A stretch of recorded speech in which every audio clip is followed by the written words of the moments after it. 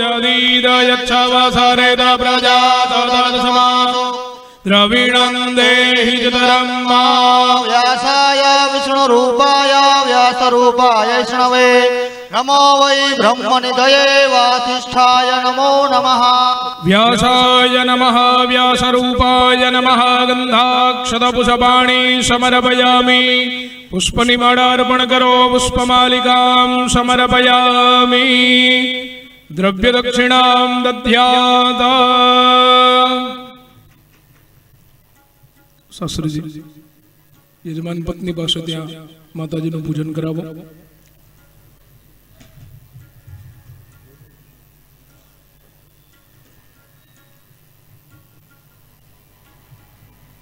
ॐ पावगानः सरस्वती वाजेभिर्वाजिनी वदे जन्मम् अष्टोधियावशोः पुराणपुरुषोत्तमाय नमः गन्धाक्षतपुषपाणि समर्पयामि पुष्पमालिकां च समर्पयामि तदा मालिन्यै नमः रिमरतनेश्वर्यै नमः गन्धाक्षतपुषपाणि समर्पयामि हज़ारों धूप दीप मंत्र तेरा नाम रटाए। हा हा, हा,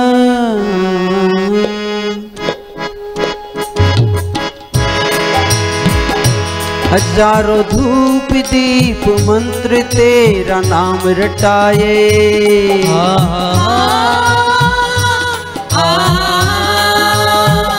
हज़ारों हाथ लेके सूरज किरण जोत जगाए। राधे कृष्णा राधे कृष्णा राधे कृष्णा। तेरा मन का पंछी बोले, मनवा राधे कृष्णा। राधे कृष्णा राधे कृष्णा राधे कृष्णा। तेरा मन का पंछी बोले मनवा राधे कृष्णा।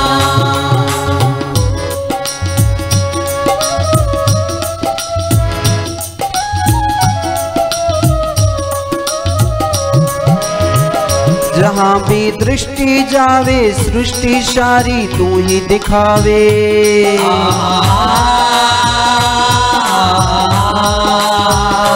प्रकृति पार न पावे, नेति नेति वेद कहावे।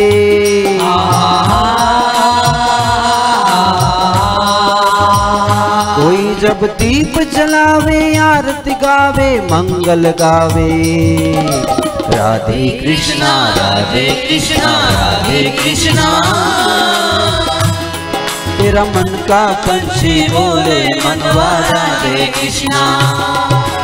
राधे कृष्णा राधे कृष्णा राधे कृष्णा तेरा मन का पंछी बोले मनवा राधे कृष्णा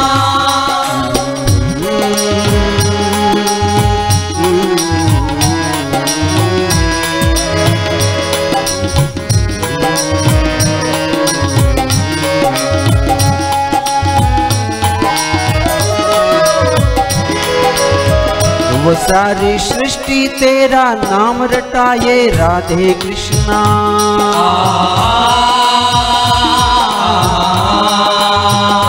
कभी कोई शंख बजावे, घंटी बजावे, राधे कृष्णा।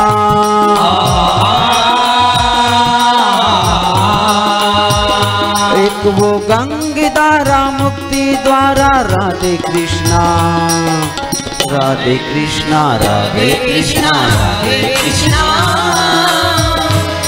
तेरा मन का पंछी बोले मनवा, राधे कृष्णा। राधे कृष्णा राधे कृष्णा राधे कृष्णा। तेरा मन का पंछी बोले तेरा मन का पंछी बोले मनवा राधे कृष्णा तेरा मन का पंछी बोले मनवा राधे राधे कृष्णा कर्पूर पुरेण सुमना हरेण સુવર્ણ પાત્રોદરે સંસ્થિતેના પ્રદીપ્તવાસા સહસંગતેના નિરાંજનંતે જગદીશ કુર્વે जन ते जगदीशकुले त्वमेव माता च पिता त्वमेव। त्वमेव बन्धु च शुद्ध त्वमेव। त्वमेव विद्या द्रविणं त्वमेव।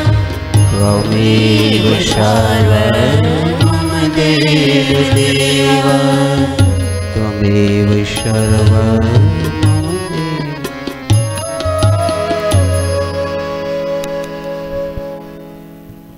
मङ्गलारारदिक्यं समर्पयामि पणिनिधरवड्यपोयानिकानि च पापानि जनमान्तरकृतानि च दानि सर्वाणि नश्यन्तो प्रदक्षिणां पदे पदे हि भगवन्ने वन्दनपि हस्ताभ्याम् अर्थ स्वात्म कल्याणार्थे आत्माभिवन्दनं वा।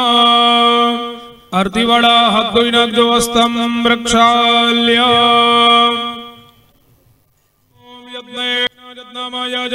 देवास्तानि धर्माणि प्रथमान्यासन्ना देहनागं महिमानः सजन्दजद्रपूर्वे साध्याः सन्ति देवाः ॐ भूर्भुवः स्वः पुराणपुरुषोत्तमाय नमः।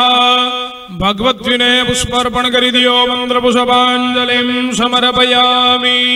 विहाजोडे क्षमायाचना करो आवाहनं न जानामि न जानामि तव पूजांश्चैव न जानामि। ક્ષમ્યતામ પરમેશ્વર પ્રાર્થનાપૂર્વક ક્ષમાપનપૂર્વક નમસ્કારાન સમર્પયામિ જમણાથમાં જલ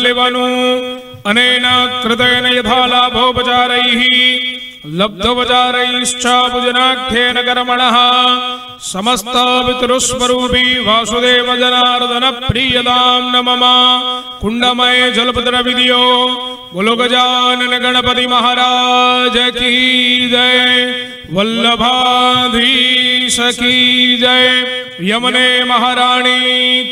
ગણપતિ કૃષ્ણ કનૈયા લાલ કી જય ભગવતજી કી જય નમ પાર્વતી પદયે હર હર મહાદેવ હર સ્વસ્તિ શ્રી ગણેશાય નમઃ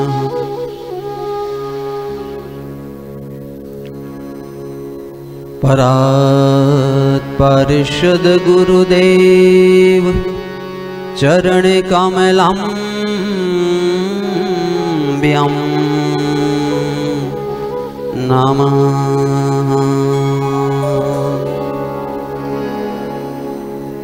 श्रीवल्लभाचरणकमलां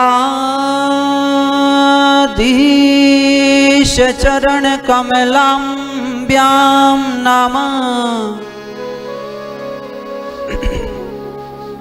श्रीशुकदेव परमात्मने नमः। श्रीपुराणपुरुषोत्तमाय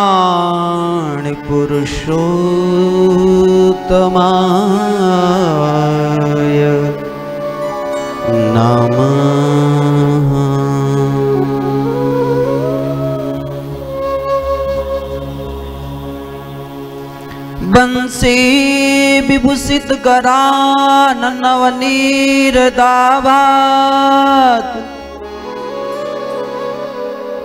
पिताम्बराद अरुणबिम्बफलादरोष्ठात् पूर्ण इन्दु सुख पूर्णेन्द्रुमुखार्य अरविन्दनेत्रा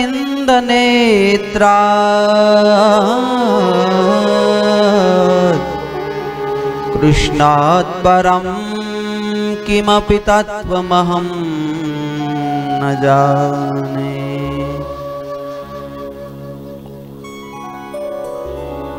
कृष्णत्वदीयपादपङ्कजपञ्जरान्ते पङ्कज पञ्जरान्ते अदीव मे विसतु मानसराणप्रयाणसमये कपीतवाते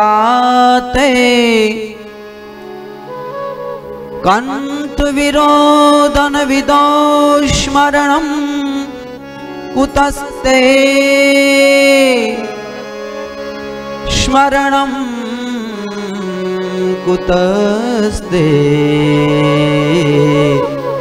स्मरणं कुतस्ते। श्रीकृष्ण गोविन्द हरे मुरारे हे नाथ नारायण वासुदेव कृष्ण गोविंद हरे मुरारी हे नाथ नारायण वासुदेवा जिह्वे पिबस्वामृतमेत देवं गोविन्द दामोदर माधवेति गोविंद दामोदर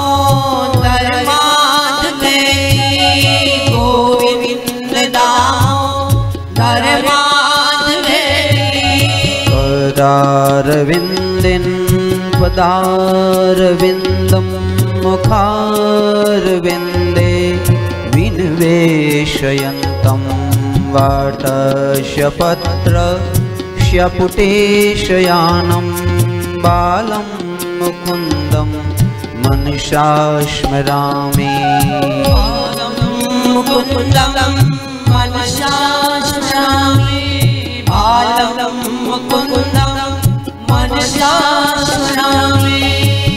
विक्रेतु कामा किल गोपिकन्या। मुरारिपादार्पित चित वृत्ति। दत्यादिकं मोहवसादिवोचत् गोविन्द दामोदर माधवेति। गोविन्द दामोदर गोविन्द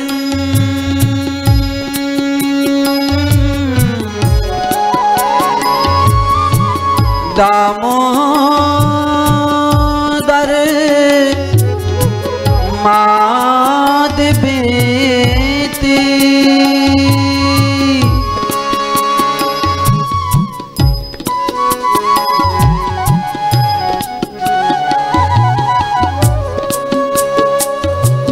सुखं वसाने इदमेव सारं दुःखं वशाने इदमेव ज्ञेयं देहं वसाने इदमेव जाप्यं। गोविन्द दामोदर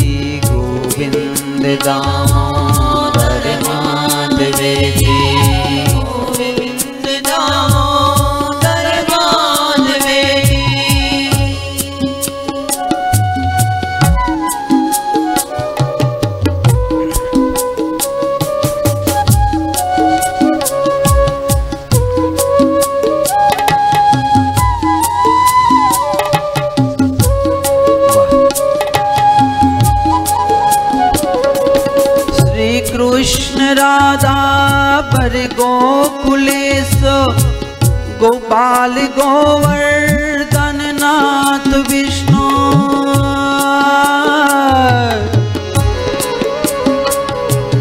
जिह पिबवे पिबस्वामृतमेति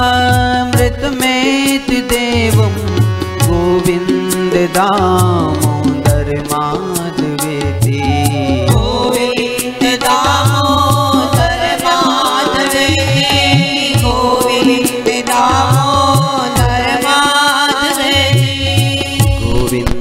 दामोदर माधवेति गोविन्द दामोदर माधवेति गोविन्द दामोदर गोविन्द दामोदर भगवान की हे कृष्ण करुणा सिंधु दीनबन्धु जगत्पते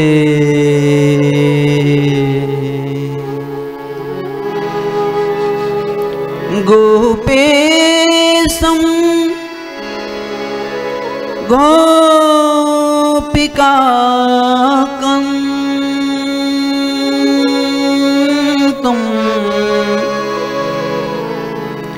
राधाकान्त नमस्तु ते।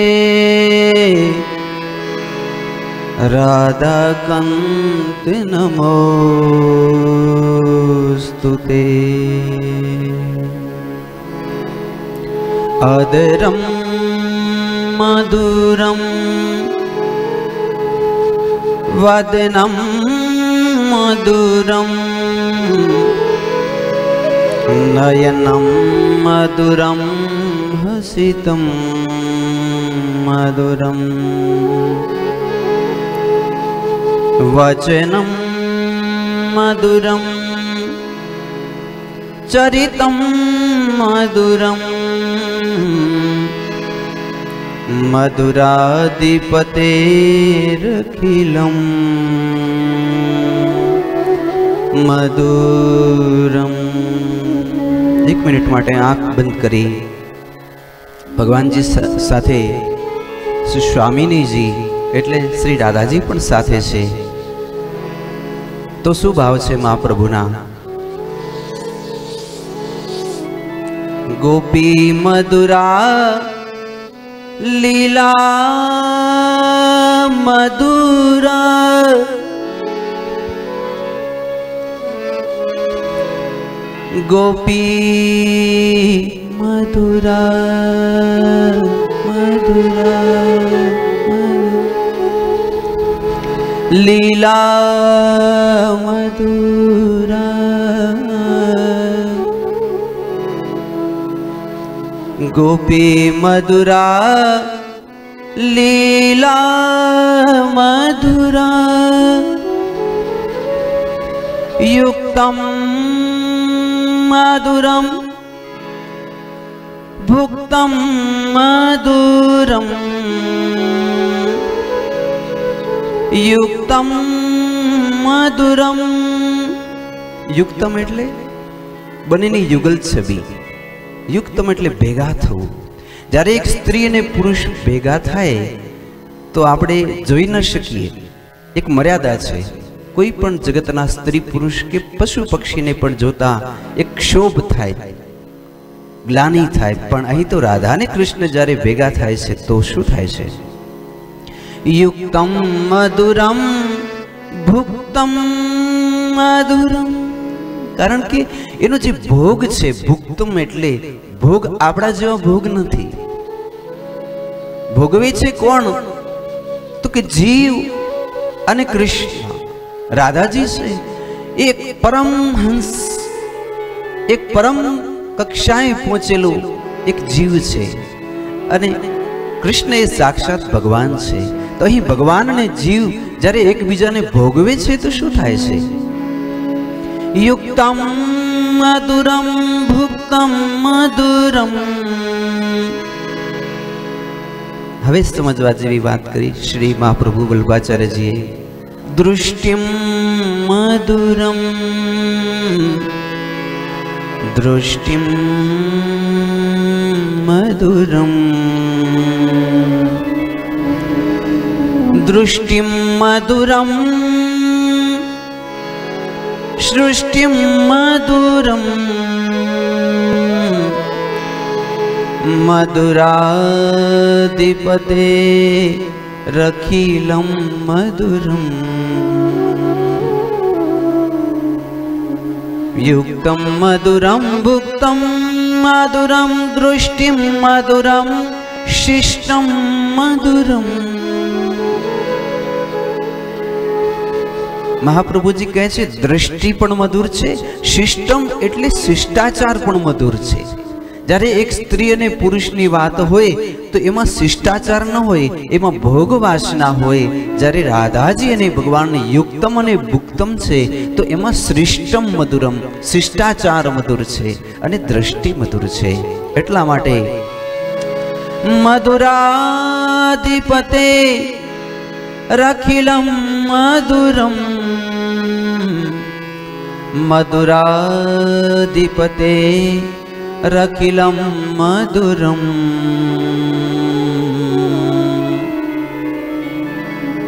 अहो बकीय स्तनकालकूट पायपदव्यसाध्वी लभे गतिदात्रयचिन्ता तत्वन्यम् કં વા દયાલું શરણમ વ્રજ્યમ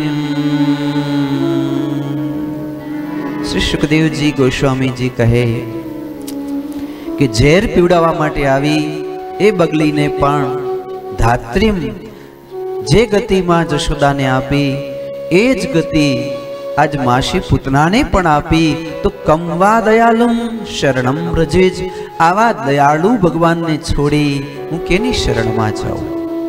કારણ કે સંસારના બધા જ દેવો શ્રેષ્ઠ છે, પણ સૌથી એમ કહેવાય કમવા દયાલુ, દયાળુ દેવ કોણ છે? તો માત્ર ને માત્ર જશોદાનંદન. માટે હું જશોદાનંદનની શરણમાં છું. હું બ્રજ જનરંજનની શરણમાં છું. પરબ્રહ્મની શરણમાં છું. જે સરસ રૂપ છે. એટલા માટે મંગલાનાંચ કરતારો વંદે વાણી વિનાયકો. ભવાની શંકરો વંદે શ્રદ્ધા વિશ્વાસ રૂપીણો. બીજા દિવસની કથામાં હું મારા પ્રભુ શ્રી હરિનું સ્વાગત કરું છું. આપ સર્વનું પણ હૃદયપૂર્વક સ્વાગત કરું છું. સુસ્વાગતમ સુસ્વાગતમ. મારી સાથે પધારેલા મા અનસુયાજીને પણ આદર અને સત્કારપૂર્વક હું સત્કારું છું. સંગીત સભાના સંગીતજ્ઞ વિદ્વાનો, આપને પણ સત્કારું છું. અને આ ગાદીને જેમ વ્યાસ ગાદી કહેવાય, એમ આ બધી ગાદીઓને ઉપવ્યાસની ગાદી કહેવાય. તો એવા આપ બધાએ ઉપવ્યાસ બ્રાહ્મણ ભગવંતો પણ મારા પ્રણામનો સ્વીકાર કરજો. અને આપને તો ખબર છે કે ભગવાનને ભક્તથી પણ વૈષ્ણવો વાલા છે. એટલા માટે આપ બધા વૈષ્ણવો મારા પ્રણામનો સ્વીકાર કરજો. હવે અહીં જ્ઞાનરૂપી ગંગા, એને એમ કહેવાય કૃષ્ણ ગંગા. એને આપણે વહેડાવીએ અને આપણે તો શું કરવાનું છે? ગંગાજી કાંઠે જઈએ તો આપણે કઈ આપણા માટલામાં સંપૂર્ણ ગંગાજી થોડા ભરી આવવાના છીએ. આપણે તો કાંઠે બેસશું, કદાચ એકસો ને આઠ ડૂબકી લગાડશું, પછી હાથમાં માળા લઈ માળા કરશું. પછી થાકી જઈએ તો કલાકો સુધી બેઠા હોઈએ. માત્ર દ્રષ્ટિ કરીને ખુશ થતા હોઈએ ગંગાના કાંઠે. તો બસ આ રીતે તમે દ્રષ્ટિથી ખુશ થતા થતા પ્રફુલ્લિત ચિત્તથી કથા શ્રવણ કરો, પછી તમે જો કેટલો બધો આનંદ થશે. હૃદયમાં ખૂબ ખૂબ આનંદ થશે. એટલા માટે હવે હું મારા શ્રીહરિની કથા, જે પદ્મ પુરાણમાં ગવાયેલી કથા છે, જે આપની સમક્ષ કરવા ઈચ્છું છું, સુખદેવજી મહારાજને પ્રણામ કરું છું. યમ પ્રવજંત મનુપેત મપેત કૃત્યમ દ્વૈપાયનો વિરહ કાતર આજુહાવ.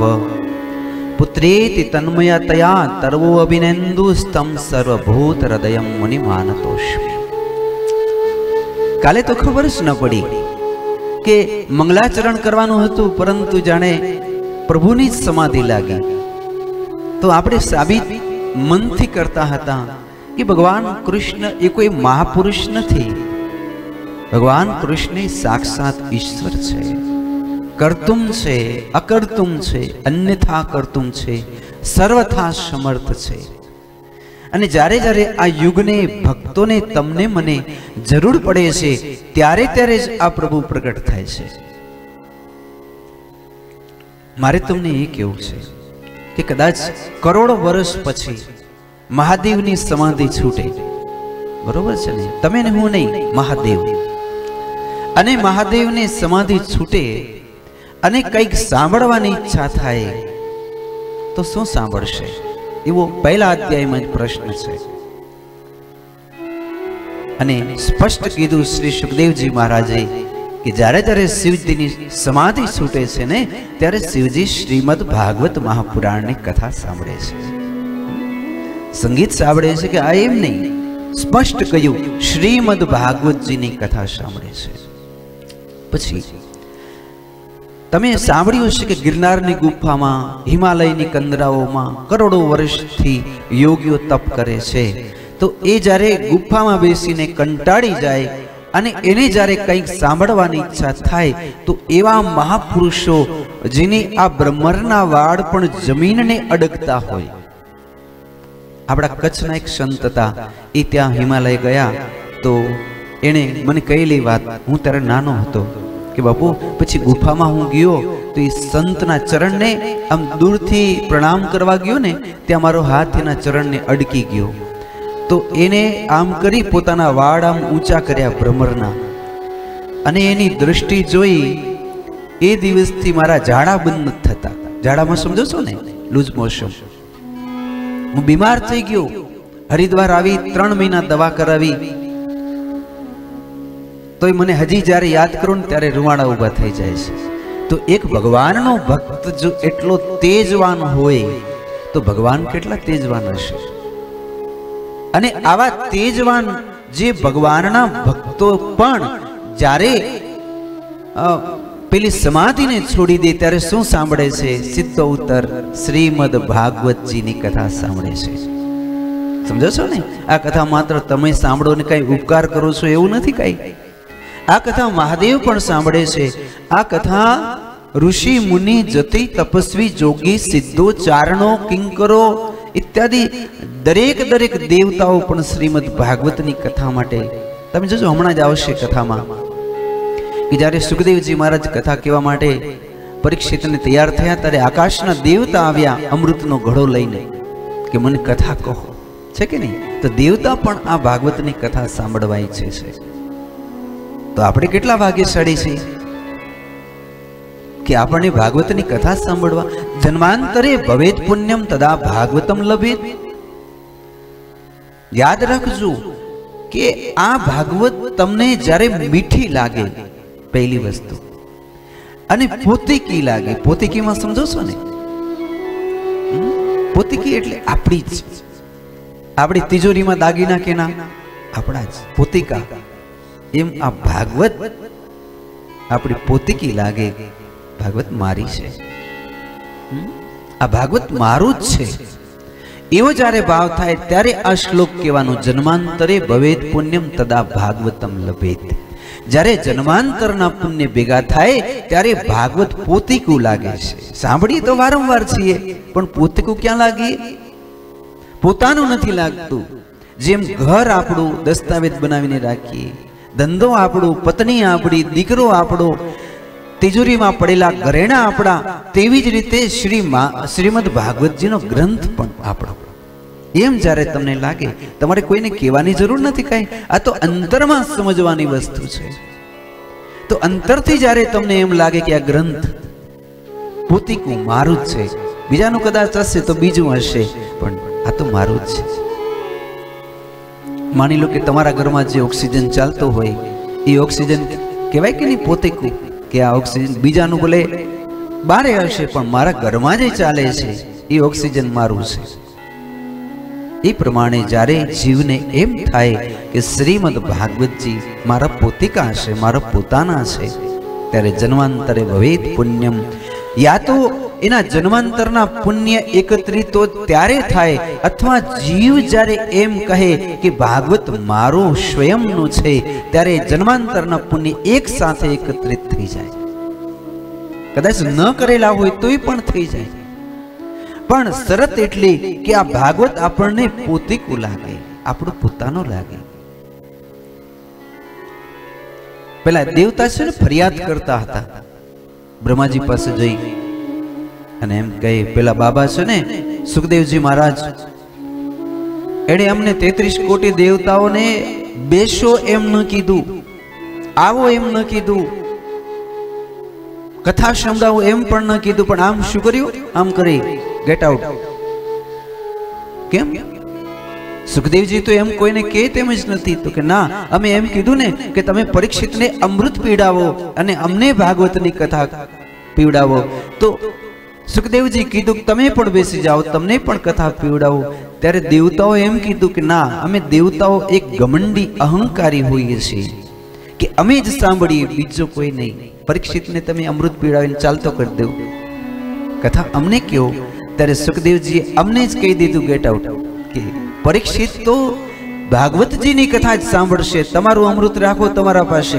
અને થાવ ચાલતા. અમને તમારી કોઈ જરૂર નથી. કારણ કે મેરો તો ગિરધર ગોપાલ દુસરો ન કોઈ. આમાં હું ગમનની વાત નથી કરતો. ઇન્દ્ર પણ આપણા ભગવાન છે. પણ જેને ભગવાનથી ભરોસો થાય, એ કદાચ ઇન્દ્રને પણ ચપટી વગાડી દે. એમ કહેવા માંગુ છું. શિવમાં પુરાણમાં એવી કથા આવે છે.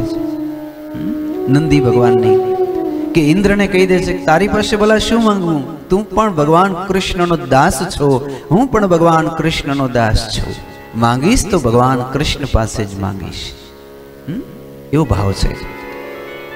એટલે પછી ફરિયાદ કરે બ્રહ્માજીને કે બાબુ અમને દેવતાને એમ કહેવાય? એટલામાં તો વિમાનમાં બેઠેલા પરીક્ષિત નીકળ્યા. અને એમ કહે છે, ઓમ નમો ભગવતે વાસુદેવાય. એટલે દેવતા જોવા લાગ્યા.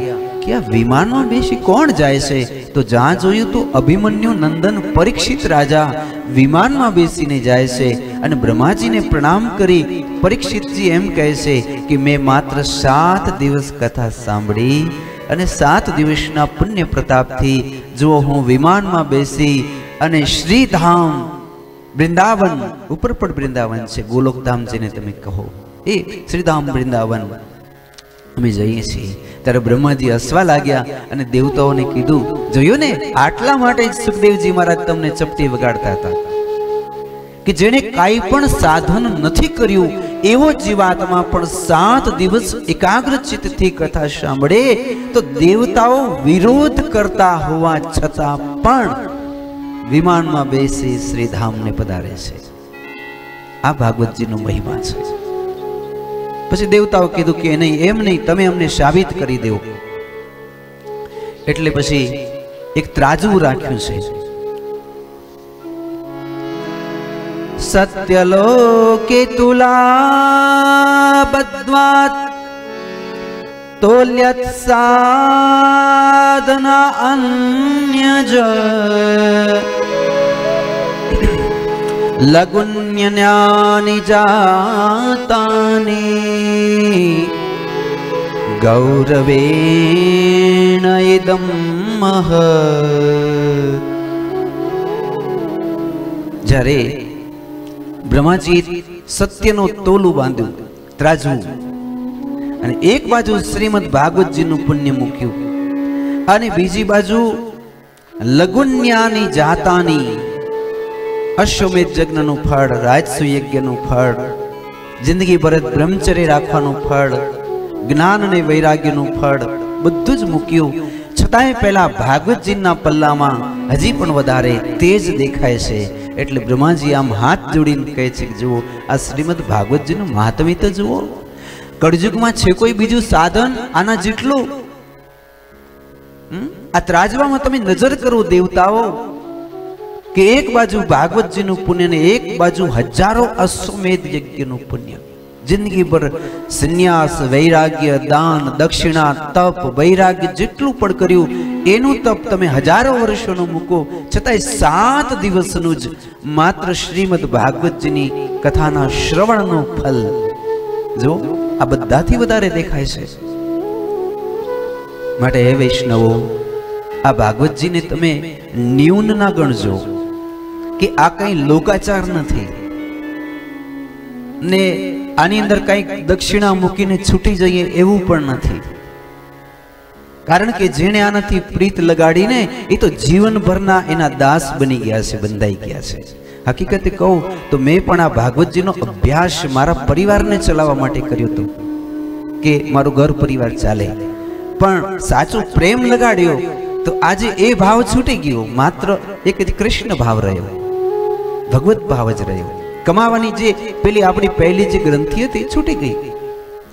તો જ્યારે તમે ભાગવતથી સાચો લગાવ રાખશો ને, ત્યારે કર્મણે એવા અધિકાર હસ્તે માં ફલેશું કદાચ.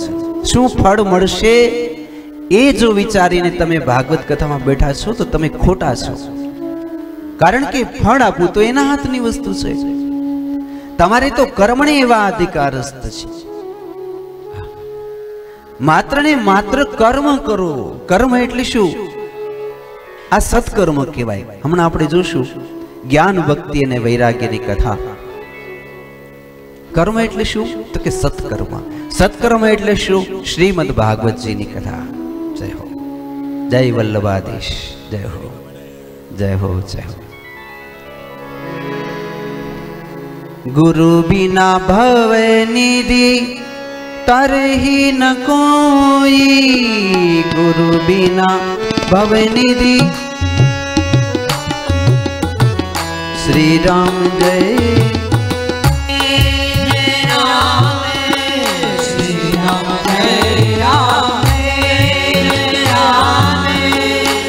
શ્રી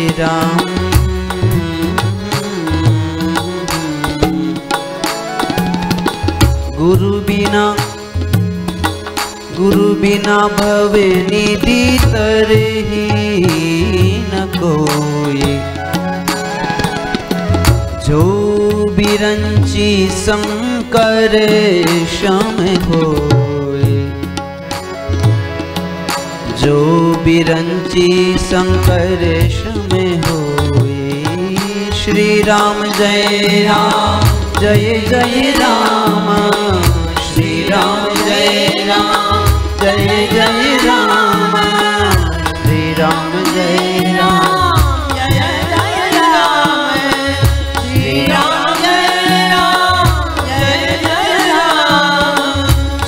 सठ गुरु समय ईर्षा करही।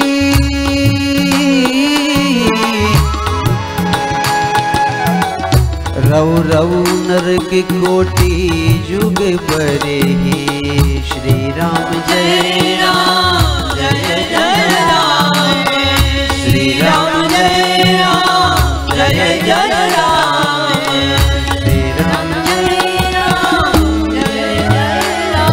भाव से कहना पड़ेगा जय श्री कृष्ण जोर से कहिए वाह જો ગુરુ બિના ભવનિધિ તરહી ન કોહી આ આપણો ગુરુ છે તમે તો ભાગ્યશાળી છો કે શ્રી વલ્લભ તમને ગુરુ પ્રાપ્ત થયા છે હમ? જેને ગુરુ પ્રાપ્ત થયા ને હું એને જગતનો સૌથી ભાગ્યશાળી માણસ માનું છું ભલે ને રબારી સમાજ હોય, પણ એ ભાગ્યશાળી છે કારણ કે એને ગુરુ ગાદી છે. જેને જેને ગુરુ ગાદી છે, એ માણસને પચાસ ટકા જ પુરુષાર્થ કરવો પડશે. જેને ગુરુ નથી, એને સંપૂર્ણ સોએ સો ટકા પુરુષાર્થ કરવો પડે. અને એમાંય ક્યારેય પણ આપણા ગુરુની નિંદા સાંભળવી નહીં. જો કોઈ ગુરુની ઈર્ષા કરશે જો કોઈ ગુરુની નિંદા કરશે કે સાંભળશે, તો રવ રવ નરક કોટી યુગ પર હે? મહાપ્રભુજીની કોઈ નિંદા કરે? તો આપણે શું કરવાનું? આપણામાં તાકાત હોય તો જીભ ખેંચી લેવાની. કદાચ તાકાત ન હોય તો કાનમાં આંગળીઓ મૂકી દેવાની. શક્ય હોય તો આપણે ઊભા થઈને ચાલ્યા જવાનું. અને એનાથી વિશેષ કરવો હોય તો સંબંધ વિચ્છેદન કરી દેવું કે આજથી તારે મારે કોઈ સંબંધ નથી. તજેવો પિતા પ્રહલાદ. પ્રહલાદજીએ સગા બાપને કહી દીધું, તું મારો બાપ નહીં, હું તારો દીકરો નહીં. જો તને ભગવાન નથી ગમતા, તો તું આજથી મારો બાપ નથી, હું તારો દીકરો નથી. તજેવું પિતા પ્રહલાદ, બંધુ વિભીષણ. વિભીષણે રાવણને કહી દીધું, તું મારો ભાઈ નથી? તને જો ભગવાન ન ગમે, તો તું મારો ભાઈ જ નથી બસ.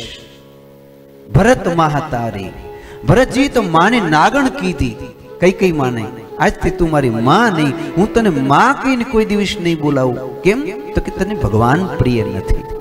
આ વૈષ્ણવનો ધર્મ છે. બલિ નિજ ગુરુ. કોઈ દિવસ ગુરુને ન છોડાય, પણ બલિરાજાએ તો ગુરુને પણ છોડી દીધા. શુક્રાચાર્યજીને કે આજથી તમે ગુરુ નહીં, હું તમારો શિષ્ય નહીં. તજેહુ કંથ બ્રજ વનિતા પતિને તો કોઈ દીએ ન છોડાય. લૂલો, લંગડો, બાડો, બોબડો ગમે તેવો હોય પતિ એ આપણો ઈશ્વર છે, આપણો ભગવાન છે. અને કદાચ પતિને પતિને તરછોડે એવી સ્ત્રીઓને ભગવાન ક્યારે પણ પોતાની સખી મંડળમાં સ્થાન આપતા જ નથી. ભગવાન સખી મંડળમાં તેને સ્થાન આપે, જે પોતાના પતિને આદર સત્કાર કરે છે. પણ વ્રજ વનિતા હોય તો પતિને પણ છોડ્યા. બ્રાહ્મણની પત્ની હોય પણ પોતાના પતિને છોડ્યા. એની કથા આગળ જોશું આપણે દસમા સ્કંદમાં. તો ભય સબ મંગલકારી. પતિને પણ છોડ્યા. કારણ કે એને ભગવાન જો પ્રિય નથી. તો સંબંધ વિચ્છેદન. તમે તમારા ઘરે સુખી, અમે અમારા ઘરે સુખી. આ રસ્તો છે વૈષ્ણવોનો. ભલે ને આપણો ભાઈ હોય, આપણી માતા હોય, આપણા ગુરુ હોય કોઈ પણ હોય, પણ જો ભગવાનની ભક્તિમાં વિક્ષેપ કરે, તો તરત જ તેનો ત્યાગ કરવો. એમ કીધું શ્રી તુલસીદાસજી મહારાજે. એટલા માટે હવે જોઈએ જ્ઞાન ભક્તિ અને વૈરાગ્યની કથા. સંપૂર્ણ પુષ્ટિ માર્ગ આ ત્રણ વસ્તુ ઉપર જ છે. જ્ઞાન ભક્તિ અને વૈરાગ્ય. અને સંપૂર્ણ ભાગવતનો જે પાયો છે એ પણ ત્રણ વસ્તુ ઉપર છે. એક વસ્તુ ધ્યાન રાખજો, ભક્તિ છે ને, એ કોઈ દિવસ પ્રાવલંબી નથી, સ્વાવલંબી, સ્વતંત્ર છે. આપણે એમ ન વિચારવું કે આપણે વૈરાગ્યવાન થશું તો ભક્તિ આવશે, આપણે દાનવીર થશું તો ભક્તિ આવશે, આપણે ઘણા જાપ કરશું તો ભક્તિ આવશે, આપણે ઘણા તીર્થ કરશું તો ભક્તિ આવશે. સમજો છો ને કેવા માંગુ છું? ભક્તિ એ સ્વતંત્ર છે કોઈ બીજું કંઈ પણ આચરણ કરવાથી કોઈ દિવસ ભક્તિ આવી શકે નહીં. ભક્તિ માત્ર ને માત્ર સંપૂર્ણ શરણાગતિ થકી જ આવે. મહાપ્રભુજી જેને પ્રપતિ કહે છે, સંપૂર્ણ શરણાગતિ. એ સોંપ દિયા સબ જીવન કા ભાર તમારે હાથો હોવે તો શ્રી સુખદેવજી મહારાજ કહે, હે રાજન પરીક્ષિત ભક્તિ છે એ સ્વતંત્ર છે. સમજાય છે ને? ઘણા લોકો એમ કે અમે આખો દિવસ માળા ફેરવીએ તો તો ભગવાન રાજી થાય ને. તો મારી ભક્તિ બરોબર જ થતી હશે ને? ના. ભક્તિ છે સ્વતંત્ર છે અને આ ભક્તિ ભાવ વિના, પ્રેમ વિના, સ્નેહ વિના, સમર્પણ વિના ક્યારે પણ ભક્તિનું બીજ પણ નથી ઉગતું. ભક્તિ તો ઠીક. ભક્તિને જો તમારે ઉગાડવી હોય તો તમે તમારા લાડકડા દીકરાથી જેટલો પ્રેમ કરો, એનાથી હજાર ગણો પ્રેમ જ્યારે જશોદા નંદનને કરશો. ત્યારે જ ભક્તિનું બીજ ઉગશે. તમે દસ કામ ભેગા લઈને નીકળો અને પછી તમે એમ કહો કે અમે ભક્તિ કરીએ છીએ. આ કેવી ભક્તિ છે? તમે તમારા પતિ, દીકરા, પરિવારને ધન સંપત્તિને પ્રેમ કરો, એનાથી હજાર ગણો પ્રેમ જ્યારે તમે પ્રભુથી કરશો. તો ભગવાનને રાજી કરવાનો સૌથી શ્રેષ્ઠ રસ્તો આ છે, સત્સંગ અથવા સત્કર્મ. તમે એમ કહો છો, મહારાજ, સત્કર્મ તો કરીએ છીએ, પણ સાથે અભિમાન પણ કરો છો. કે મેં ગાયોને આટલો ચારો નાખ્યો, મેં અહીંયા આમ કર્યું. કરો છો કે નહીં અભિમાન? તો એ સત્કર્મ ન કહેવાય. જે વસ્તુ કરવાથી અભિમાન આવે, એ સત્કર્મ ન કહેવાય. પણ જે વસ્તુ કરવાથી ભગવાનમાં પ્રીતિ વધે. ભગવાન સાથે પ્રીતિ એવી જામે જેમ રાસલીલા જામે ને એવી આપણી ભગવાન સાથે જે ભક્તિ જામે. એને સાચું પ્રેમ, એને સાચી ભક્તિ કહીશું. ભક્તિ તો નવ છે, નવધા ભક્તિ. પણ એમાંય આ કૃષ્ણને રીઝાવવા માટે નવયમાંથી એક કામ ના આવે. કારણ કે આ પૂર્ણ પુરુષોત્તમ છે. આ બધા પગથિયા છે ભગવાનના ચરણ સુધી પહોંચવાના નવ. એને કહીશું નવદા ભક્તિ. શ્રવણમ, કીર્તનમ, સ્મરણમ, વિષ્ણુપાદ સેવનમ, અર્ચનમ, વંદનમ, દાસ્યમ, સખ્યમ, આત્મનિવેદનમ. તમને શું લાગે છે આ ભક્તિ કરી લઈએ? તો ભગવાન હાથમાં આવી જાય? ના, એ તો માત્ર પગથિયા છે. પણ આટલું કરતા કરતા ખરેખર તો એનાથી ચિત્ત લગાડવું તે છે. તમે શું માનો છો? મોક્ષ કેને મળશે? આત્માને મળશે? આપણે કહીએ એના આત્માને શાંતિ દેવ કે મોક્ષ દેવ. ના, આત્મા તો ચિદાનંદ રૂપ છે. ચિદાનંદ રૂપ શિવોહમ શિવોહમ તો મોક્ષ કેને મળે? મને બે વસ્તુ સમજાય છે. કદાચ મન અને ચિત્ત આ બે વસ્તુ છે. આ બંનેને મોક્ષ મળતો હશે. એવું હું માનું છું.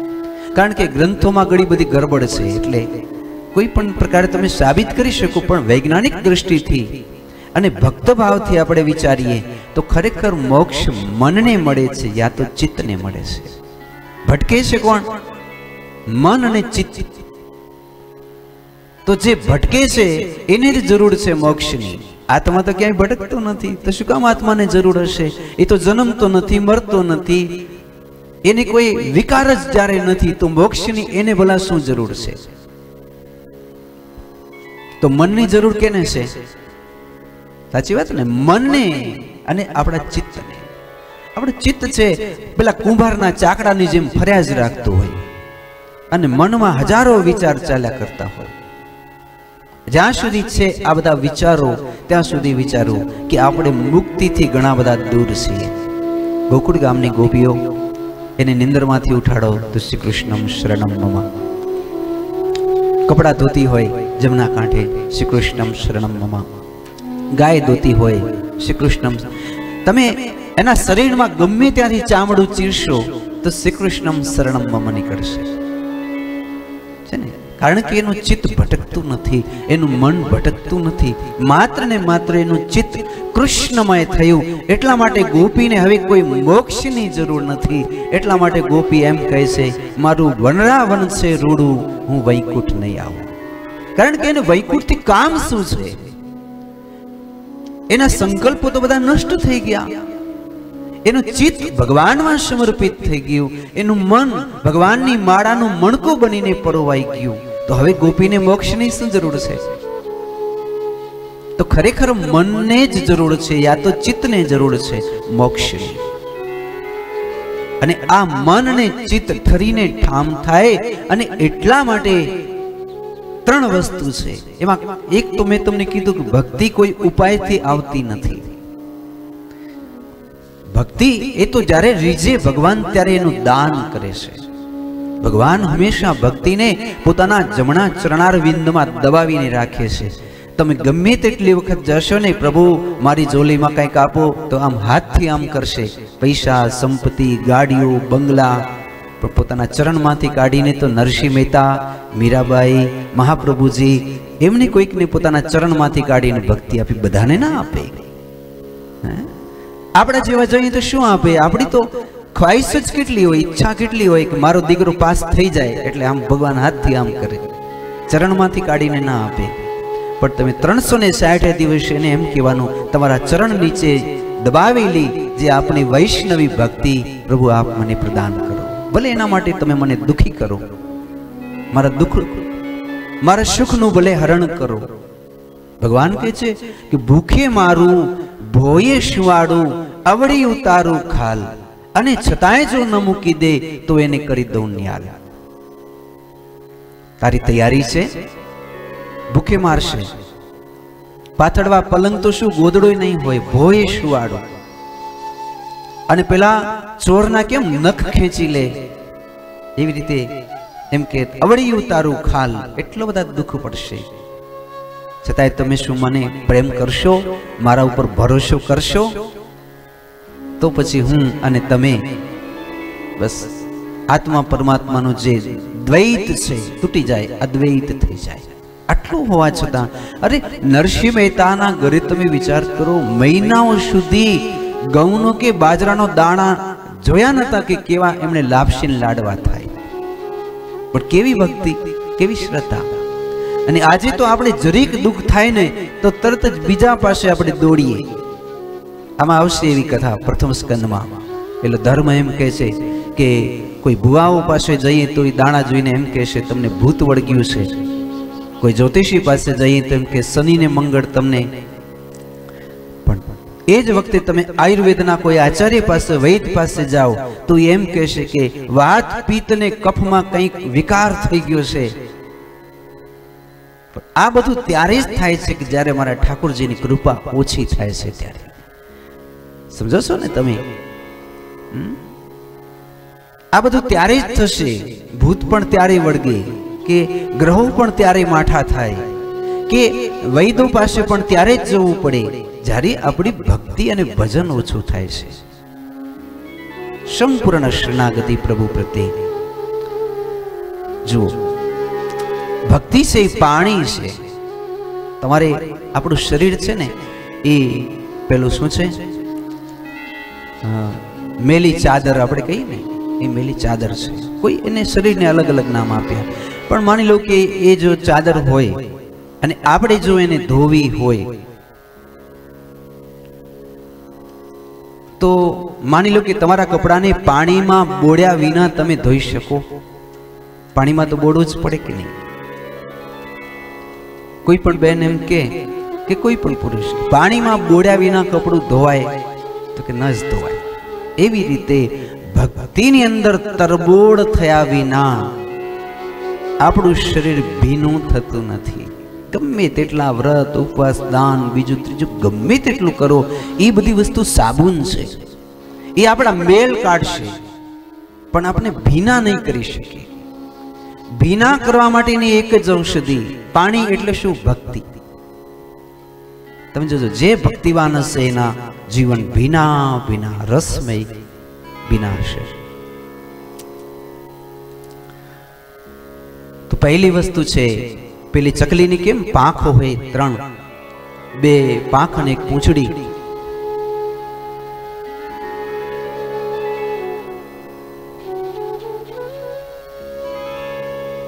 જો આ ભજન છે દેશ રાગમાં છે અને તરંગમુખી દેશમાં.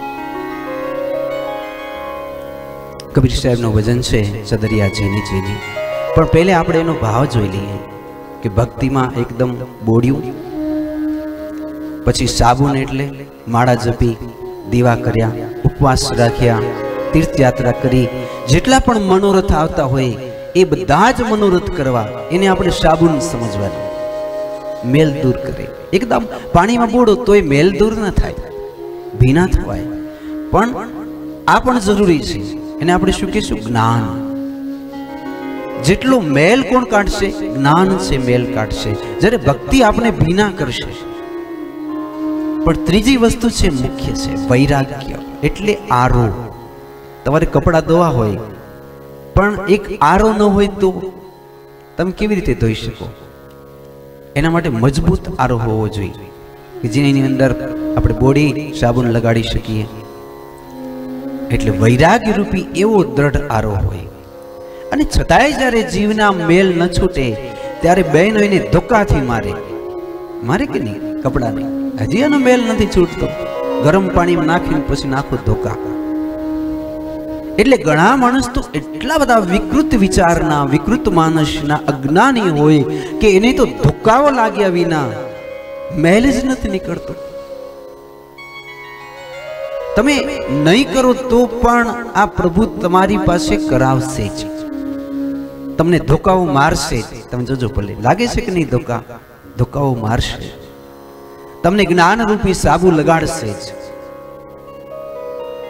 આરોપણ મજબૂત જોઈએ વૈરાગ્યનો. જેમ ચકલીની બે પાંખ હોય ને, જ્ઞાન અને વૈરાગ્ય એથી ઉડે. એક પાંખ કાપી નાખો તો ન ઉડી શકે. એમ તમારી પાસે બે જરૂરી છે. આ આંખ છે ને, એક છે વૈરાગ્ય, એક છે જ્ઞાન. નક્કી કરી લેજો. અને એનો સદુપયોગ કરજો. પણ આ તમને મુક્તિ સુધી નહીં લઈ જાય. મુક્તિ સુધી લઈ જશે ભક્તિ માતા. ગોપીઓને કોઈ જ્ઞાન નથી એમ ન કહેવાય. આગળ જોશું આપણે. એને વૈરાગ્ય તો છે જ કે એને ભગવાન માટે બધું છોડી દીધું. પણ એને જ્ઞાન કેટલું છે એ પણ આપણે આગળ જોશું. સુખિયા માલણને બતાવશે. પણ સૌથી શ્રેષ્ઠ વસ્તુ છે ભક્તિમાં તરબોળ થઈ જવું. તો અહીં જ્ઞાન ભક્તિ ને વૈરાગ્ય સુતેલા હતા વૃંદાવનના ઘાટ ઉપર. એ કથા તો તમે સાંભળી હશે મહાત્માઈમાં નારદજીને પેલી ભક્તિ એમ કહે છે, બાપુ, મારા બે દીકરાને તમે બેઠા કરો ને. નારદજીએ ચારે વેદના પાઠ કર્યા. શાસ્ત્રો, ઉપનિષદોની કથા કહી એનું પુણ્ય ફલ આપ્યું.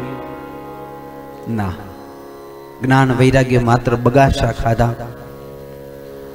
બેઠા ન થયા ત્યારે નારદજી સાક્ષાત ભગવાનને પૂછે છે કે આ જ્ઞાન અને વૈરાગ્યને મૂર્છિત અવસ્થામાંથી યુવાન અવસ્થામાં લઈ આવવા માટે શું કરવું જોઈએ?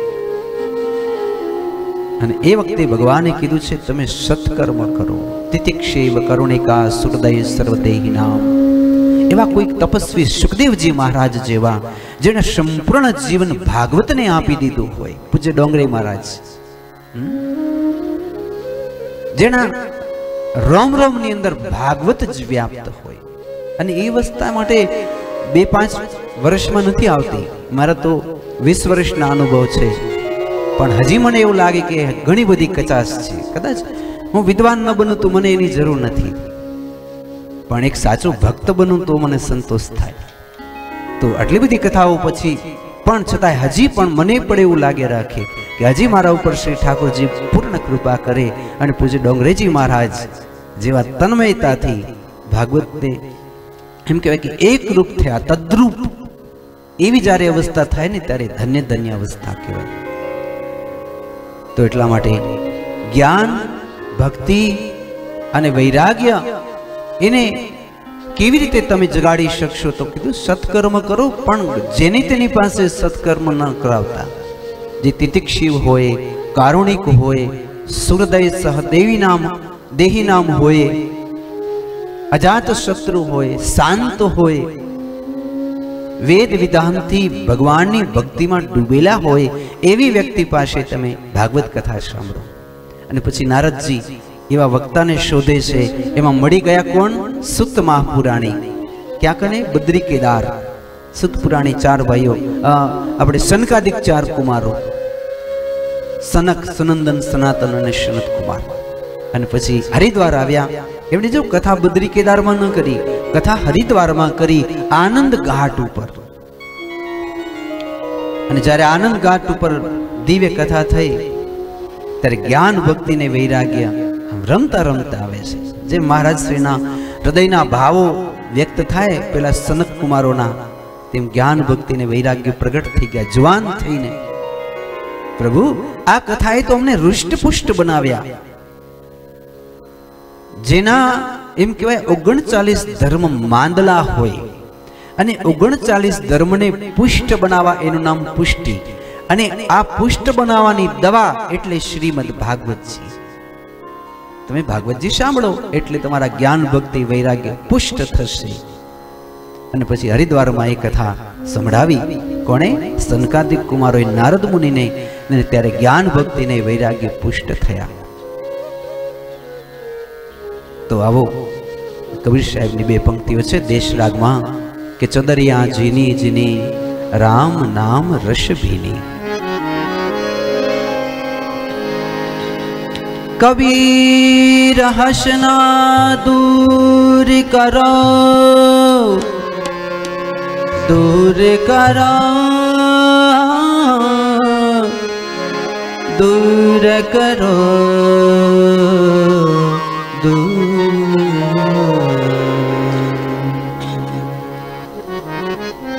દૂર કબીરા હસના દૂર કરો અને રોને સે કરો પ્રી बिनु रोए कि तू पाइयो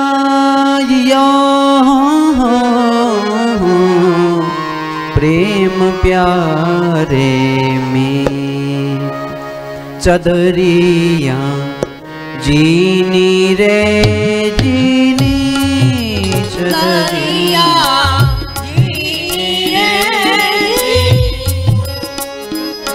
મોહે રામ નામે રસ બીની ચદરિયા જી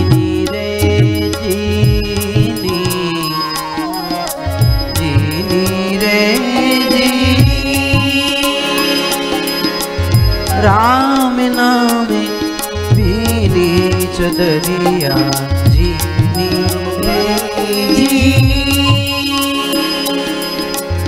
ચાદરે ઓડ શંકા મત કરિયો દો દિને તુમે કો દીની ચાદરે ઓડ શંકા મત કરિયો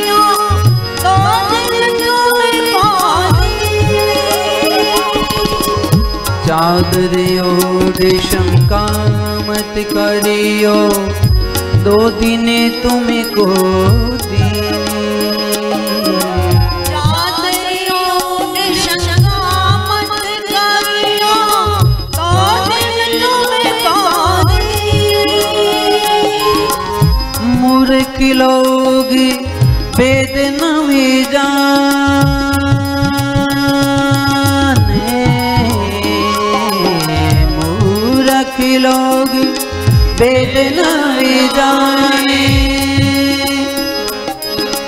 मलमल मेली की चदरिया चीनी रे। मोहे राम नाम रश भी चदरिया।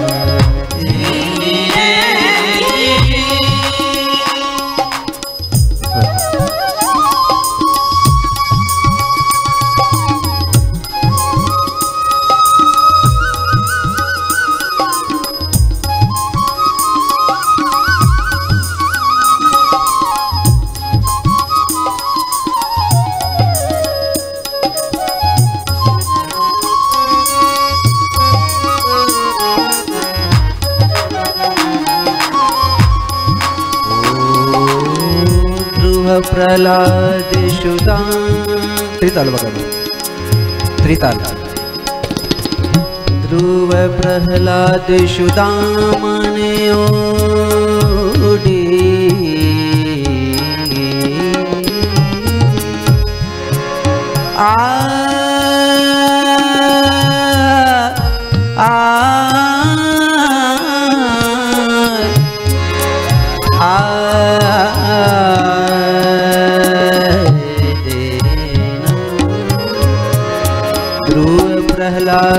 પરશુરામને ઓડી સુખદેવની રે મલકીની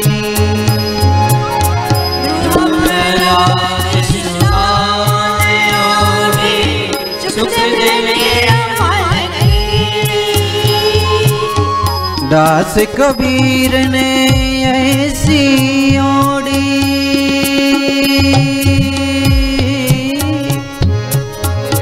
દાસ કબીર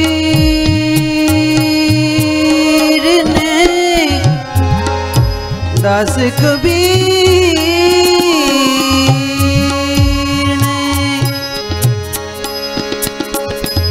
દાસ કબીર ને સિયોલી જ્યાં કે ત્યું દર્દીની ચદરિયા જીની રે જીની રામ નામે રસ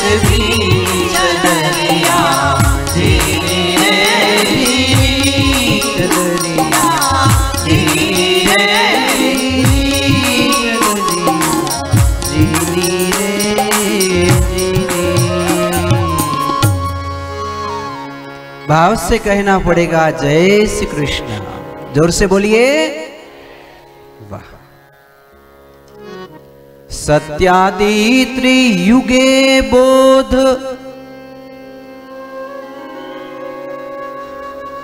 वैराग्य मुक्ति साधिको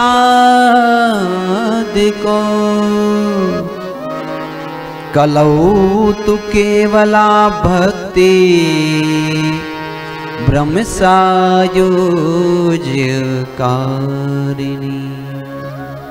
જો, પહેલો શબ્દ નોટ કરો ને સાતમે દિવસે નોટ કરજો. બ્રહ્મ સાયુજ્ય એ અંત ક્યારે આવશે આ જીવનનો? તો કે બ્રહ્મ સાયુજ્ય જ્યારે બ્રહ્મમાં પ્રવેશ કરશું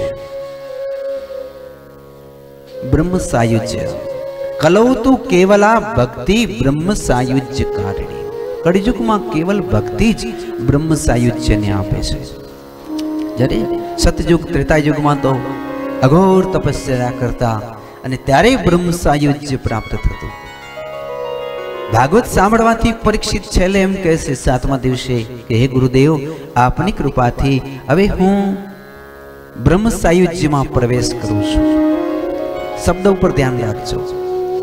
હવે હું બ્રહ્મ સાયુજ્યમાં પ્રવેશ કરું છું.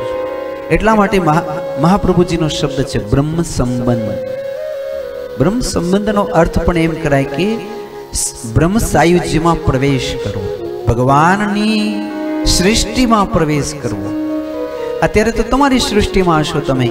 તમારું ક્યાંક ગામ હશે પતિ પત્ની હશે, કંઈક હશે.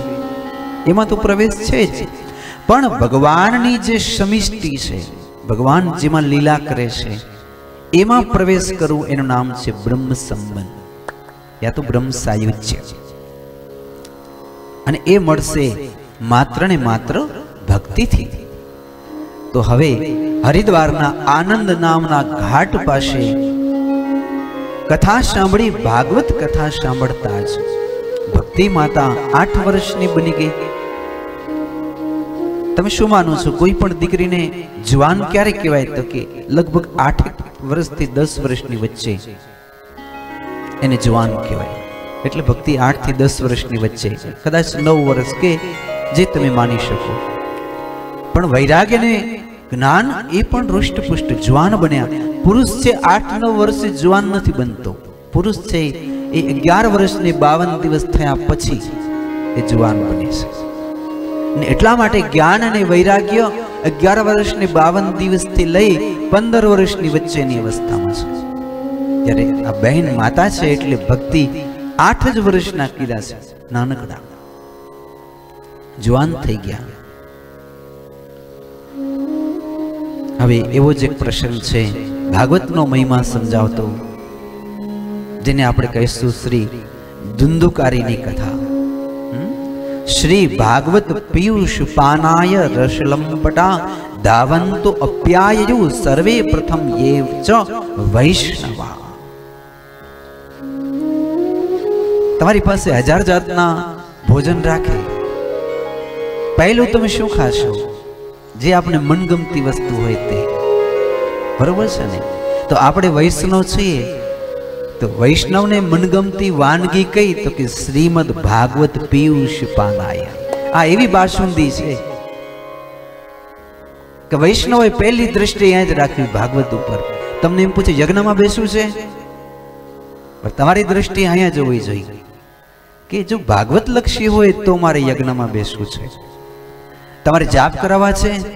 હા, પણ ભાગવત લક્ષી હોય તો મારે જાપ કરાવવા છે. તમારે કઈ મનોરથ સિદ્ધ કરવા છે? હા, પણ ભાગવત લક્ષી હોય તો જ. તમારે કોઈ ઉત્સવ ઉજવવા છે? બોલે, હા, પરંતુ જો ભાગવત લક્ષી હોય તો જ. સમજો છો ને? આપણે વૈષ્ણવો માટે આપણું પરમ ધન હોય તો શ્રીમદ ભાગવત. એ આપણું પરમ ધન છે.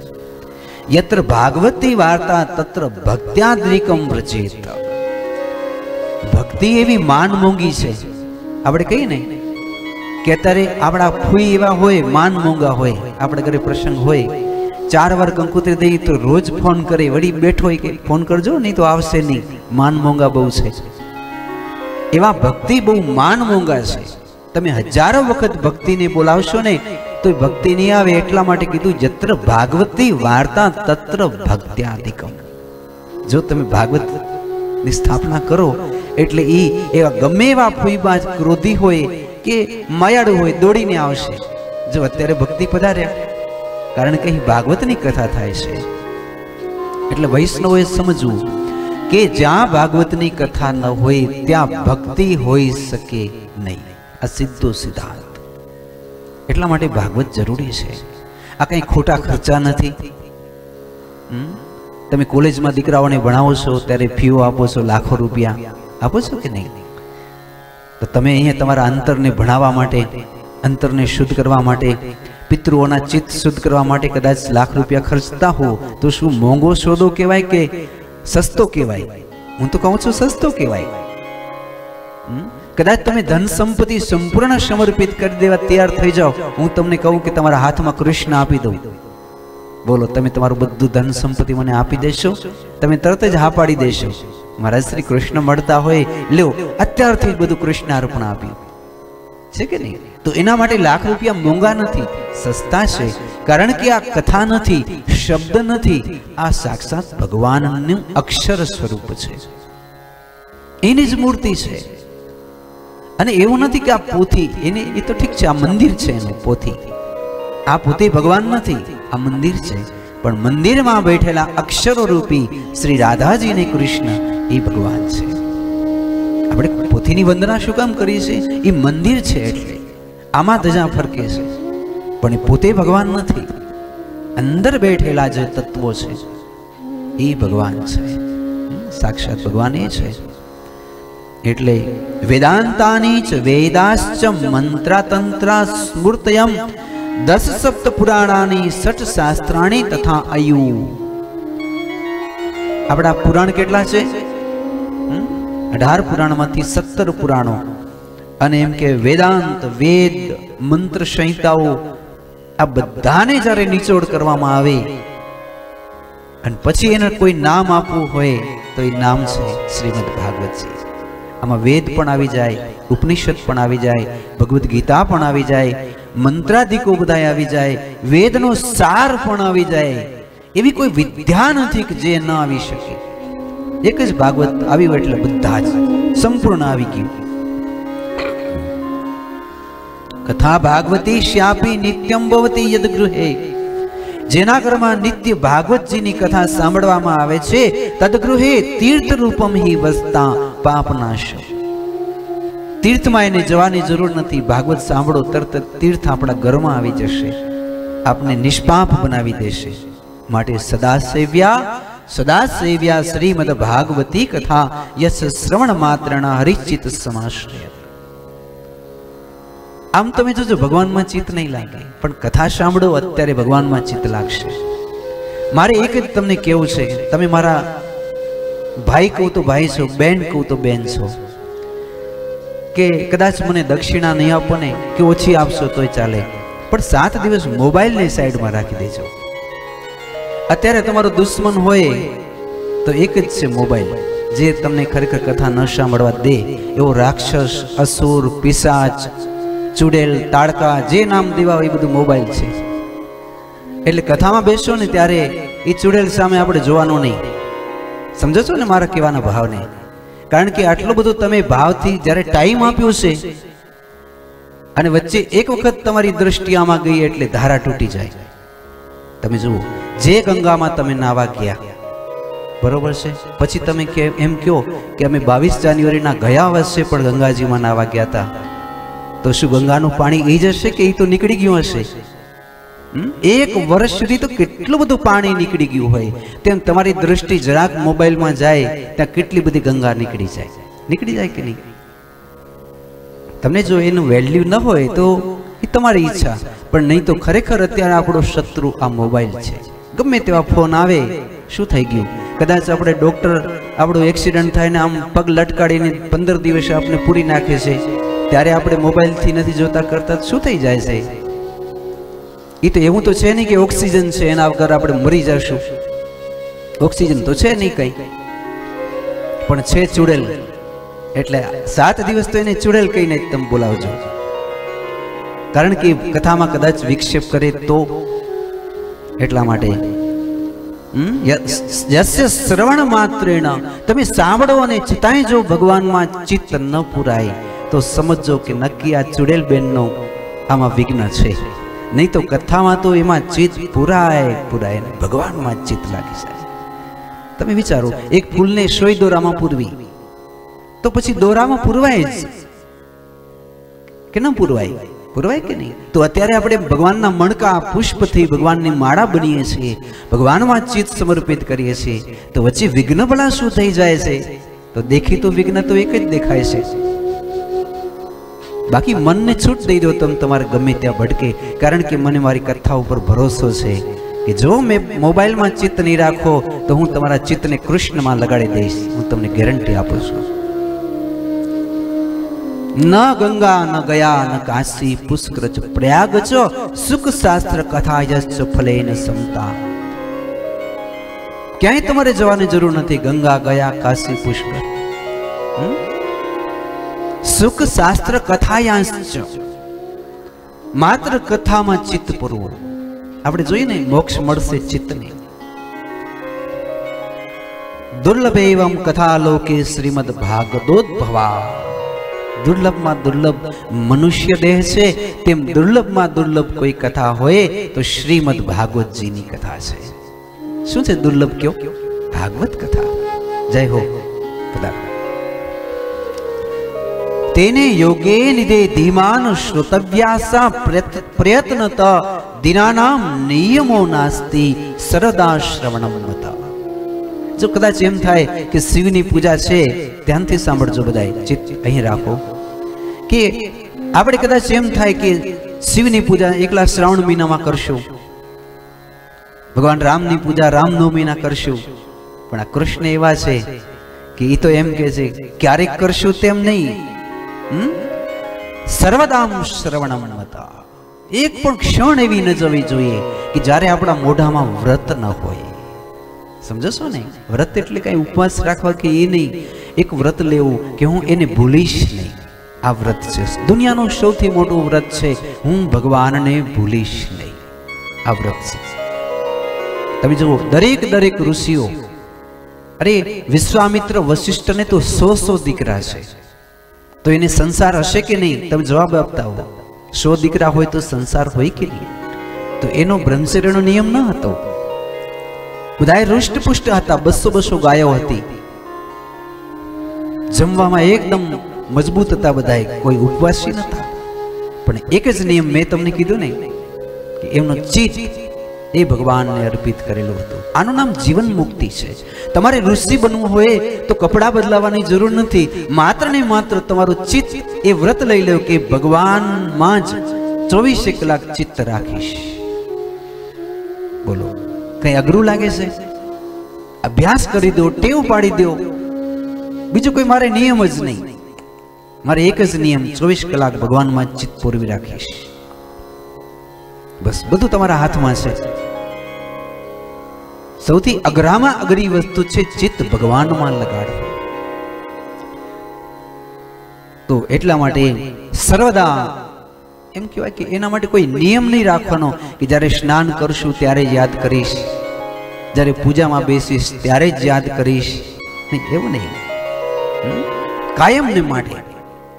હું તો એમ કહું કે કદાચ ભગવાનને ચિત્તમાં પૂરવેલા હોય અને કોઈ માતાના પેટમાં કદાચ ગર્ભ સ્થાપન થાય, તો કોઈક ધ્રુવ અને પ્રહલાદ થઈને પ્રગટ થશે.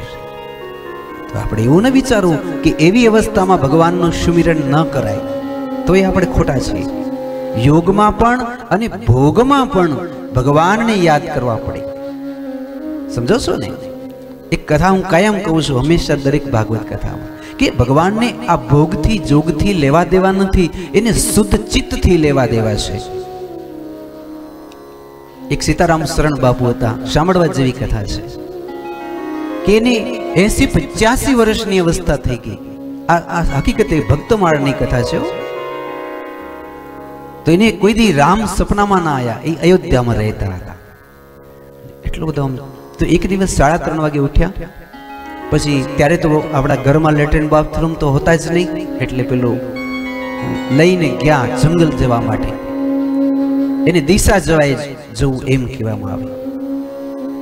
એટલે કાન ઉપર જનોઈ ચડાવી સીતારામ સીતારામ કરતા રસ્તામાં એને વિચાર થયા કે હું પંચ્યાસી વર્ષનો થયો મને મારો ભગવાન હજી સમાધિમાં નથી દેખાતો, મને ક્યારે દેખાશે? મને ક્યારે દર્શન થશે? મારી મનની અભિલાષા પૂર્ણ થશે કે નહીં આ જન્મમાં? અને એમ કરતે કરતે આંખમાં આંસુડા લેટરિન જેવા બેઠા. અને તમે માનશો નહીં, સત્ય બનેલી ઘટના. સામે જોયું તો સુગંધીઓ વાવા લાગી, મધુર મધુર જાણે કેમ એકદમ ધ્વનિઓ થવા લાગી. અને એણે એ દીર્ઘ શંકા જતા જતા દૃષ્ટિ કરી તો સામે રામ ઊભા છે. ત્યારે શરમાઈ ગયા.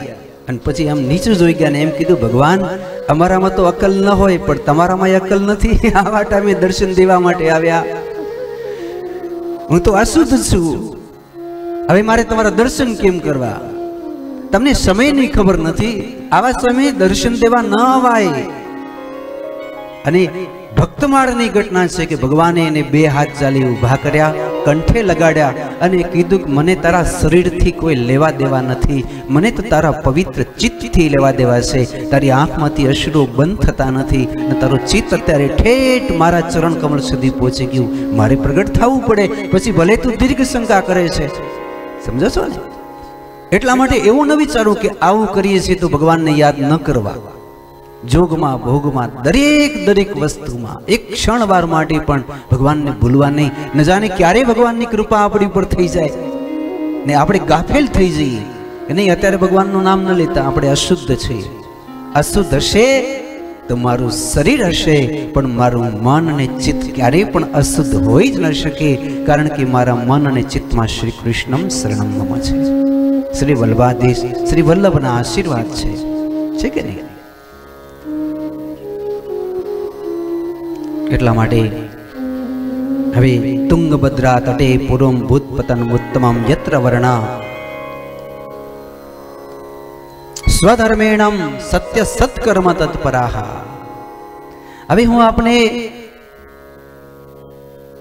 એક પાપિષ્ટ માણસની કથા કહું કે આપણે ગમે તેટલું કરીએ ને એટલા પાપી નહીં હોય જેનું નામ છે ધુંધુકારી. એના પિતાનું નામ છે આત્મદેવ. એની એક માતાનું નામ છે ધુંધુલી.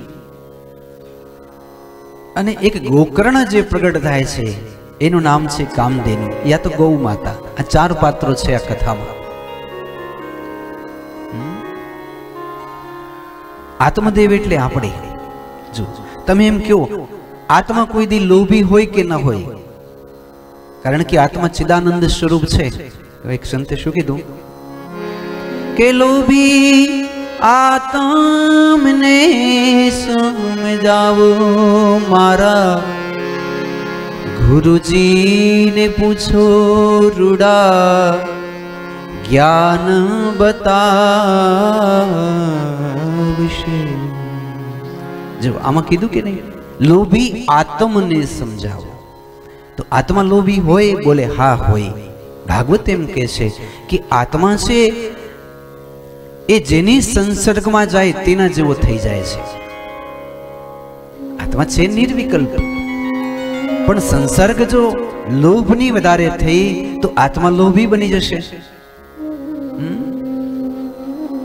પાપની વધારે સંસર્ગમાં જશે, તો આત્મા પાપી થઈ જશે. સમજો છો ને?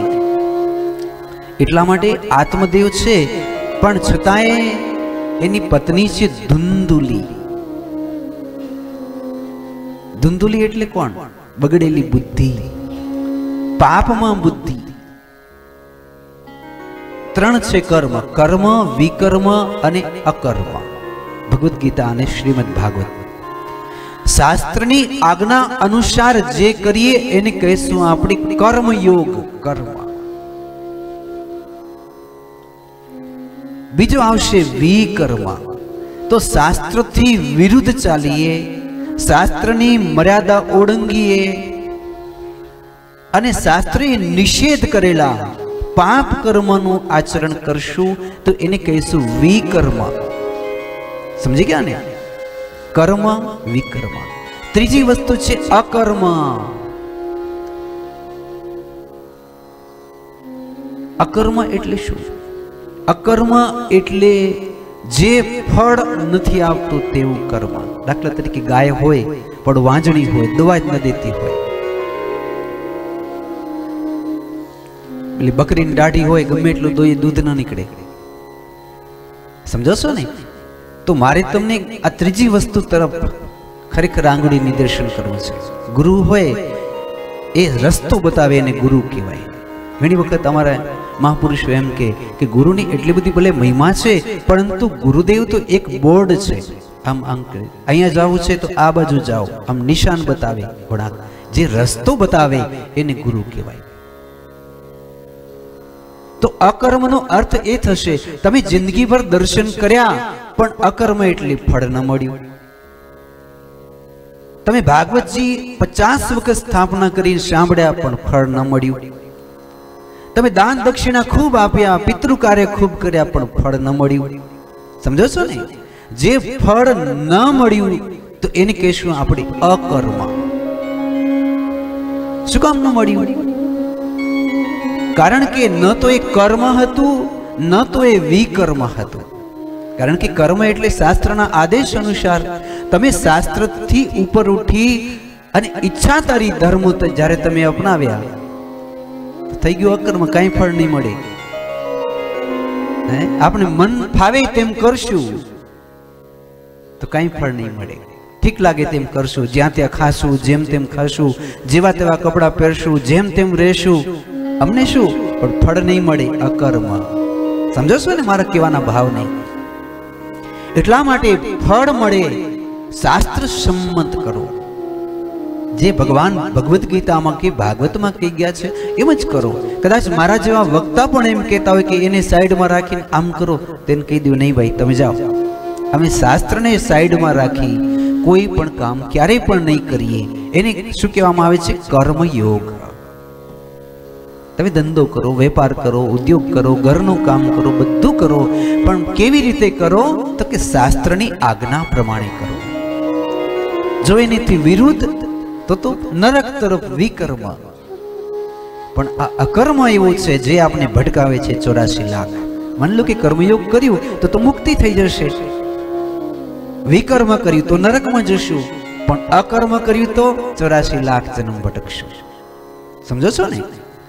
એટલા માટે અહીં એમ કહેવામાં આવ્યું કે આત્મદેવ પુરા તસ્મિન સર્વ વેદ આ આત્મા છે એ તમને આજ્ઞા નથી આપતું, આજ્ઞા તમને ચિત્ત આપે છે. અને એને સુજાડે છે કોણ? બુદ્ધિ. હવે બુદ્ધિ જો બગડેલી હશે, તો આ ચિત્ત ખોટા ખોટા આદેશ આપશે. અને કહીએ આજ્ઞા ચક્ર, ચિત્ત અહીંયા છે, આજ્ઞા ચક્રમાં. આજ્ઞા કરે. હે, ભૂખ લાગી, તરસ લાગી, નિદ્રા આવી, લોભ જાગ્યો, માયા મમતા જાગી, ક્યાંથી જાગે છે? અહીંયાથી. કારણ કે ચિત્ત અહીંયા આજ્ઞા ચક્રમાં જે આજ્ઞા આપે છે કે હવે આપણે આંખ બંધ કરવી જોઈએ, મોબાઈલને સાઈડમાં રાખી દેવા જોઈએ. નિંદર આવે છે. કોણ કહે છે બધું? ચિત્ત કહે છે. ચિત્તે ગુરુ છે આપણો. અને એટલા માટે આ મન, બુદ્ધિ, ચિત્ત અને અહંકાર એમાં ચિત્તને વાસુદેવ કહેવામાં આવ્યા છે. ચિત્ત એ જ વાસુદેવ છે. કૃષ્ણ છે. પણ અહીં સંગતિ થઈ ધુંધુલીની. બહેનો તમારી બુદ્ધિને બગડવા ન દેજો. બુદ્ધિ બગડશે કેવી રીતે? તો કે ચિત્ત બગડશે તો. એટલે ચિત્તને જ્યાં ત્યાં લઈને જવું? ચિત્ત એટલે ધુંધુલી. બગડેલું ચિત્ત યા તો બગડેલી બુદ્ધિ. દીકરા કેવા થશે? ધુંધુકારી જેવા. જ્યારે બગડેલી બુદ્ધિ હશે તો ધર્મથી વિરુદ્ધ ચાલતા હશો તો પાપ કર્મ આચરણ કરતા હશો તો દીકરા કેવા થાય? ધુંધુકારી જેવા. પણ તમારે ગોકર્ણ જેવા દીકરા થાય. તો એના માટે શું કરવું પડે? જેમ વાંદરાનું બચ્ચું એની માને વળગી રહેશે, એમ આપણે આપણા ધર્મને વળગી રહેવું પડે. તમને શું લાગે છે? ધર્મ તમને ધારણ કરે છે કે તમે ધર્મને ધારણ કરો છો? શું લાગે છે? આપણે એને ધારણ કરીએ છીએ? નહીં ને? કારણ કે આપણી શું તાકાત કે આપણે એને ધારણ કરી શકીએ? પણ એનામાં તાકાત છે એટલે એ આપને ધારણ કરે છે. તો હંમેશા ધર્મ જ ધારણ કરતો હોય છે. અને જ્યારે તમે ધર્મને ધારણ કરી પકડી રાખો તો દીકરા થશે ગોકર્ણ જેવા. અને એમ કરતે કરતે પણ કદાચ વેરા સમયે સંસર્ગ કંઈક પણ દોષ લાગે અને દીકરો ધુંધુકારી થાય અને એમાંય એ ધુંધુકારી જેવો દીકરો જ્યારે પ્રેત અવસ્થાને પ્રાપ્ત થાય અને એને પ્રેતમાંથી જ્યારે આપણે એમ કહેવાય કે પાર્ષદ બનાવવા હોય એક જ રસ્તો ને ઉપાય છે શ્રીમદ ભાગવતજીની કથા.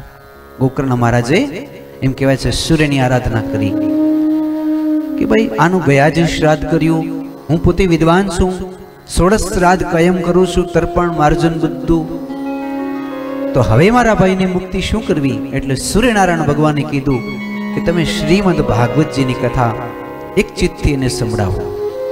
એવા એક તમને આવશે ધુંધુકારી અને બીજા આવશે ધૂતરાષ્ટ્ર. ધૂતરાષ્ટ્રને વિદુરજી રોજ સમજાવે. કોઈ દી સમજ્યા? ભીષ્મ પિતામહે કેટલી વખત એને સમજાવ્યા? અને એના પિતાનું નામ શું હતું? ધૃતરાષ્ટ્રના વ્યાસજી. એ તો એને દરરોજ દરરોજ સમજાવે. એના ગુરુનું નામ ધૌમ્ય ઋષિ હતું. એ પણ બહુ સમજાવતા. પણ સમજાવે ત્યાં શકુની મામા ચાવી ટાઈટ કરે, એટલે ધૂતરાષ્ટ્ર હતા તેવા તેવા. પણ છતાંય એક દિવસ એવો થયો કે વિદુરજીએ જ્યારે ભાગવતની કથા ધૂતરાષ્ટ્રને કહી અને આંખમાંથી ધૂતરાષ્ટ્રને આંસુડાઓ ચાલવા માંડ્યા. અરે રે, હું આટલો બધો પાપી હોઉં? મેં પાછું વળીને કોઈ દી જોયું જ નહીં. હંમેશા શકુનીનું કીધું સાંભળ્યું, દુર્યોધનનું કીધું સાંભળ્યું, અને એ દિવસે જમ્યા પણ નહીં, અને રાત્રે એમ કહે છે ભાઈ વિદુર, તે જે મને કથા કહીને એથી મારું થોડુંક મન પલડ્યું છે, એટલે વિદુરજી પછી એને સંપૂર્ણ ભાગવતની કથા કીધી. એવું ન વિચારતા કે સુખદેવજી મહારાજે જ ભાગવતની કથાની રચના કરી કે, વ્યાસજીએ, આ કથા તો ઠેઠ શંકાદિક પાસેથી ચાલે. એટલે એ કથા કૃષ્ણ લીલા અમૃત ધૃતરાષ્ટ્ર જેવા પાપિયા માણસે સાંભળ્યું ને, તો એ ધૂતરાષ્ટ્ર મહામના બની ગયા. બની ગયા કે નહીં? એમાં આવશે એ કથા. વૈકુંઠમાં ચાલ્યા ગયા. એટલા માટે તમે ભાગવતજીની કથા કરો અને અહીં ભાગવતજીની કથા કરવામાં આવે છે. કોણ વાંચે છે? ગોકર્ણ મહારાજ શ્રાવણ શુદ્ધ નોમના દિવસે. ક્યાંક ને તુંગભદ્રા નદીને કાંઠે. ત્યારે વાંસની કાંતડીમાં બેઠેલો ધુંધુકારી સાતમા દિવસે પાર્ષદ બનીને એમ કહે છે કે, ભાઈ, ભાગવત સાંભળતા સાચે જ મારી મુક્તિ થઈ ગઈ છે. ધન્ય હો ભાગવતની કથા.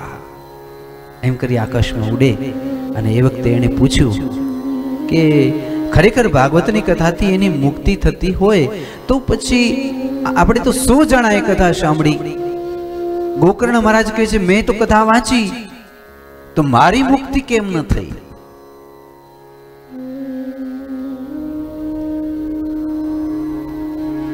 અદ્રઢંચ હતમ જ્ઞાનમ પ્રમાદેનમ હતમ શ્રુતમ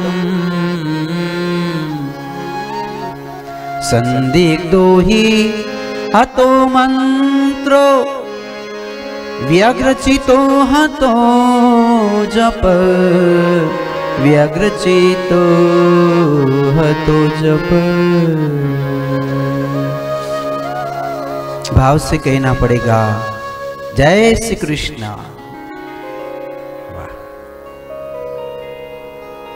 હવે આસો મહિનાની નવમી તિથિના દિવસે ગોકર્ણ મહારાજે પોતાના આત્માના કલ્યાણ માટે કથા વાંચી.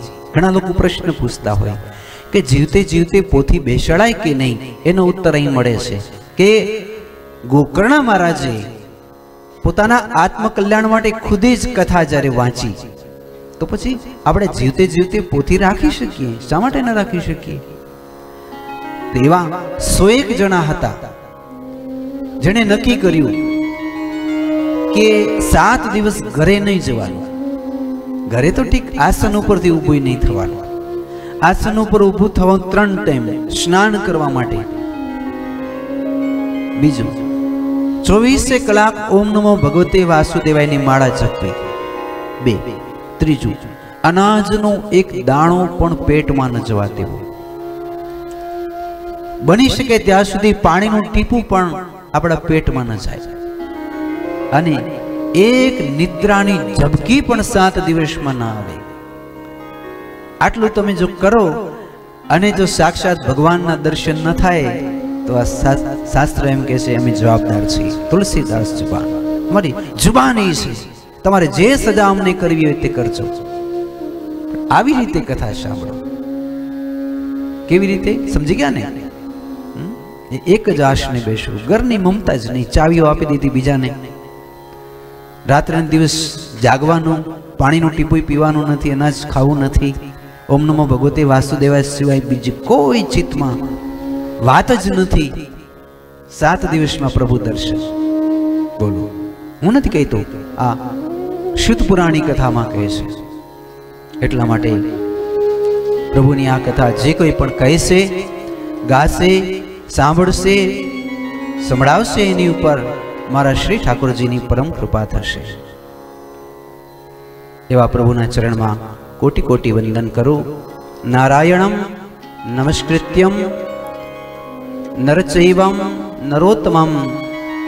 દેવી સરસ્વતી ચૈવ વ્યાસ, તતો જય મુદેર્યતા. એક મને કનુભાઈ કીધું તું, તમે કોઈ ધૂન બનાવી નવી કે નહીં? એટલે બે શબ્દો આપણે જે નવી ધૂન બનાવી, એના જોઈ પહેલે. ભૂપાલીમાં છે.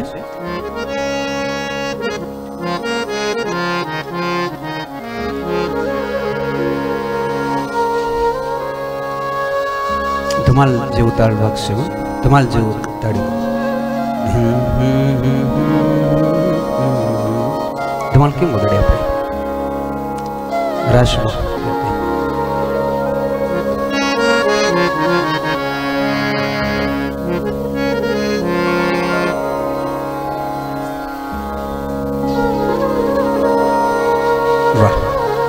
વલ્લભ શરણે રાખો. ત્રિતાલ નો જાવ વલ્લભ શરણે રાખો. આધાર. વલ્લભ શરણે રાખો. વલ્લભ શરણે રાખો. બોલો બધાય. वल्लविशरि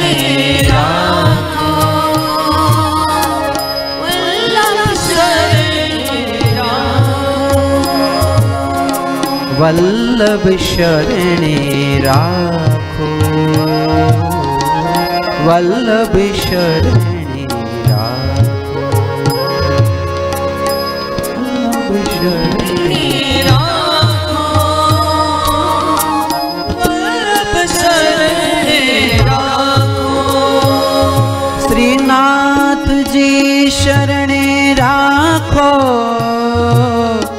नाथ जी शरणे राखो। ना ना ना ना ना ना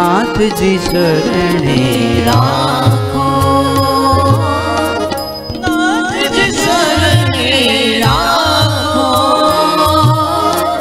नाथ जी शरणे राखो। श्री वल्लभ शरणी वल्लभ शरणे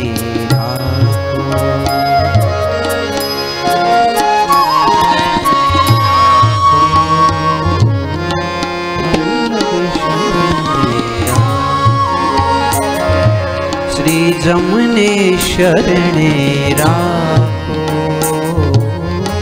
श्रीजमुने शरणे राखो। श्री जमुने शरणे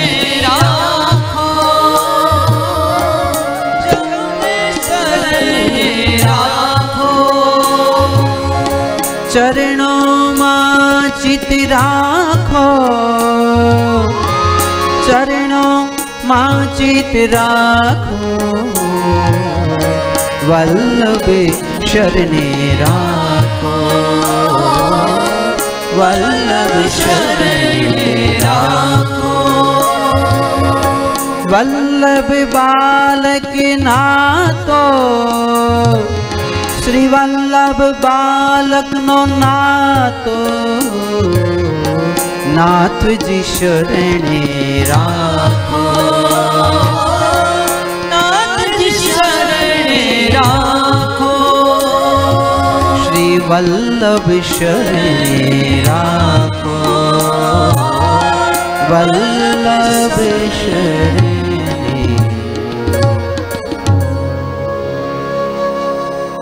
भाव से कहना पड़ेगा जय श्री कृष्ण जय श्री कृष्ण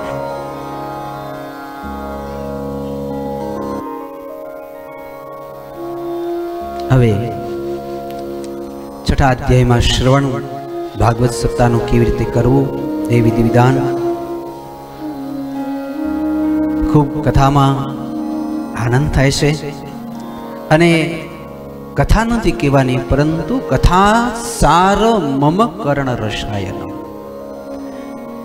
અહીં આપણે દૂધ નથી પીવાનું. દૂધમાંથી દહીં, દહીંમાંથી છાશ, છાશમાંથી માખણ, માખણમાંથી ઘી અને એમાંથી દીવા પ્રગટાવાના છે. એટલે આખી કથા નથી કહેવાનું, કારણ કે કથા એટલે દૂધ. અને એમાંથી નીકળેલું સાર તત્વ. એટલે ઘી. તો પ્રથમ સ્કંદમાં પહેલો શ્લોક જન્માદ્યસ્ય યતો અન્વયાદિતરતશ્ચાર્થ્ય સ્વભિઘ્ન સ્વરાટ તેન ભ્રમરદાયયાદિ કવયે મુહ્યન્તિ યત સૂર્ય તેજો વારી મૃદા યથા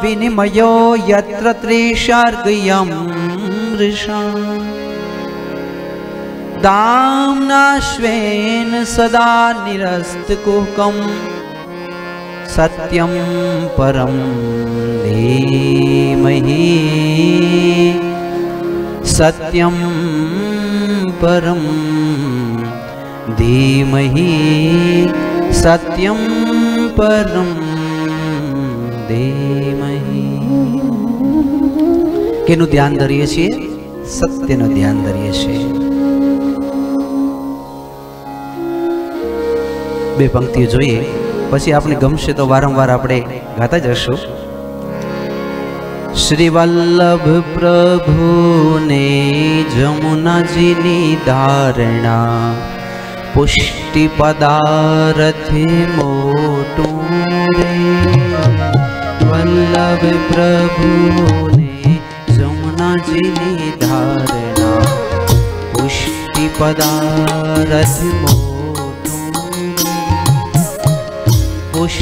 पदारथ मोटु मरावाष्टि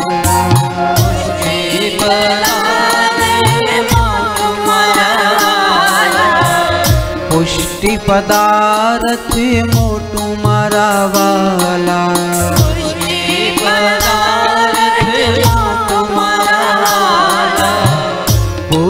थे रे। पुष्टिपदा वल्लभ प्रभु ने जमुना जी प्रभुने पुष्टिपदा रथे मोटो रे।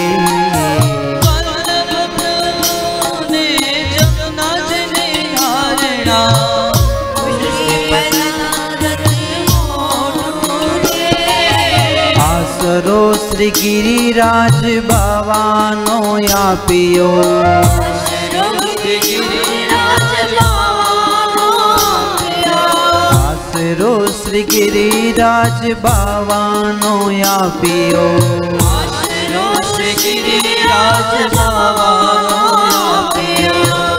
पुष्टि पदारथ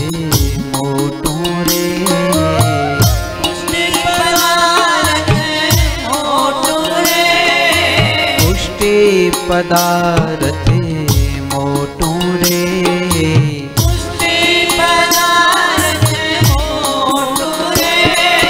મનમાં શ્રી કૃષ્ણને તનમાં ત્રિકમજી વાણી શિવાસુદેવ આપો મનમાં શ્રી કૃષ્ણજીને તનમાં ત્રિકમજી વાણી શ્રીવાસુદેવ આપો પુષ્ટિ पदार्थ हो तुम्हारा वाला। पुष्टि पदार्थ हो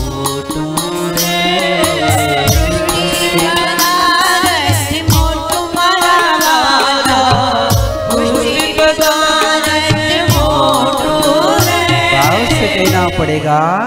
जय श्री कृष्ण। ને સાચી વાત છે ને પુષ્ટિ પદાર્થ મોટું બિલકુલ સત્ય વાત છે તો આપણે જોયું તેજો વારી મૃદા યથા વિનિમયો યત્ર ત્રિસર્ગ અમૃષા ધામના સ્વેન સુદા નિરસ્ત કુહકમ સત્યમ પરમ ધીમહી છ પ્રશ્ન બેનો યાદ રાખજો કાલે કોઈક પૂછે કે મહાજન પરિવાર હમ? આપને ભાટિયા મહાજન પરિવાર આપણે આંગણે ભાગવતજીની કથા તમે એકાદુક શબ્દ યાદ રાખ્યો હોય તો કેવો જો કે તમને તો સંપૂર્ણ કથા કદાચ મોડી હશે. પણ આપણે કેવું કે આ છ પ્રશ્ન એનો ઉત્તર એટલે ભાગવતજી પહેલો પ્રશ્ન, ભૂરિણીમ ભૂરી શ્રુતવ્યાની વિભાગશ. ચાલો ગામઠી ભાષામાં સમજીએ કે આપણે મૃત્યુ પામીને મોઢું બતાવવું છે ભગવાનને. તો તમારે કંઈક તો એવું તૈયારી કેવી પડશે ને? તમારે એટલું જ કહેવાનું હોય કે પ્રભુ, તમે મને મનુષ્ય બનાવી. આ લોકમાં અવતાર આપ્યો. અને એક મનુષ્યને કરવા લાયક બધા જ કામ હું કરીને આવ્યો છું. પ્રભુ, આપને પૂછે તું શું કરી આવ્યો? સમજો છો ને? આ પહેલો પ્રશ્ન. કે મનુષ્ય દેહ મળે પછી શું કરી લેવું? આનો જવાબ. કે આપણે આપણે જવાબ દઈ શકીએ એ કરી લેવાનું. કારણ કે એનું કથા કરવા જઈએ તો એક મહિનાની કથા થાય, શું કરવું, શું ન કરવું. પણ સંક્ષિપ્તમાં એટલું કે જ્યારે પણ મોઢું બતાવવું પડે ભગવાનને, તો આપણે એને કહી શકીએ કે એક ઇન્સાનને, એક મનુષ્યને, એક વૈષ્ણવને કરવા લાયક બધા જ કામ હું કરીને આવ્યો છું. બરોબર છે? હવે ચાલો, જેણે આ કામ કરી લીધા, હવે આંગળી ઊંચી કરો. સાચી કરજો, ખોટી ન કરતા. સમજી ગયા ને? આ તમારો રસ્તો છે. ભલે નથી હોય તો કઈ વાંધો નહીં, હજી ટાઈમ છે આપણી પાસે. પણ બીજું શું? ઘણા લોકો એમ કે આપણે હવે કરવાનું શું? કરવાનું આ. જે આપણે ઉપર મોઢું બતાવવાનું છે ને, એને બતાવતી વખતે જરાય સંકોચ ન થાય, શરમ ન થાય કે હું પાપીઓ, હું આવો, હું તેવો. ના, આપણે મરીએ ત્યારે એક ફૂલ બનીને જઈએ અને ભગવાનના ચરણમાં ચડી જઈએ. છે કે નહીં? આ ભાવના છે. ટેન્શન ન હોય, ચિંતા ન હોય. એમ કદાચ ફોન આવે જમના જમદૂતનો કે કાલે આવી છે, કાલ શું કામ? હમણાં જ આવી જાય ને ભાઈ. અમારું ભાથું બાંધેલું તૈયાર જ છે. અમારે ઉપર શરમાવા જેવા આમ એક એક કામે નથી કર્યા કે જેથી શરમાવું પડે ભગવાન પાસે અમારે. એટલે એટલે તૈયારીમાં રહેવાનું. કે જ્યારે પણ ફોન આવે, કહી દેવું, હોવ, તૈયાર જ છું. ખભા ઉપર થેલો પણ લગાડી દીધો છે. આજે તૈયારી એ પહેલો પ્રશ્ન અને પહેલો ઉત્તર. શું કરી લેવાનો મનુષ્ય દેહ મળ્યા પછી? છે ને? સંપૂર્ણ ભાગવત એના માટે જ છે કે તમે શું કરશો જીવન પર્યંત? બીજો પ્રશ્ન, દેવક્યામ વસુદેવ જાતો યસ ચિકિર્ષયા. ભગવાને દેવકીજીને ત્યાં અવતાર ગ્રહણ કર્યો. ભગવાન નંદ બાબાને ઘેર પધાર્યા. ભગવાન દ્વારકાધીશ બન્યા. ભગવાને ચોવીસ અવતાર લીધા. તો કૃષ્ણ અવતાર ચોવીસ અવતારમાંથી છે કે કૃષ્ણ તત્વ કંઈક અલગ છે? આ ભાગવતનું રહસ્ય. નહીં તો ચોવીસ અવતાર છે કે નહીં આપણા માટે તો? પણ છતાંય એમાંય કૃષ્ણ વિશિષ્ટ શા માટે? કેવો જવાબ? એના જવાબમાં આવશે ભાગવત. શું કામ ભાઈ, કૃષ્ણ વિશિષ્ટ શું કામ ચોવીસ અવતારની અંદર પણ અલગ ભાત પડી જાય છે કે આ અવતાર અલગ છે. સમજાઈ ગયો ને? આ બીજો પ્રશ્ન છે. ત્રીજો પ્રશ્ન, યસ્યા અવતારો ભૂતાનામ ક્ષેમાય ચો, ભવાય ચો? ભગવાને ચોવીસ અવતાર લીધા. તો ચોવીસ અવતાર ભગવાને કેવી રીતે લીધા? શું કારણથી લીધા? રાજી ખુશીથી લીધા કે કોઈકના કેવાથી લીધા? ભગવાનની ઉપર કોઈક છે એના માતા પિતા કે એને જન્માવા માટે પ્રેશર કરે છે?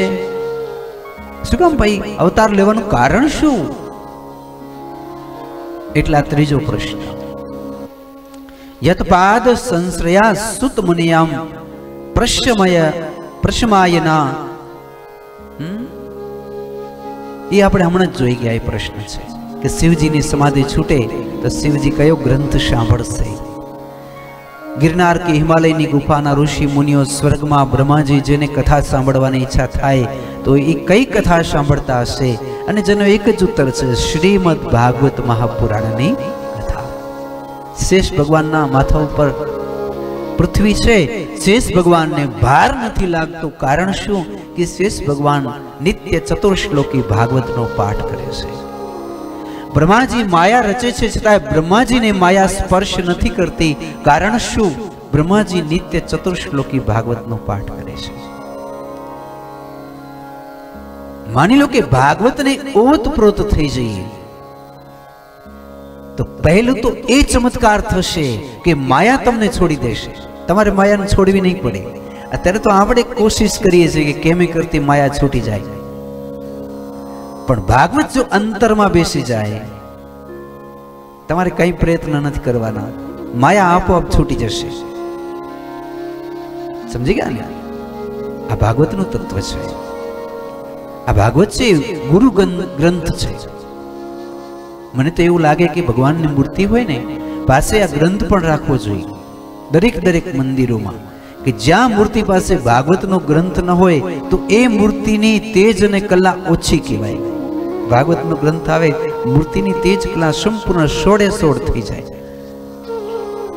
કારણ કે કદાચ મૂર્તિને અશુદ્ધિ આમ તેમ થતા થોડી કલા અંશ ઓછા થઈ જાય, પણ ભાગવતજીમાંથી ક્યારેય કલા અંશ ઓછા થતા નથી. તમારા ઘરે ગ્રંથ રાખો, તમારા ઘરને કોઈ અભડાવી ન શકે. તમારું ઘર મંદિર બની જાય, તમારું ઘર શ્રીધામ વૃંદાવન બની જાય. પણ રાખજો કેવી રીતે? તો કે ગુરુદ્વારામાં શીખ લોકો જેવી રીતે પોતાના ગ્રંથ સાહેબની ચાકરી કરે છે, એવી ચાકરી કરી શકો તો રાખજો. ઘણાના ઘરે ગ્રંથ હોય, પણ ઉપર કરોડિયા ફરતા હોય, હે? ઝાડા બાજી ગયા હોય, મહિનાઓ સુધી સંભાળ ન લેતા હોય, આવી રીતે નહીં. પણ ગુરુ ગ્રંથ સાહેબની પૂજા તમે જોઈ હશે ને, ગુરુદ્વારામાં કેવી પૂજા કરે, માથે ચમર ઢોલાવતા હોય, હે? એટલા માટે એક છેલ્લો પ્રશ્ન એ છે કે અત્યારે ધર્મ કોની શરણમાં છે?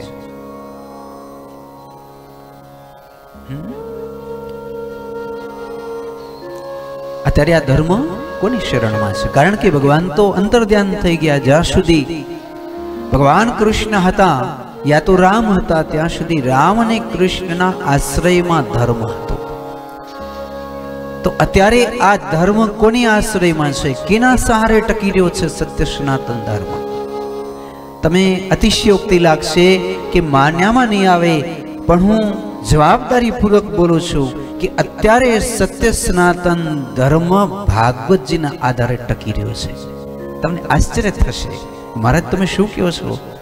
ભારત દેશમાં તો હજારો સંપ્રદાય છે, ભલે ગમે તે હોય. તમે ઝીણી ઝીણી નજરેથી નોટેશન કરજો. અત્યારે સત્ય સનાતન ધર્મ, જેમ રામ અને કૃષ્ણ ધર્મને સંભાળી રહ્યા હતા ને પેલા અત્યારે આ ભાગવતજી, અત્યારે સંપૂર્ણ આપણા સનાતન ધર્મને સંભાળી રહ્યા છે. બોલો. હે? આ બહુ મોટી વાત છે. ગર્વ લેવા જેવી વાત છે. ખાસ જેનો આ ગ્રંથ છે. એટલા માટે આ ગ્રંથ સાંભળ્યા પછી પરીક્ષિત બોલ્યા प्रविष्टो। ब्रह्मनिर्वाणम् अवयं दर्शितं त्वया। अग्नाञ्च निरस्तं मे ज्ञानविज्ञान निष्ठया। વિજ્ઞાન दर्शितं क्षेमं परं भवतं पद। પરીક્ષિત કહે છે સુખદેવજી મહારાજને, ક્યારે બારમા સ્કંદમાં? સુખદેવજી એમ કહે છે, હું જાઉં છું હવે, ભલે પરીક્ષિત તારા મનમાં કોઈ સંશય પ્રશ્ન હોય તો તું પૂછી લે. ત્યારે પરીક્ષિત એમ કહે છે, પ્રવિષ્ટો બ્રહ્મ નિર્વાણમ ગુરુદેવ, મને એવું લાગે છે જાણે હું બ્રહ્મ નિર્માણમાં પ્રવેશ કરી ચૂક્યો છું. પ્રવિષ્ટમ બ્રહ્મ નિર્માણમ અભયમ, કારણ કે મારામાં અભયતા આવી ગઈ છે. અત્યાર સુધી મને તક્ષકની બીક લાગતી હતી. આમથી આવશે આમથી આવશે, હમણાં દંશ મારશે, બળીને ભસ્મ થઈ જશે શું થશે, કેમ થશે? થાય છે ને તમને મને ચિંતા? ડાયાબિટીસ વધી ગયું. શું થશે? જો આવી જ્યારે ચિંતા થાય ત્યારે અભયમ દર્શિત ત્વયા. આ કથામાં થી ભગવાનના તત્વમાં પ્રવેશ થતા જે મને બીક લાગતી હતી કે આમ થશે, તેમ થશે, એના બદલે હું અભય બની ગયો કે હોય સોય જો રામ રુચિ રાખા કો કરી તર્ક બઢાવે શાખા મારા કૃષ્ણે ધાર્યું હશે, એમ થશે. માણસો એમ કે, મહારાજ, તમે કેમ કહો છો? માની લો કે ડાયાબિટીસ વધી જાય અને તમે એમ કે ગોળી ન લેજો, તો કંટ્રોલ કેમ થાય? થાય જ નહીં. તમને શું લાગે, થાય કે ન થાય? ન જ થાય, તો કોરોનામાં કેમ થઈ ગયું? ત્યારે તો ગોળીઓ નથી મળતી, તો એ માણસોના ડાયાબિટીસ કંટ્રોલ થઈ ગયા હતા થઈ ગયા હતા કે નહીં? ક્યાં કોઈ કોળીઓ દવાખાના બંધ થઈ ગયા હતા તો એ માણસો કોણ મરી ગયા? તમે કયું કોઈના ડાયાબિટીસ ન વધી ગયા, ઘટી ગયા. સમજો છો ને, હું જે કહેવા માંગુ છું કે જ્યારે તમને કોરોના વખતે જે ભય લાગ્યું હતું અને તમારો રોગ છુમંતર થઈ ગયો, એવી રીતે જ્યારે તમે અભય બનશો, ત્યારે પણ તમારો રોગ છુમંતર થઈ જશે. આ સમજવા જેવી વસ્તુ છે. ત્યારે આપણે બીક લાગે છે તો રોગ છુમંતર થઈ જાય? એટલે અભયમ દર્શિત વયા અને જ્યારે ધ્યાન રાખજો કે ભગવાન આપણી અંદર પ્રવેશ કરશે ને, ત્યારે પહેલે વહેલે અજ્ઞાનનો નાશ થશે. તમારે ભણવા નહીં જવું પડે. ગોકુળ ગામની ગોપીઓ, મીરાબાઈ કોઈ પાઠશાળામાં નહોતા ગયા. પણ માત્ર ભગવાનના દર્શન માત્રથી જે આપણું સાત્વત, સત્ય સનાતન જે વૈદિક ધર્મ છે, એ સંપૂર્ણ મીરાબાઈને કંઠસ્થ થઈ ગયું. નરસિંહ મહેતાન થઈ ગયું? અજ્ઞાન ચાલુ જાય, જ્ઞાન પ્રાપ્ત થઈ જાય, સાથે વિજ્ઞાન પણ આવી જાય. પ્રેમે જોગીડા જોલી લઈને, પ્રેમે જોગીડા જોગને હું બની જાઉં. જોગને હું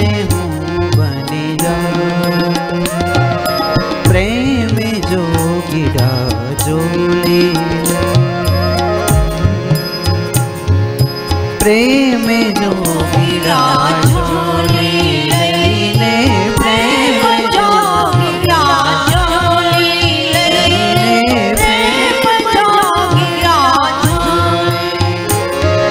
જો પ્રભુ તમે રામ બનો સબરી હું બની જાઉં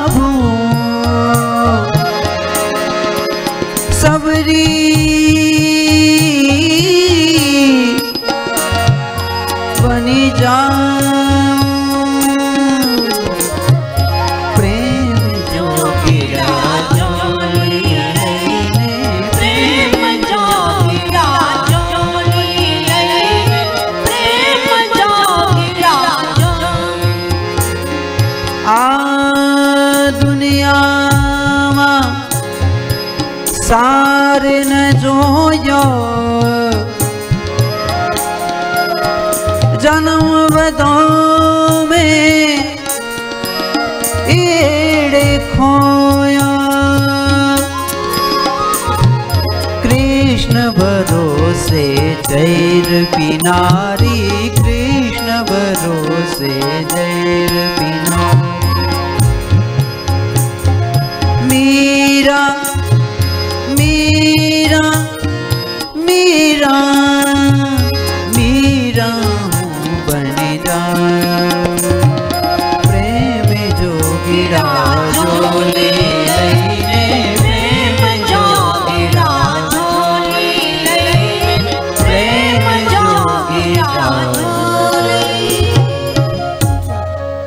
भाव से कहना पड़ेगा। जरा ज़ोर से बोलिए। वाह। बीजा अध्याय प्रथम स्कंदा मनुष्य मानवता के दीपावी? विषय बता मानवता कोण भागवत जी। आज चरित्र जे कहीं सांभिए सीखता जसू માનવતા એટલે શું?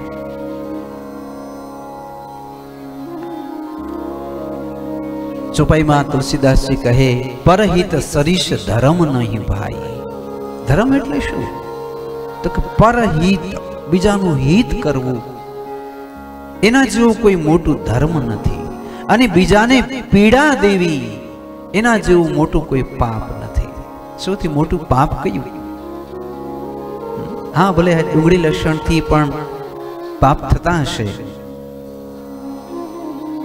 પણ સૌથી મોટામાં મોટું પાપ પર પીડા ચાલો આપણે જોઈએ. તમે તો ભણેલા છો બધાએ. મેં ક્યાંક સાંભળેલું છે કે એક, બે, ત્રણ, ચાર, પાંચ અને છ. એમાં આ ડુંગળી લસણ ખાવાનું જે પાપ છે છઠ્ઠા નંબર ઉપર છે. એક, બે, ત્રણ, ચાર, પાંચ અને છ. તો એ છઠ્ઠા નંબર ઉપર આવ્યું. એ તમે જે ખાધું, યા તો તમે થોડી ઘણી બાહ્ય ઉપચાર કરી, તિલક કર્યું, કંઠી લગાડી. એ બધા છઠ્ઠા નંબર ઉપર આવે. પુણ્ય કેટલું થશે તો કે છઠ્ઠા નંબર જેટલું. પાપ કેટલું થશે? છઠ્ઠા નંબર જેટલું. હવે તમે ગણતરી કરો કે એક, બે, ત્રણ, ચાર, પાંચ અને છ, તો એકને આપણે લાખ ગણવો પડે. યા તો કરોડ ગણવો પડે. તમે બેઠા બેઠા ગણજો એ. પછી મારો જે સિદ્ધાંત છે કે એની કિંમત લાખ રૂપિયા જેટલી થઈ. પછી બે ને ત્રણ, એક લાખ છવ્વીસ હજાર થાય. થાય? એક લાખ ને ત્રેવીસ હજાર, એક, બે, ત્રણ, પછી ચાર અને પાંચ. પિસ્તાલીસો કદાચ કયો અને છેલ્લે છ રૂપિયા. એટલે આ બધી વસ્તુ છે ને, એ ભગવાનના દરબારમાં કેના માટે છે? કે જેને ભગવાનથી નિત્ય નાતો છે. એને મોઢું બાંધવું પડે કે મારા ખરાબ શ્વાસ ભગવાનને ગંધાતા શ્વાસ મારા ભગવાન પાસે ન જાય. કદાચ મારી થૂક ભગવાનને ઉડી ન જાય. છે કે નહીં? જેને ભગવાનથી નાતો રાખવો છે એને આ બધી વસ્તુ ખાસ સંભાળવી. ડુંગળી, લસણ, ગાજર, મૂરી, રીંગણા, તેલ, મધ, બળેલું, દૂષિત થયેલું, રજસ્વલાથી સ્પર્શાયેલું, કોઈકને ઠેસ લાગેલું, કોઈક એને ટપીને ઓળંગી ગયો હોય આ બધા સિદ્ધાંતો છે, કેના માટે છે? તો કે જે પરમ નૈષ્ઠિક બ્રહ્મચર્ય આદિ સિદ્ધાંતો રાખે એના માટે. હવે આપણે તો હમણાં બુફે થશે, ત્યારે બૂટને ચંપલું પહેરીને જમવા મળશું. તો આપણા માટે શું ભલા સિદ્ધાંત હોય? એટલે કોઈ નિંદા નથી કરતો, પણ મારા ભાવને તમે સમજો કે ખોટું આડંબર નહીં, પરંતુ વર્તમાનમાં જીવવાનું, જેમ આપણી સહજ પ્રકૃતિ હોય, એમ જીવીએ. છે કે નહીં? જો આપણે ઊભે ઊભે બૂટ પહેરીને બુફેમાં જમી શકતા હોઈએ, તો આપણે સમજી લઉં કે આપણે શુદ્ધિ, અશુદ્ધિ ઓછી પાડવાની આપણે ભગવાન સાથે એટલો નાતો નથી. જ્યારે બ્રહ્માર્પણ કરીને જે આસની પાથરી ભૂપતિએ સ્વા ભુવનાધિપતિએ સ્વા ભૂતાધિપતિએ સ્વાહા આપોષણ કરશે, ભગવદ્ ગીતાનો પંદરમો અધ્યાય બોલશે, પછી પ્રભુની પ્રસાદી સમજીને જમશે, જો કેટલો બધો ફરક થઈ ગયો. તો એને તો કાંઈ શીખવાડવાનું આવતું જ નથી. એટલા માટે સૌથી મોટું પાપ છે બીજાને પીડા દેવી. એ પાપ છે. ડુંગળી લસણ ખાવ ઠીક છે એ આખી અલગ વસ્તુ છે. કે આપણાથી ઓછી સેવા થાય તોય ચાલે. પણ આપણે હિંસક હોઈએ તો ન ચાલે. મનથી. કુટિલ બુદ્ધિવાળા, હે? એકદમ કામી અને ક્રોધી હશો તો નહીં ચાલે. એની કરતા સ્પષ્ટ, સ્ફટિક જેવા પરંતુ સાચા વિચારવાળા હોઈએ ને તો ભગવાનને બહુ પ્રિય લાગે. ભલે ને ધંધો કરતા હોઈએ. એ આપણો કર્મયોગ છે ને, ભગવાને ધંધો કરવાની ના નથી પાડી. પણ ધંધો કરતે કરતે એક સૂત્ર મનમાં રાખવાનું. દયા કરીને દર્શન આપો. સુખ સાગરે શ્રીનાથજી. જન્મ મરણના બંધન કાપો. સુખ સાગરે શ્રીનાથજી. તો આપણે અહીં ભગવાનને જ મિત્ર બનાવી. ભગવાનના સખા અથવા ભગવાનની સખી. અથવા તો ભગવાનના સેવક. મારું નામ મેં શું રાખ્યું છે, હરિપાદ રેણુ. મારું નામ સિદ્ધાર્થ છે કે ઘણા લોકો સિદ્ધરાજ મહારાજ પણ કહેતા હોય. પણ મેં આગળ ઉપમાન ઉપનામમાં રાખ્યું હરિપાદ રેણુ. ભગવાનના ચરણની રેણુ એટલે રજ. પણ રેણુ ખરેખર કેને કહેવાય ખબર છે? તમે હાલ્યા જતો ભગવાનનો જે ચરણ મૂકી દીધું એ રેણુ ન કહેવાય.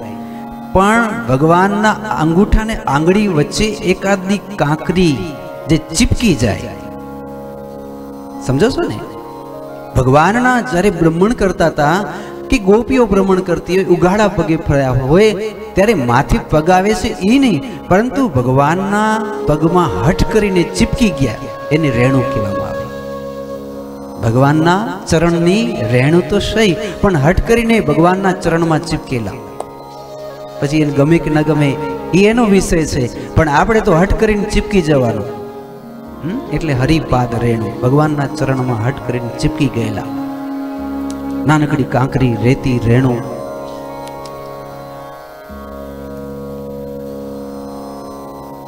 ભગવાનના ચોવીસ અવતારોની કથામાંથી આપણે શું શીખશું? ભગવાને ચોવીસ અવતારો શા માટે લીધા છે?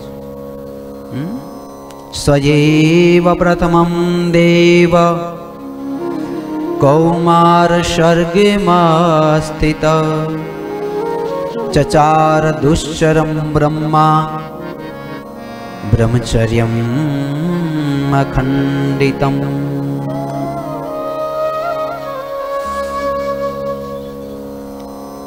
સ્વામી વિવેકાનંદજીને કોઈ પૂછ્યું કે બાકી સંપ્રદાયમાં એક જ ભગવાન છે? મુસ્લિમોના એક જ ક્રિશ્ચનોના એક જ. તમારે તો રોજ પાછો નવા એક એક ભગવાન થતા જાય, નવા સંપ્રદાય, નવા વાડા. તમારો ધર્મ વેર વિખેર થયેલું ધર્મ છે. ત્યારે વિવેકાનંદજી બહુ સરસ વાત કરી કે તમે મને જવાબ આપો કે જે ઝાડમાં ડાળીઓ જ ન ફૂટે, ઈ ઝાડ ગરડું કે સુકાઈ ગયેલું લેખાય કે ડાળીઓ ફૂટે, ઈ તાજું તંદુરસ્ત લેખાય. તો તમારા ધર્મ એવા સૂકા ઠૂઠા જેવા થઈ ગયા કે જેમાં નવી ડાળીઓ ફૂટતી નથી. જ્યારે અમારો સનાતન ધર્મ તો હજી નીલું છમ છે કે જેમાં રોજ રોજ નવી ડાળીઓ ફૂટે છે. આવી રીતે આપણે સમજવાનું કે આપણું એવું વૃક્ષ વટવૃક્ષ છે જે કૃષ્ણની છાયાથી થયેલું. કે રોજ એક નવો સંપ્રદાય, રોજ એક નવી ડાળી ફૂટે. તમે ચાલો જવાબ આપો વિવેકાનંદજીનો આ સિદ્ધાંત. કે અંગ્રેજોને ગયા કેટલા વર્ષ થયા છે આ બોતેર તોતેર વર્ષ થયા. બરોબર. એ ગયા ત્યારે આપણે પાસે પાંચ રૂપિયા નતા રાખી ગયા. દાગીના બધા આપણા લૂંટાઈ ગયા હતા, કપડાં લૂંટાઈ ગયા હતા, મકાનના દસ્તાવેજોથી લઈ બધું તૂટી ફૂટી ગયું હતું, કાંઈ નહોતું આપણી પાસે. એક શેરડીના સંચામાં શેરડીનો સાંઠો કેમ ચૂસાઈ જાય, એમ આપણે ચૂસીને છોતરાની જેમ નાખી ગયા હતા. નાખી ગયા હતા નહીં? આજે તમારી પાસે શું નથી કેવું આ સાઠ સિત્તેર વર્ષમાં? તમે એ લોકોને વેચાતા લઈ લો એટલી સંપત્તિ આપી એ મારા દ્વારકાધીશે આપી છે આ ધર્મ છે. અને એ લોકો આજે ભીખ માંગે છે. જો જે લૂંટી ગયા, જે મોગલો કે પેલા તુર્કો કે જે આવ્યા હતા, એમાં બાજરો નથી ખાવા માટે. એનું કારણ? ધર્મ માત્ર ને માત્ર આ સિદ્ધાંત વિવેકાનંદજી આપે છે. તમે એમ ન કહેતા કે આપણો ધર્મ વેર વિખેર થયેલો છે કે આપણો પણ તમે ગર્વ કરો, તમારો ધર્મ નીલુછમ છે. આજ પણ એમાં નવી દાડીઓ ફૂટે છે. તમારા ધર્મના એક જ કૃષ્ણના ઈશારા માત્રથી આજે બધા કરોડપતિ અરબો ખરબોપતિ બનીને બેઠા છે. આજે ખાલી આ બહેનોના તિજોરીમાંથી ઘરેણા કાઢી અને એના રૂપિયા કે નગદ રાખીને તો આખી દુનિયાને આપણે વેચાતી લઈ લઈએ. આ ગુજરાતની અંદર એટલી સંપત્તિ છે. તો એમના વિચારણો કે અમે મારા કાંડાના બળે કર્યું. ના, આ મારા વૈષ્ણવ ધર્મ, સત્ય સનાતન ધર્મના પ્રભાવથી આ ધન સંપત્તિ આપણી પાસે છે. આપણી પાસે શું બોલા? આપણે તો ચૂસીને નાખી ગયા હતા એ લોકો. આજે જે કંઈ પણ ખાઈએ પીએ છીએ માત્ર ને માત્ર શ્રી નાથજીની કૃપા છે. એની કૃપા પેલા નાજીર કહે કે આ તો એની કૃપા, નહીં તો મજદારે કિનારા હોય નહીં. તરણાની ઓથી તરી જનારા, વિચારો તો ખરા કે કોઈ દી તરણા સહારા હોય? કોઈ માણસ એમ કે કે હું ધ્રોણું તણકલું હતું ને, એના ભરોસે ભરોસે તરી ગયું. તરી શકાય? થોડીક તો અક્કલ મારો. એમ કે છે આ કથા. તમે તો તણખલા જેવા છો. અને તમે શું તમારા ભરોસે ભરોસે તરી શકો? આ તો એણે તમને આંગળી આપી છે. એની છત્ર છાયામાં છો, એની નિષ્ઠામાં છો. એટલે તમે ભવ સમુદ્રને તરી રહ્યા છો, સુખથી જમી રહ્યા છો, ધન સંપત્તિ વાળા છો. પૂર્ણ કૃપા એની, માત્ર ને માત્ર એની કૃપા. તો ભગવાને ચોવીસ અવતાર કેમ લીધા? શા કારણથી? હરિ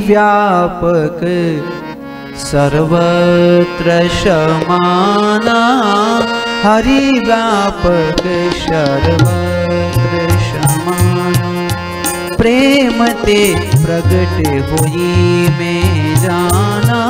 प्रेम તે પ્રેમ તે પ્રેમ તે પ્રગટ હોઈ મેં જાના હરિ વ્યાપક સર્વત્ર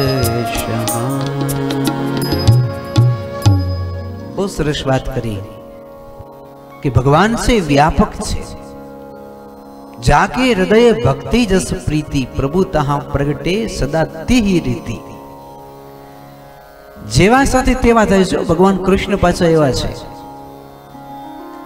રામ એવા હતા, મર્યાદા પુરુષોત્તમ, કે એ પોતાનું બિરુદથી આગળ પાછળ જાય જ નહીં. ત્યારે ભગવાન તો એવું કાંઈ નથી. ભગવાનને ખબર પડી ગઈ કે ગાંધારી માતા પટ્ટી છોડશે, દુર્યોધન ઉપર દ્રષ્ટિ કરશે, દુર્યોધનનું શરીર વજ્રનું થઈ જશે. જજો કેવા એની બુદ્ધિ ચાતુર્ય તમે જુઓ. એણે તરત જ શકુની મામાને કીધું, ચાલો આપણે ચોપાટ રમીએ અને જો તમે જીતી જાઓ, તો સંપૂર્ણ રાજ તમારું અને અમે જીતી જઈએ. તો આ પછી રાજા પણ આપણે યુદ્ધ જ નહીં કરવાનું. મહાભારતના યુદ્ધ વખતેની કથા. તો શકુની મામાને થયું, આ ઠાકરજીને તો રમતાય નથી આવડતું. આને તો હમણાં જીતી લઉં. એટલે દુર્યોધનને હમણાં જ રાજ્ય પ્રાપ્ત થઈ જાય. એટલે ચોપાટ માંડી ભગવાન અને શકુની મામા રમવા બેઠા. ભગવાને આંખો બંધ કરી દુર્યોધન નગ્ન વેસે જાય છે. એક સ્વરૂપથી ભગવાન ત્યાં પ્રગટ થઈ ગયા. દુર્યોધન પંચ્યાસી વર્ષની અવસ્થા છે તારી. અને હવે તું આ એકદમ નંગ ધડંગ તો જરાય રૂપાળો નથી લાગતો. અને એમાં તું તો તારી મા પાસે આમ જઈશ. એક દાખલો બતાવ સંસારમાં કે કોઈ પણ પુરુષ જવાન થયા પછી એકદમ નંગ દડંગ પોતાની મા પાસે જાય. આ કેટલી મર્યાદાની હાનિ કહેવાય ધર્મની. એની કરતા તો મરી જવું સારું. દુર્યોધન શરમાઈ ગયો બિચારો એને કેળાનું પાંદડું બાંધી નાખ્યું. ભગવાન રાજી થયા ગાંધારી આંખ ઉગાડી, તારું આખું શરીર વજ્રનું થઈ જશે, પણ જ્યાં તે કેળાનું પાંદડું બાંધ્યું છે ને, એટલો ભાગ કાચો રહી જશે. આ બાજુ ભગવાનની આંખ બંધ હતી. શકુની મામાએ પાસા આમ આમ કર્યા. લેવ દ્વારકાધીશ, નહીં તો હવે હું જીતું છું. દ્વારકાધીશ ઊભા થઈ ગયા કે આપણે રમવું જ નથી. એમ થોડું હાલે, હમણાં તમે વચન આપે તો હું તો બોલું ખરો ને ફરીએ જાઉં. મને એક જ લક્ષ્ય છે ધર્મ સંસ્થાપન. ધર્મ સંસ્થાપન માટે બોલીને ફરી જવું હોય, મને એક સેકન્ડ લાગે. એવા ક્યાં હું વચન વાળો છું? મારે નથી રમવું, બસ.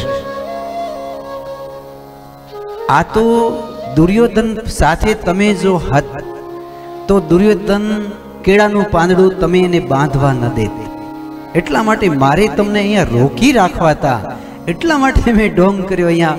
તમારી સામે ચોપટ માંડી. મારી કેમ મને રમતાય નથી આવડતું? આ ઠાકોરજી છે.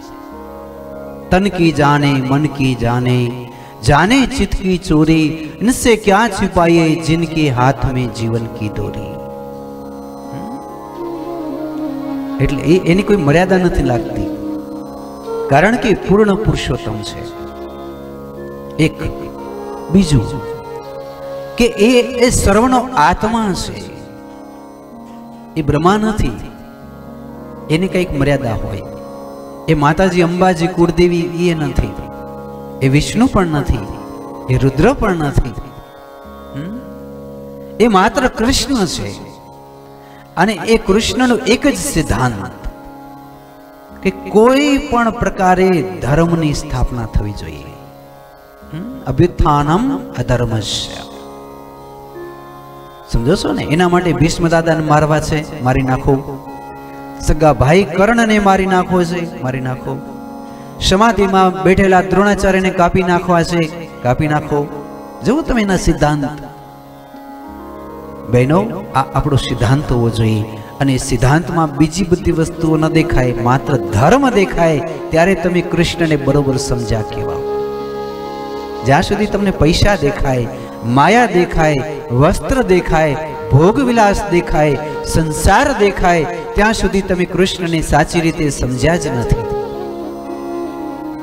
કૃષ્ણને એ જ સમજ્યા કહેવાય, જેને માત્ર ધર્મ જ દેખાય. ધર્મ સંસ્થાપનાર થાય. તમે જુઓ, જિંદગી પર એને કર્યું શું? ધર્મનું સંસ્થાપન. છે કે નહીં? તો તમને એ તો સમજાવે છે કે તમે પણ તમારા જીવનમાં માત્ર ને માત્ર ધર્મ સંસ્થાપન નો લક્ષ્ય રાખો. તમારું લક્ષ્ય શું છે? તો કે નવી ગાડી કઢાવી છે. છે કે નહીં? આપણા લક્ષ્ય હોય ને, નવો બંગલો બનાવવો છે. એમ કેદી કહેશો કે લક્ષ્ય એ છે કે મારે ધર્મને પ્રાપ્ત કરી લેવો છે, ધર્મ સાધી લેવો છે. પછી ભગવાન તો સદાઈ જશે. એ તો ભગવાન તો સાથે સાથે આવી જશે. ધર્મ માત્ર સાધી લઈએ તોય. એટલા માટે ભગવાને ચોવીસ અવતારો ધર્મની રક્ષા માટે, ધર્મ સંસ્થાપના માટે અને એને આડા આવતા આવરણો દૂર કરી તમને ને મને વૈષ્ણવોને ભગવાને શીખવાડ્યું કે મનુષ્યનો એક જ માત્ર ધર્મ છે અને એ છે ધર્મને ધારણ કરીને બેસી રહેવું. બસ, બીજું કાંઈ નહીં. એમાં જલારામ બાપાને પત્ની દેવી પડે, આપી દેવી. સમજો છો ને? ચલિયાને માથું ખાંડી દેવું પડે, ખંડાવી દેવું. સુદનવાને તેલ કડાયામાં પડવું પડે, નાખી દેવું. સમજો છો ને? શેના માટે? માત્ર ને માત્ર ધર્મ માટે. યાદ રાખજો, ધર્મ કોઈ પદાર્થ નથી કે આમ જશે આમ ન હોય એવું હોય. ધર્મ એ પદાર્થ નથી, ધર્મ એ તત્વ છે. જેમ આપણું આત્મા તત્વ છે, એમ ધર્મ પણ તત્વ છે. તત્વથી સંપૂર્ણ રીતે ધર્મને સમજી લેવું. ધર્મ કેને કહેશું? ભગવાન જેનાથી રાજી થાય એ ધર્મ. ભગવાન જેનાથી નારાજ થાય એ અધર્મ. સમજાણો? માની લો કે તમે કંઈક બલિદાન કાપ્યું તો ભગવાન રાજી થશે કે નારાજ? નારાજ થશે.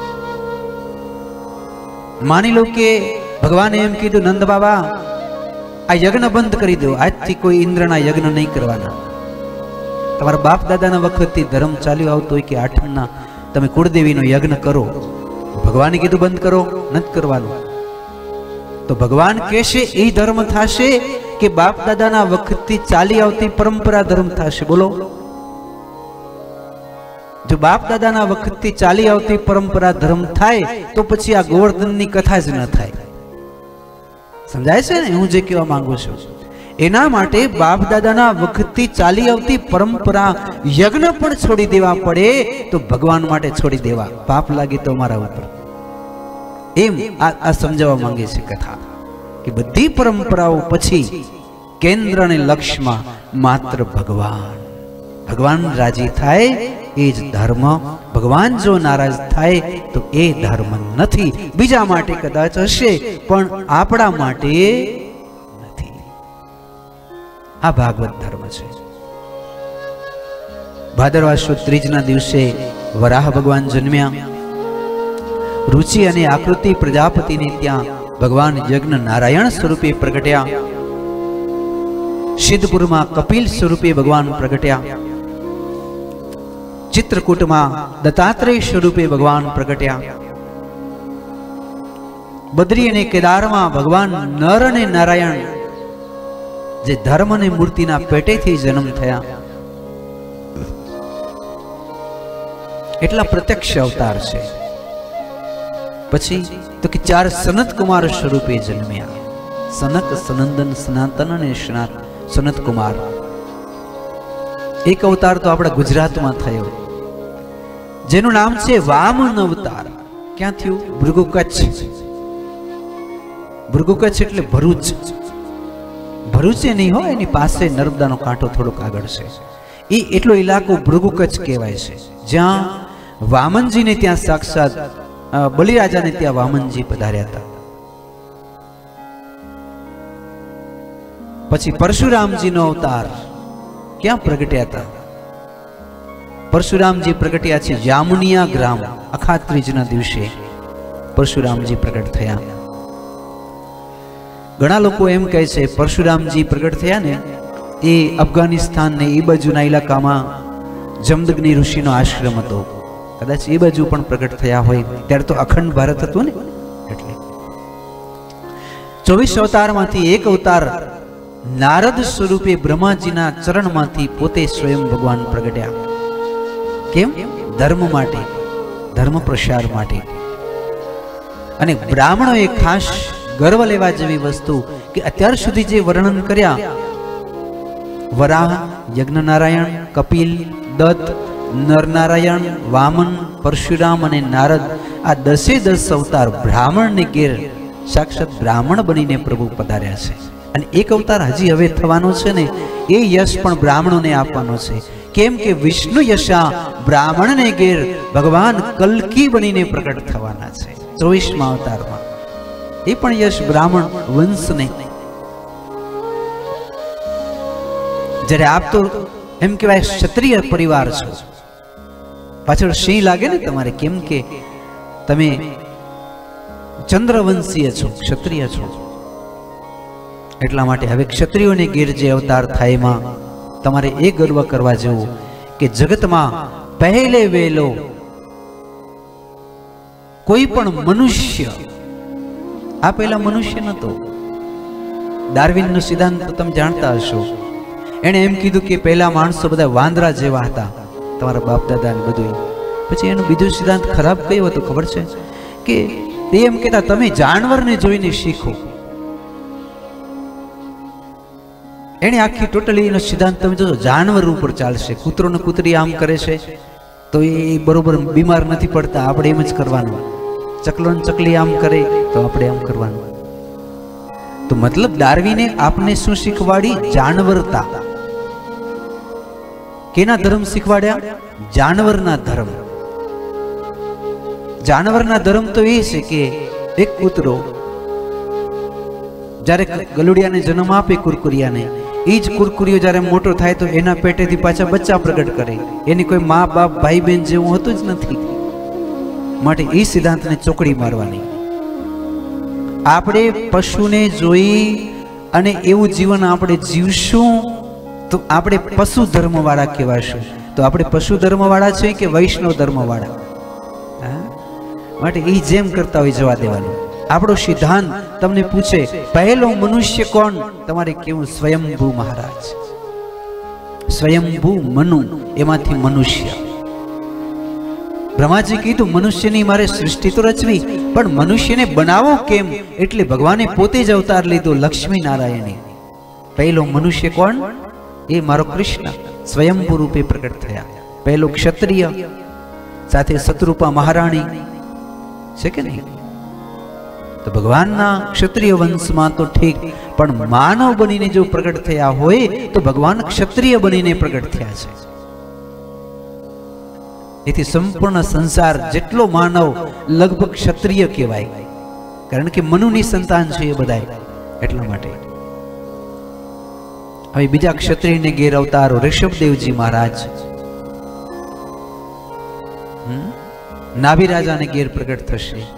ક્ષત્રિય વંશમાં. એક છે પૃથુ મહારાજ અવતાર. એ ધ્રુવ રાજાના વંશમાં પ્રગટ થશે.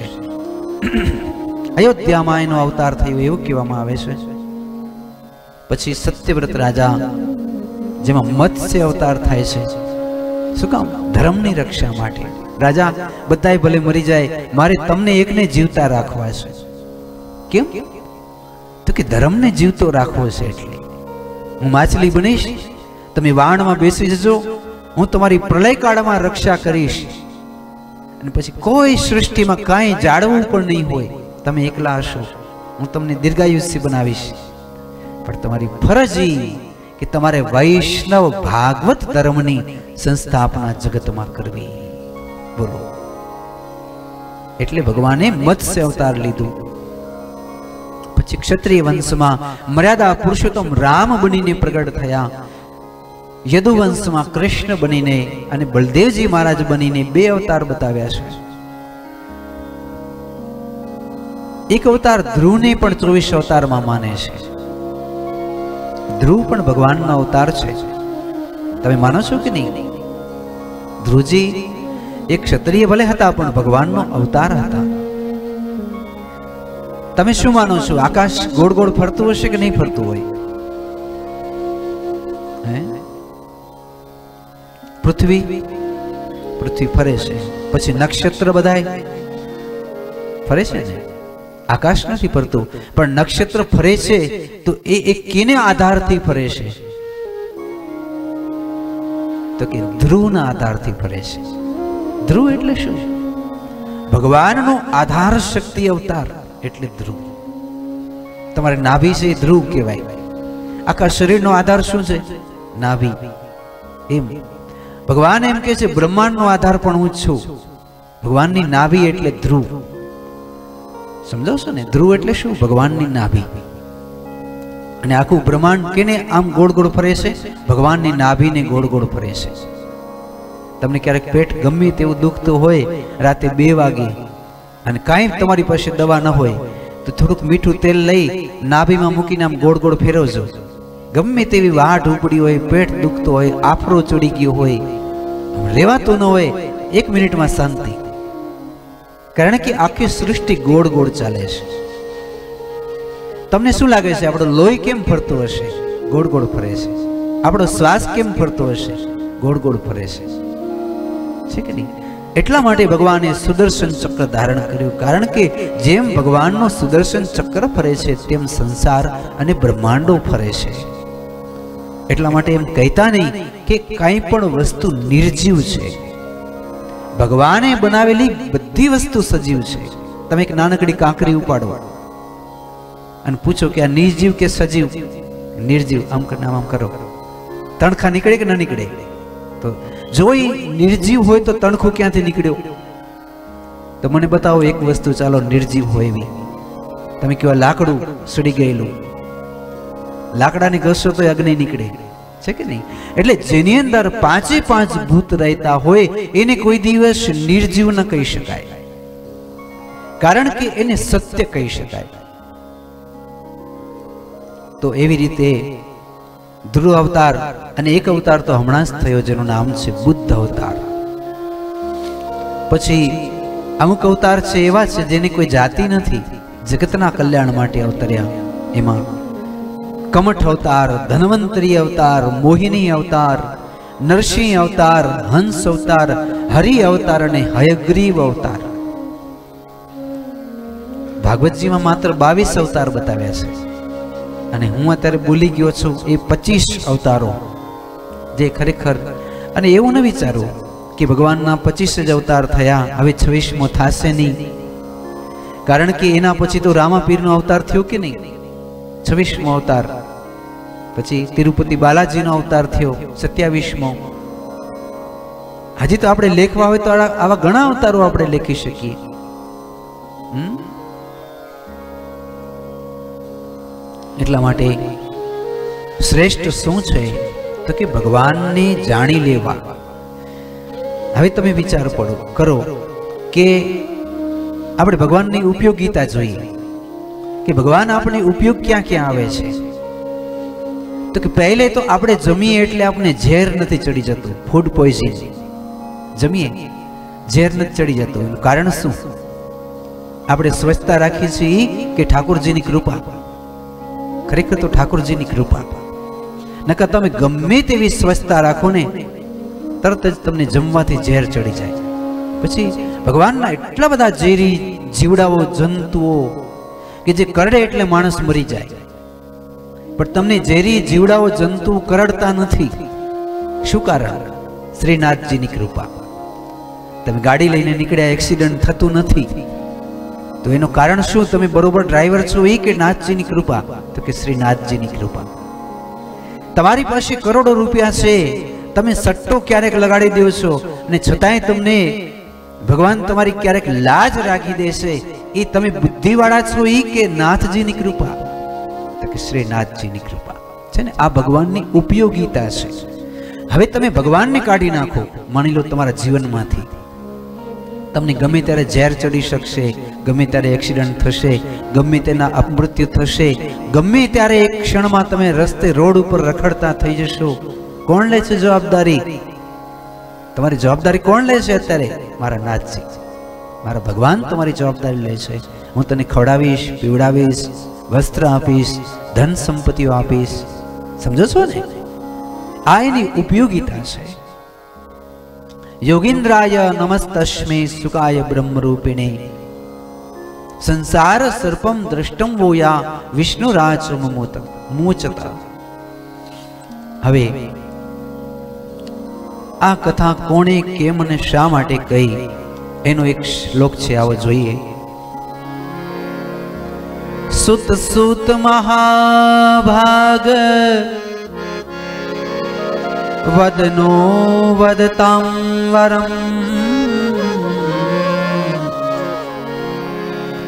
કથમ ભાગવતી પુણ્યા યદાહમ ભગવાન શ્રુક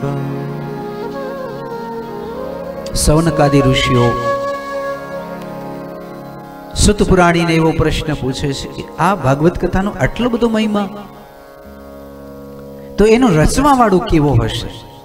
કોણે રચ્યું આ? અને કયા યુગમાં શું કારણથી અને એવું કેમ સંજોગ વેરા ચોગડિયા થયા કે આ ભાગવતજી બધાથી અલગ થઈ બધાના ગુરુ થઈને બેઠા? નહીં તો પુરાણ તો અઢાર છે, અઢાર ઉપપુરાણ પણ છે. મીમાંસા, વેદ, શાસ્ત્રો. પણ આપણા બધા હિન્દુઓનો હૃદય સમ્રાટ એક જ ભાગવત છે. આપણા બધાનો હૃદય સમ્રાટ. કેમ ભાઈ? શું કારણથી? એમાં એવું શું ઘટના ઘટી કે જેથી ભાગવત આટલું બધું લોકપ્રિય તો ઠીક, પણ જેને એમ કહેવાય કે એક જાતનો રામ વાટકો છે. રામ વાટકો એટલે શું? કે તમે ગમે તે થયું હોય એમાંથી ચમચી દૂધ આપે રામવાટકામાં મને ડાયાબિટીસ છે તો ચમચી દૂધ પીવો મટી જાય. મને પ્રેશર છે, ચમચી દૂધ પીવો મટી જાય. મને થાઇરોઇડ થઈ ગયું, ચમચી દૂધ. અર્થાત બદલેની દવા એક જ હોય. ગમે તે રોગી આવે, એક ચમચી પીધી નથી. રોગ ગાયબ. એવો એક વાટકો આવે જેને કહેવાય રામ વાટકો આગળ એક ઋષિઓ આવું રાખતા. પછી કે માણસ અને સર્પ કર્યો, મરડી ગયો, કે કોઈનું મૃત્યુ થયું જીવતો કરવો છે, તો રામ વાટકામાંથી એક ચમચી પીરાવે થાય જીવતો. અત્યારે કોઈ પાસે આવો રામ વાટકો છે?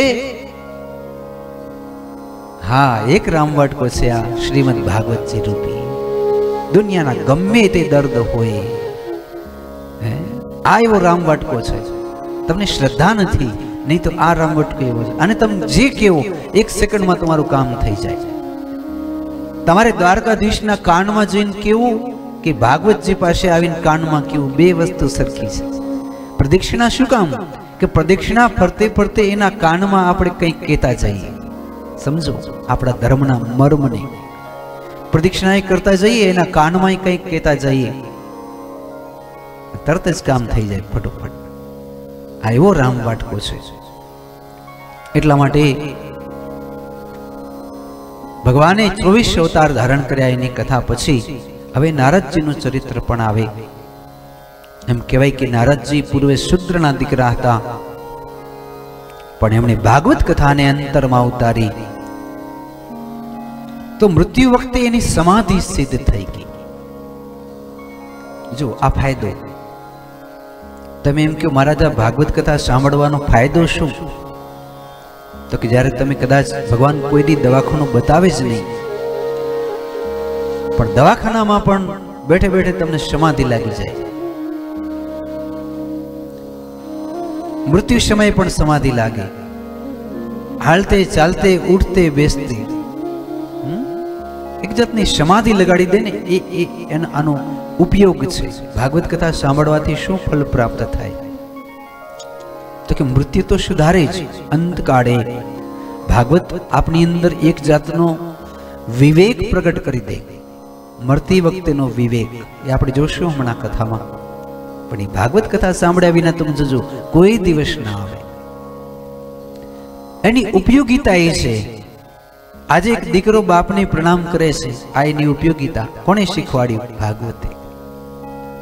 વડીલને આપણે આદર આપીએ છીએ, કોણે શીખવાડ્યું ભાગવતજી ગમે તેટલો કષ્ટ આવે, પણ માતા પિતાને કે દીકરાને કે પરિવારને આપણે તરછોડતા નથી. કોણે શીખવાડ્યું? શ્રીમતી ભાગવતે. ક્યારેક નાનકડા દીકરા મૂકીને બેન બીજા સાથે ભાગી જતી હોય, તો આપણે એમ સમજવું નક્કી એણે ભાગવતને આત્મસાત નથી કર્યું. એટલે એને દીકરાઓ મૂકીને ક્યાંક ભાગી જવાની ઈચ્છા થઈ. જેણે ભાગવતને આત્મસાત કર્યો હોય ને, એને તો કોઈ દી નબળો વિચાર ના આવે. કોઈ દી નબળો વિચાર ના આવે. તો સમજવું કે ભાગવતને આપણે આત્મસાત કરી લીધું છે. તો નારદજી મૃત્યુ વખતે સમાધિ લાગી. તમારું પણ મૃત્યુ હશે ને જ્યારે? ત્યારે તમે ભાગવતજીના પુણ્ય પ્રતાપે તમને સમાધિ લાગશે. ભગવાનને યાદ કરતે કરતે જીવ નીકળશે. એટલે સીધા જ વૈકુંઠમાં. અને વૈકુંઠમાં ત્યાં જશું એટલે ભગવાન સુતેલા હોય એની છાતી પાસે જવાનું. એ બહુ મોટા વિરાટ છે. આપણે આમ હાથ જોડશું. ભાઈ એની ઈચ્છા. જો એ એમ કે તું મારી નાભીમાં ચાલે જા, તો આપણે એના પેટમાં ચાલે જશું. યા તો મુખમાં ઉતારી દે. યા તો આપણે એમ કે જા, તને હું શ્રીમાનોને ઘેર જન્મ આપું છું. પણ ત્યાં જોયા પછી એને એમ લાગે કે આ તો બગડેલી બુદ્ધિવાળો દુર્યોધન અને દુશાસન છે. એટલે ક્યાંય પણ આમ- જ કરે ઈશારો. આમ ઈશારા કરતાની સાથે શું દરવાજા ખુલી જાય વૈકુંઠમાંથી? આપણે કેમ મંદિરમાં સાઈડમાં દરવાજો હોય, બારે નીકળવાનો? એમ વૈકુંઠમાં સાઈડમાં દરવાજો છે અને દરવાજાની બારે કોણ બેઠા હોય ખબર છે? પાડા ઉપર બેઠેલા. અને આમ આપણે પગે લાગતા ઈશારો કરીને ભગવાન આમ કરે એટલે સાઈડમાંથી સીધા પાડાવાડા ઉપાડી જાય. કોઈકને ભગવાન અંદર આપે, જેને સાયુજ્ય કહેવામાં આવે. કોઈકને શ્રીમાનોને ગીર જન્મ આપે, કોઈકને સંત, સુરવીર, તપસ્વી એમને ગીર જન્મ આપે. પણ જેના બહુ જ ખરાબ કર્મ હોય, તોય ભગવાન એમ નથી કહેતા કે, જા, આજથી તું મારો દીકરો નહીં. તોય ભગવાન કૃપા કરે ને એમ કે, એક કામ કરો, આને શુદ્ધ કરવાનું કારખાનું આ બાજુ છે. નરક બાજુ માટે એને શુદ્ધ કરવા માટે મોકલાવો. ભગવાન કેટલા દયાળુ છે. નરક છે ખરાબ વસ્તુ નથી, શુદ્ધ કરવાનું કારખાનું છે. આપણી બુદ્ધિ, ચિત્ત, મન આ બધું શુદ્ધ કરવાનું કારખાનું હોય તો એ નરક છે. ત્યાં ગયા પછી આપણે બધી શુદ્ધિ આવી જાય. પછી વળી પાછા ભગવાન કરે આમ જઈને ઊભા રહી. હા હવે વળી પાછો તને મનુષ્ય દેહ આપ્યા જેવો તું થઈ ગયો છે. જ્યાં મારી કૃપાથી તારો શ્રીમાનોને ઘેર જન્મ થાવ. આમ કે, ત્યાં તો કોઈક શ્રીમાનોને ઘેર આપણો જન્મ થઈ જાય. તો આવી નારદ મુનિ વ્યાસજીને એમ કહે છે કે, વ્યાસજી, મેં ભાગવતજી સાંભળ્યા માત્રથી મને બ્રહ્મર્ષિ પદ પ્રાપ્ત થયું. માટે તમે હું ચતુર્શ્લોકી કહો અને તમે એમાંથી ભાગવત શાસ્ત્રની રચના કરો. અને એમણે ચતુર્શ્લોકી સંભળાવી. કોને? વ્યાસ મહર્ષિને. નારદજી ગુરુ છે. નારદજીને કોણે સંભળાવી? તો કે શેષ ભગવાને. શેષ ભગવાને કોણે સંભળાવી? બ્રહ્માજીએ. આ ચતુર્શ્લોકી ભાગવત. પછી વ્યાસજી એમાંથી અઢાર હજાર શ્લોક ત્રણસો ને તેત્રીસ અધ્યાય શ્રીમદ ભાગવત મહાપુરાણની રચના કરવા માંડ્યા ને, ત્યારે નારદજી કીધું, એમ નહીં. આંખો બંધ કરી બેસી જાઓ. ભગવાનની સમાધિ લગાડતે લગાડતે જે વિચારો આવે, એમાંથી તમે ભાગવતજીની રચના કરો. એટલે આ જે ગ્રંથ છે, સમાધિ ભાષાનો ગ્રંથ છે. એને જોયું, યાદ રહી ગયું, ભોજપત્ર ઉપર લખ્યું તો ટોટલી ગ્રંથ શેનું કહેવાય? સમાધિ ભાષા. વ્યાસજી સમાધિમાં જે બેઠે બેઠે એમણે આ દર્શન કરતે કરતે જે લખ્યું, એ ગ્રંથ છે. તો કહેવાનો મારો એ ભાવ છે, પ્યારે ભાઈ બહેન કે આવો એક ધૂન સંકીર્તન માટે બે મિનિટ તાળી વગાડજો એટલે આળસ છૂટી જાય. કારણ કે હજી આપણી આ કૃષ્ણ કથાને આગળ લઈ જવાની છે. એટલે આપણી સભામાં સુસ્તી ન ચાલે. તો સર્વપ્રથમ યમન કલ્યાણ રાગમાં હું આપને લઈ જાઉં.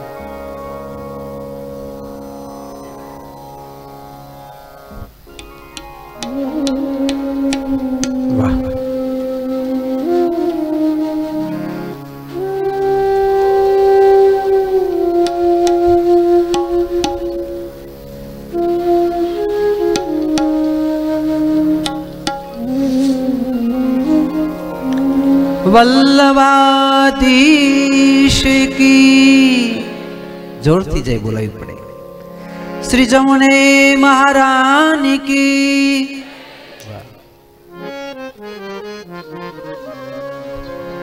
હરે કૃષ્ણ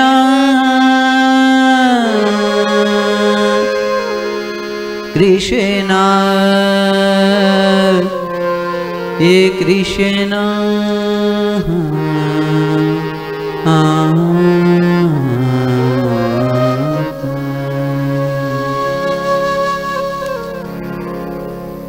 श्याम तुझे मिलने का सत्संग ही बहाना है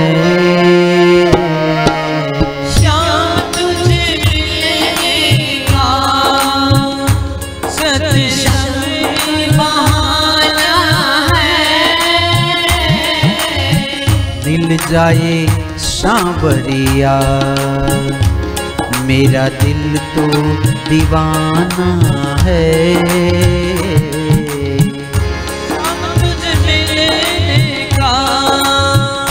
सत्संग ही बहाना है। श्याम तुझे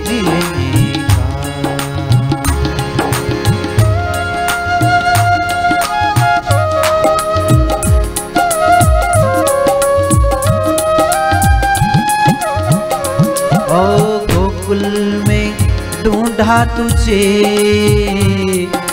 मथुरा में ढूंढ लिया।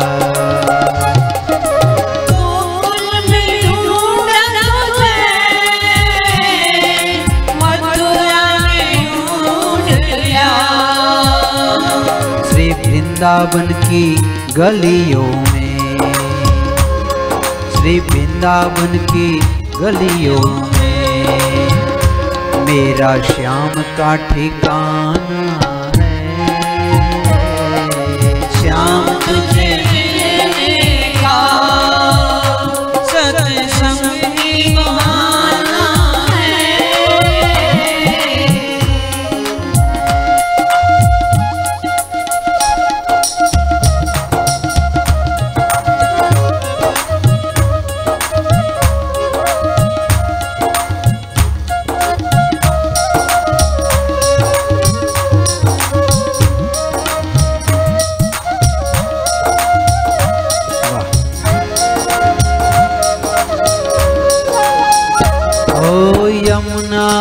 किनारे पे बंसी बजाता है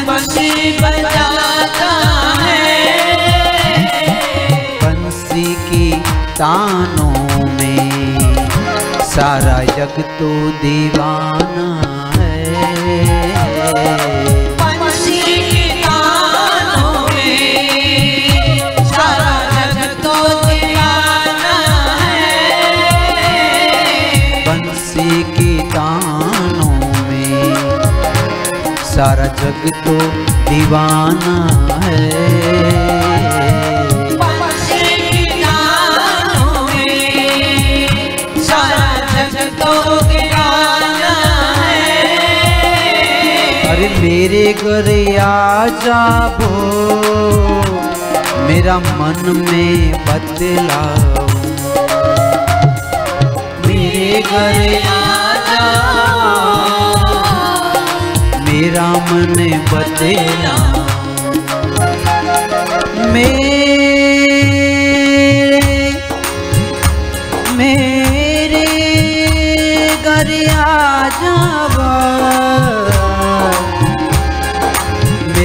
मेरे घर मेरे घर मेरे घर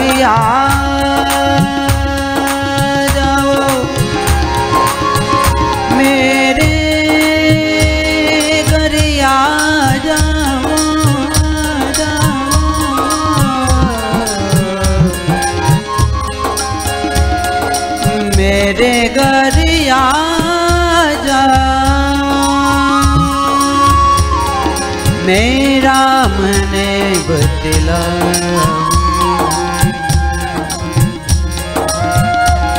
मैं दुनिया लुटा दूँगा। तुझे दिल में बसाना है। दुनिया लुटाऊँगा तुझे दिल में बसाना है। श्याम तुझे मिलने का। ही बहाना है। तुझे बहाना है सत्संग ही बहाना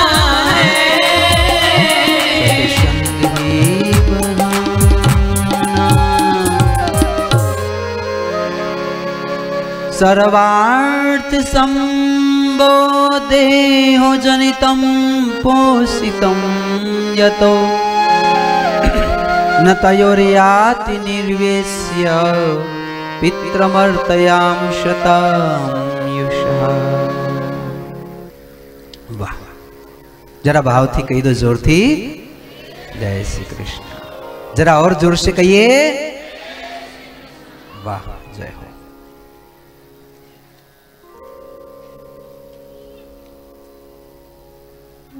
એમ કહેવાય છે નારદજીને જે મંત્ર આપ્યો હતો ને, એને વાસુદેવ ગાયત્રી કહેવામાં આવે છે. ઓમ નમો ભગવતે તુભ્યમ વાસુદેવાય ધીમહિ. કોણ કહે છે નારદ મુનિ. એણે કયા મંત્ર જપ્યા? ઓમ નમો ભગવતે તુભ્યમ વાસુદેવાય ધીમહિ. પ્રદ્યુમનાય અનિરુદ્ધાય નમ સંકર્ષણાય છો ચાર નામ એમાં આવી ગયા. એને કહેશું આપણે વાસુદેવ ગાયત્રી. તમે એમ કહેશો કે મને ભગવાન તો ગમે છે, પણ અનિરુદ્ધથી મારે શું લેવા દેવા? પ્રદ્યુમનથી મારે શું? મને તો બળદેવજીથી એટલો પ્રેમ નથી થતો. જો તમે આવું વિચારતા હો, તો એના માટે નવું દ્રષ્ટિકોણ આ શ્લોકથી. આપણે કોઈ દીકરી પરણે એમ કે, તમે ગમો છો, તમારી માં નથી ગમતી. તમારા બાપુજી નથી ગમતા. તમારી નણંદ બેન છે, નણંદ એ નથી ગમતી. તો એ બરોબર કહેવાય કે ન કહેવાય? ન કહેવાય ને? એવી રીતે આ ચાર વ્યૂ છે. બલદેવજી એટલે કૃષ્ણ જ છે. પણ એક અંશ ઓછો, એમાં સોળ કલા છે, તો આમાં કદાચ ચૌદ કલા હશે. ભગવાનના જ આત્મ જ એક જ પ્રદ્યુમનનું નામ લીધું. નહીં તો ભગવાનના દીકરા તો એક લાખ સાઠ હજાર ને છસો થી ઉપર છે. પણ એક જ નું નામ શું કામ લીધું? પ્રદ્યુમન. કારણ કે પ્રદ્યુમનમાં પણ ભગવાને એવી દસ પંદર કલાઓ આપી છે. એટલે ભગવાનનું જ સ્વરૂપ છે. અને છેલ્લે અનિરુદ્ધ મહારાજ, જેમાં તો પચીસ હજાર હાથીનું બળ છે. મને કહેવામાં સંકોચ નથી થતો કે કદાચ તમે અનિરુદ્ધ મહારાજને એમ કહો કે તમે એક પર્વતને હાથ ઉપર ઉપાડી દો તો એ અનિરુદ્ધ મહારાજમાં એટલી તાકાત છે. એ પર્વતને પણ ઉપાડી શકે. એટલે જુઓ, ભગવાનથી તમારે પ્રેમ રાખવો હોય તો ભગવાનના પરિવારથી તમારે પ્રેમ રાખવો જ પડશે. રાધાજીથી તો તમે પ્રેમ રાખો છો. બરોબર છે? તો પછી અનિરુદ્ધ શંકર્ષણ પ્રદ્યુમન. એ પણ ભગવાનનું જ સ્વરૂપ છે. ભગવાનની પટરાણી, ભગવાનના પાર્ષદો, નારદ. છે કે નહીં? આ ભગવાનના જ અંશ છે. એટલે એવું કટ્ટર નહીં થવાનું કે હું ભગવાન સિવાય કોઈને નથી માનતો. પણ એવા કટ્ટર થવું કે ભગવાનને જ માનું છું અને ભગવાનને લાગતા વળગતા એના પરિવારને પણ હું રિસ્પેક્ટ કરું છું, એનો આદર કરું છું, એનો સત્કાર કરું છું. આ વૈષ્ણવજનોની આ પહેલો ધર્મ છે. ઘણી વખત એવું થાય, ભગવાનને માનો, પણ વૈષ્ણવોથી પ્રેમ નથી. એમ ના ચાલે. એવી રીતે ભગવાનના પરિવારથી પણ પ્રેમ જોઈએ. એટલા માટે ઓમ નમો ભગવતી તુભ્યમ વાસુદેવાય ધીમહી. અમે એનું ધ્યાન કરીએ છીએ. જે એક નહીં પણ ચાર સ્વરૂપવાળા છે. ક્યારેક વાસુદેવ, ક્યારેક શંકર્ષણ ક્યારેક પ્રદ્યુમન અને ક્યારેક અનિરુદ્ધ સ્વરૂપે થઈ જાય છે, એવા ભગવાનનું અમે ધ્યાન ધરીએ છીએ. વ્યાસજીએ ભાગવતજીની રચના તો કરી. એ વખતે વ્યાસજી પાસે ત્રણ હજાર શિષ્યો છે. પણ એને એમ થયું, આ ભાગવતને કોલ ભળા ભણી શકે? આ વિવેક હવે આપણામાંથી ઓછો થતો જાય છે? ગંડુ રાજા જેવા વિચારો આપણા થતા જાય છે. તમે વિચાર કરો, એક વ્યાસ મહર્ષિ પાસે ત્રણ હજાર શિષ્ય હોવા છતાંય એણે શિવની ઉપાસના કરી કે મારી ભાગવતજીને બરોબર સમજી શકે, એના માટે મને એવો સુપાત્ર દીકરો આપો જે ભાગવતના ભાવને સમજી શકે. શું કહો છો તમે? તો આજના હાલતા ચાલતા માણસને ભાગવતના ભાવ સમજાય. તમે વિચાર કરો. એટલા માટે વ્યાસપીઠની જ્યારે વાત આવશે ને, ત્યારે તમારે તેર વસ્તુ યાદ રાખવી પડે. પૈસા કેટલા લેશે પછી જોવાનું. પહેલે વિરક્ત હોવો જોઈએ.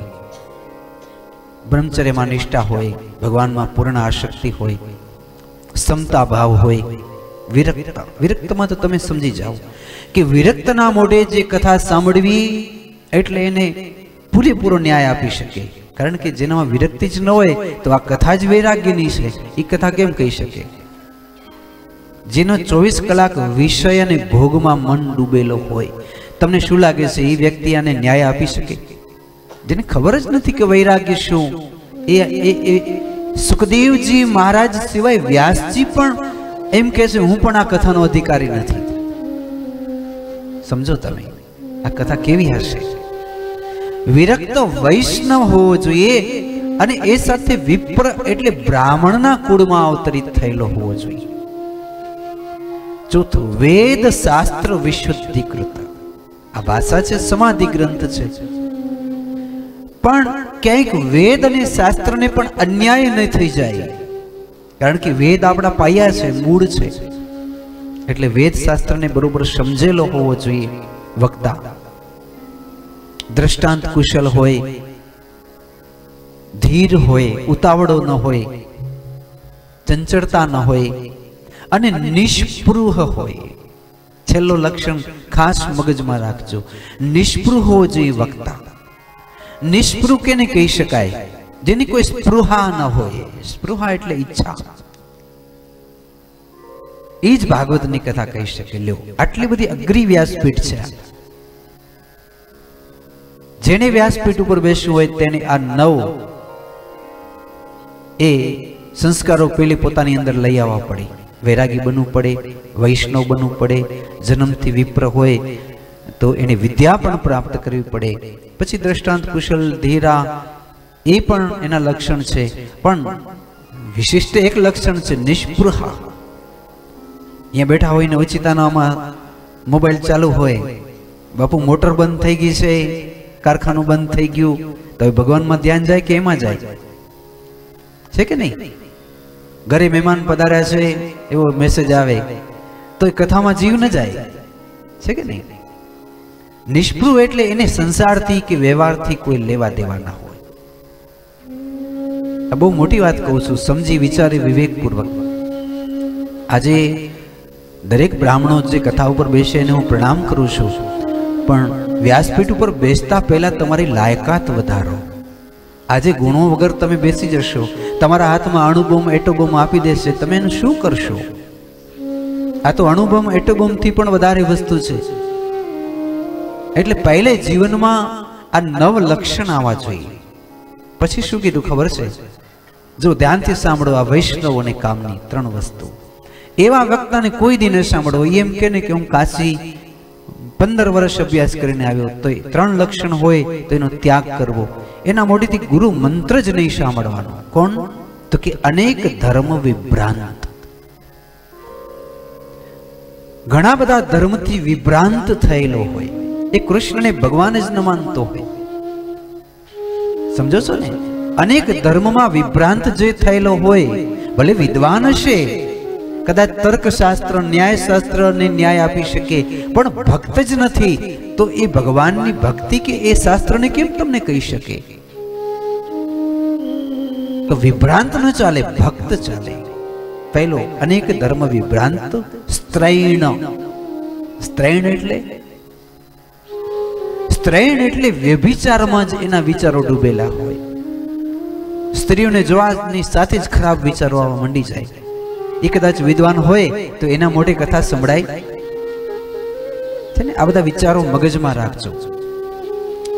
ગમે તેવો વ્યક્તા વિદ્વાન હોય, પણ જો વ્યભિચારી હોય, તો પક્ષીઓમાં આપણે કેમ કાગડાનો ત્યાગ કરી દીધો? એમ એનો ત્યાગ કરી દેવાનો. સૌથી ખરાબમાં ખરાબ લક્ષણ છે વ્યભિચાર. તો અનેક શાસ્ત્ર વિભ્રાંત સ્ત્રેણ પાખંડવાદીના. ત્રીજું, જે પાખંડ ધર્મી હોય, એના એની તો કથા સાંભળવી જ નહીં.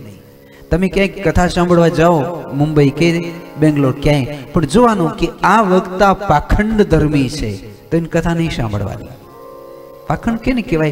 કે ભગવાનને છોડી અને બીજાની પૂજા કરવા માટે પ્રેરણા કરતો હોય પાખંડ કહેવાય. ત્યારે તમે જોજો મોટા મોટા એમ કે મારી છબી લઈ જાઓ, મારી છબી કને માળા કરજો. નામ નથી લેતો કોઈના, પણ એવા ઘણા બધા છે કે જે પોતાની છબી જલાવી દે, પોતાનો મંત્ર પોતાના નામનો આપી દે. એવા લોકોને પાખંડી સમજી એનો ત્યાગ કરવો સ્ત્રૈણ પાખંડવાદીના. ભગવાનને નગમતી એવી વસ્તુ હોય તો પાખંડ ધર્મ છે. ચલો બેનો એક દાખલાથી સમજીએ. તમે તમારા પતિને એમ કહો, તમે તો મને બહુ જ ગમો છો, પણ આ બાજુવાળો તો મને એ પણ વધારે ગમે છે. તમે એમ કહો, તો તમારો પતિ રાજી થાય? કે તમે તો મને ગમો છો, પણ બાજુવાળો છે ને એ મને વધારે ગમે છે. કહેવાય આપણાથી એમ? ન કહેવાય ને? એવી રીતે કૃષ્ણ એમ તમને પૂછે કે, હું તમને ગમું છું? તો તમે એમ કહો, હા, તમે તો મને ગમો છો, પણ બીજાએ મને તમારા જેવા જ ગમે છે. તો કૃષ્ણ ચપટી વગાડી દે, તો જા એની કરી સમજો, આ સિદ્ધાંત છે. સમજો છો ને હું જે કહેવા માંગુ છું એ? કે તમે કૃષ્ણને એમ કહો છો તમે મને ગમો છો, તો પછી બીજું કોઈ પણ મને ગમે છે એ ના હાલે.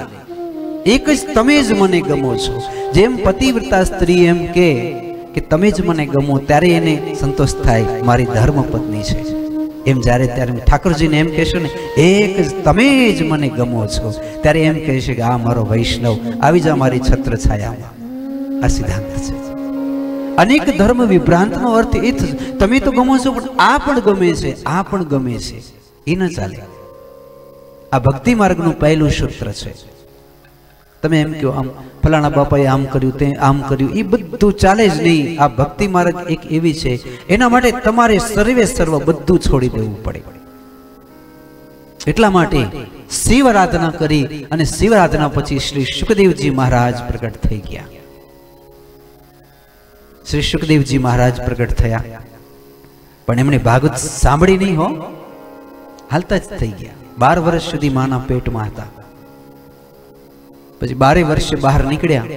કેવી રીતે? શ્વાસમાં પ્રાણવાયુ બની. અને હજી તો જન્મ્યા.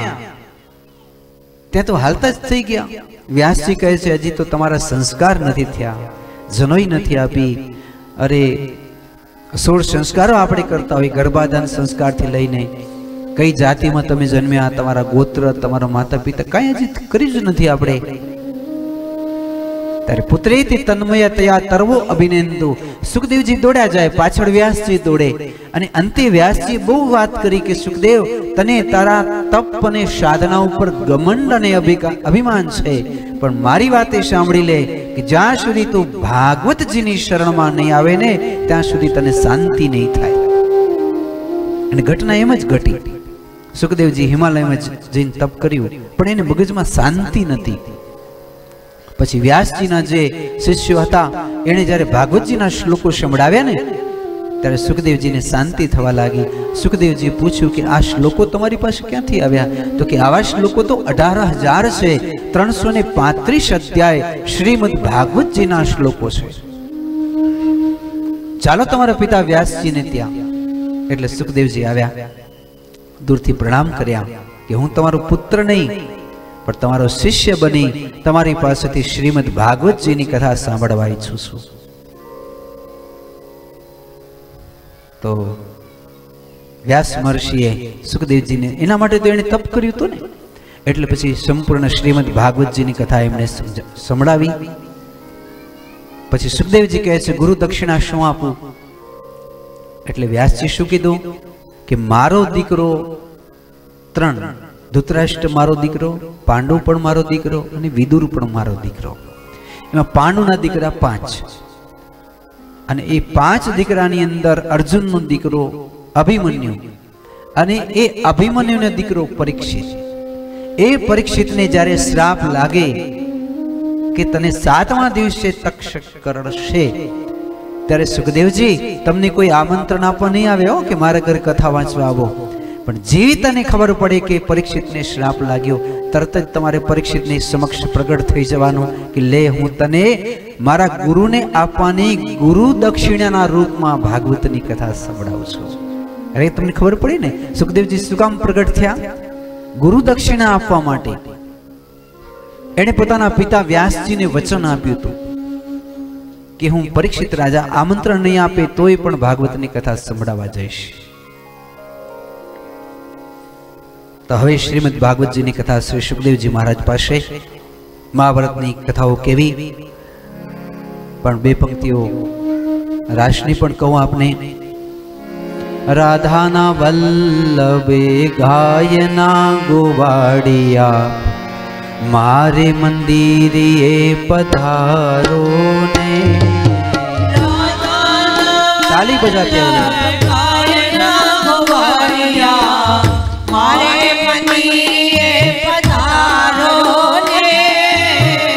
राधानवल्लभे गायना गुवाडिया मारि मन्दिरिये पधारो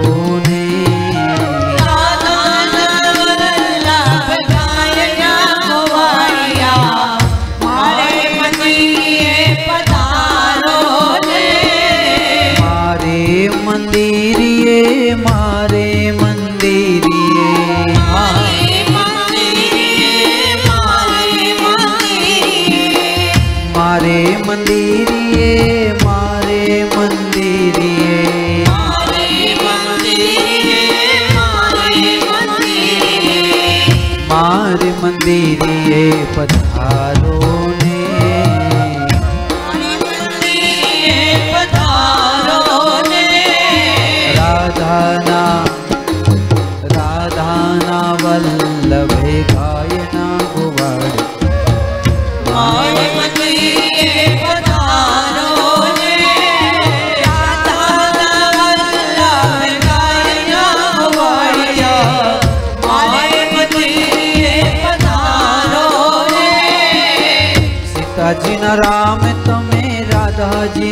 રાધાજીના શ્યામ છો નંદના કુંવરી તમે જશોદાના રામ છો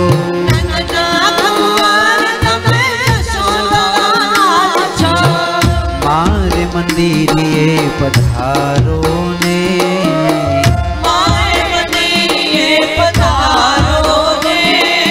રાધાના એ હા વલ્લભે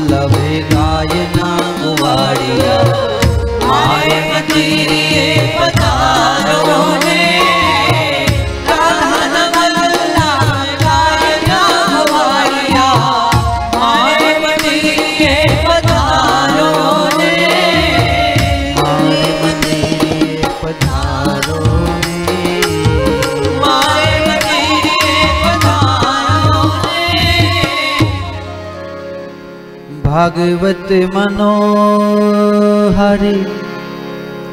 গাথা তোমারে। অনুসুখকারী। কন তুজে জানে তার मूर्ति तुम्हारी मंगलकारी तुम हो सुरेशु कारी मूर्ति तुम्हारी मंगलकारी तुम हो सूर्य सुखकारी तुम हो सूर्य सुखकारी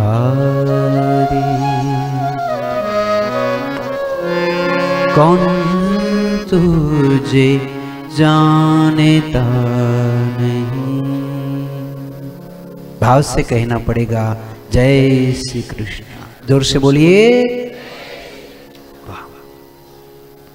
તો ભગવાનના મહિમાને ભલા કોણ નથી જાણતું? પહેલે જાણે છે અર્જુન. કેવી રીતે?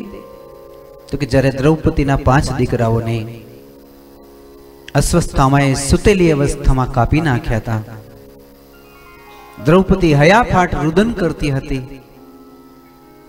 અર્જુને પ્રતિજ્ઞા કરી હતી કે દ્રૌપદી, જેણે તારા દીકરાને કાપી નાખ્યા હું એનું મસ્તક કાપી નાખીશ.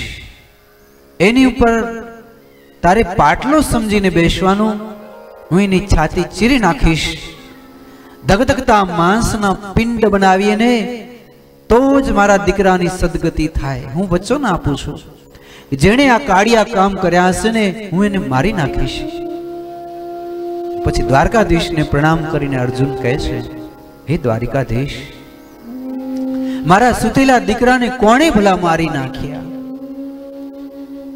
ભગવાને કીધું એ તો અસ્વસ્થામાં. ગુરુ દ્રોણાચાર્યના પુત્ર અને અત્યારે વ્યાસજીના આશ્રમ સમ્યપ્રાસમાં છુપાઈને બેઠા છે. પ્રભુ, મારા રથને ત્યાં લઈ ચાલો. રથ ઉડ્યો આકાશમાં. હજી પો ફૂટે છે, સવાર થઈ છે. અને વ્યાસજી બેઠા હતા બાજુમાં અસ્વસ્થામાં બેઠો તો ભગવાનનો રથ દેખાણો. અસ્વસ્થામાં ડરી ગયો.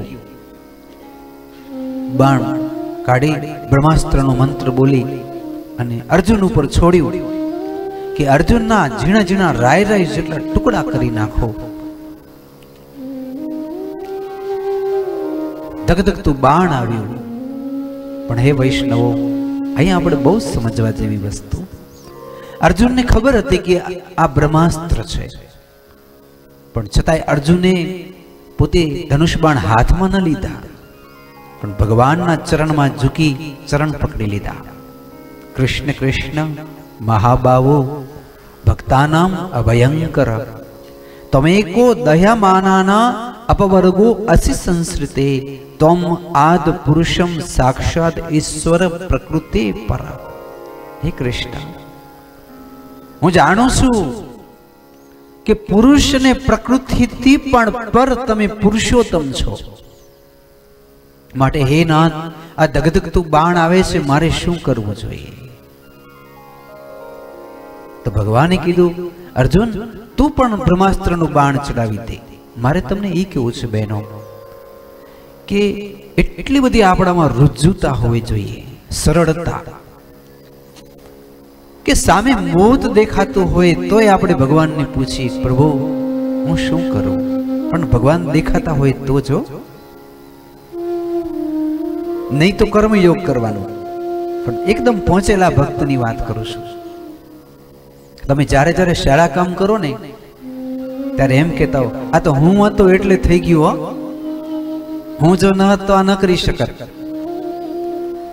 અને એ નહીં પાછું બગડી જાય ત્યારે એમ કે એ તો તારા કોઈ ગ્રહ માઠા છે એટલે બગડી ગયું. તારું ભાગ્ય નબળું છે. આ ભક્તનું કામ નથી. ભગવાને હંમેશા યશ ભગવાનને આપો અને જ્યારે કાંઈ પણ વિઘ્ન હોય, અપજસ લેવાનો હોય ને, ત્યારે એમ કેવું કે મારાથી આવો અપજસ લાયક કામ થઈ ગયું. ભગવાનમાં કોઈ દી અપજસ ન દેવાય કે ભગવાને બગાડ્યું, ભગવાને ખરાબ કર્યું. ભગવાનના સાચો વૈષ્ણવ ભગવાનને ક્યારે પણ અપજસ નથી આપતા. સારું થાય તો યશ ભગવાનને આપો. ભગવાનની કૃપાથી થયું. તો ભગવાનને કીધું કે તમે પેલું ચડાવો બ્રહ્માસ્ત્ર. બે બ્રહ્માસ્ત્ર ટકરાવવાની તૈયારી. તો એ જ વખતે સપ્ત ઋષિ આડા ઊભા થયા, આજ્ઞા કરી તમારા બ્રહ્માસ્ત્ર પાછા ખેંચી લેવું. ભગવાનને પૂછ્યું અર્જુને, પ્રભુ, હવે શું કરું? તો કે પાછું ખેંચી લે. એટલે એણે પાછું ખેંચી લીધું. બ્રહ્માસ્ત્રને એ મારતા જ આવડતું હતું, પાછું વાળતા નતું આવડતું. ઘણા લોકો તમે જજો, મારતા જ શીખ્યા છે, પાછું વાળતા નથી શીખ્યા. આ જીવનની કલા છે. જ્યાં આપણે પાછું વળવાનું લાગે ને, કે આપણે પાછા વળશું તો બહુ જ ફાયદો થશે. પણ અમુક માણસો પાછા વળવાનું શીખ્યા જ નથી. એટલે આજથી આપણે એ પણ શીખવું કે આપણે પાછા કેમ વળવું? એટલે બ્રહ્માસ્ત્ર વાળ્યા, હવે જોજો અસ્વસ્થામાને પકડીને દ્રૌપદી પાસે ઘા કર્યો કે લે, આ જેને તારા દીકરા સુતેલાને કાપી નાખ્યા, દ્રૌપદી લાંબો ઘૂંઘટો કાઢેલો, એકદમ શ્યામલ વસ્ત્ર પહેર્યા છાતી કૂટે છે મારા પાંચે પાંચ દીકરા માંથી એકે ન બચ્યો. મારા ભેગા કૃષ્ણ હોવા છતાં, પાંડવો જેવા મારા પતિ હોવા છતાં, વિધાતા તે શું લખ્યું મારી કિસ્મતમાં? અને આમ કરતે એને ક્રોધ અતિશય ચડ્યો હતો. પણ એને જોયું તો કોણ હતો? ગુરુનો પુત્ર સ્વસ્થામાં. એટલે ઊભી થઈ અને ગાંઠો છોડવા માંડી નાગપાશની.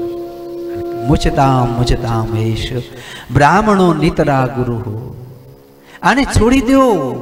અર્જુન પણ તારા દીકરાને એને મારી નાખ્યા છે. ભલે મારી નાખ્યા. છતાંય બ્રાહ્મણ છે. ગુરુપુત્ર છે. અર્જુન, તમે બાર બાર વર્ષ એની માના હાથના રોટલા ખાધા છે. ઘણા લોકો એમ કહેતા હોય, બ્રાહ્મણ ન ખવાય.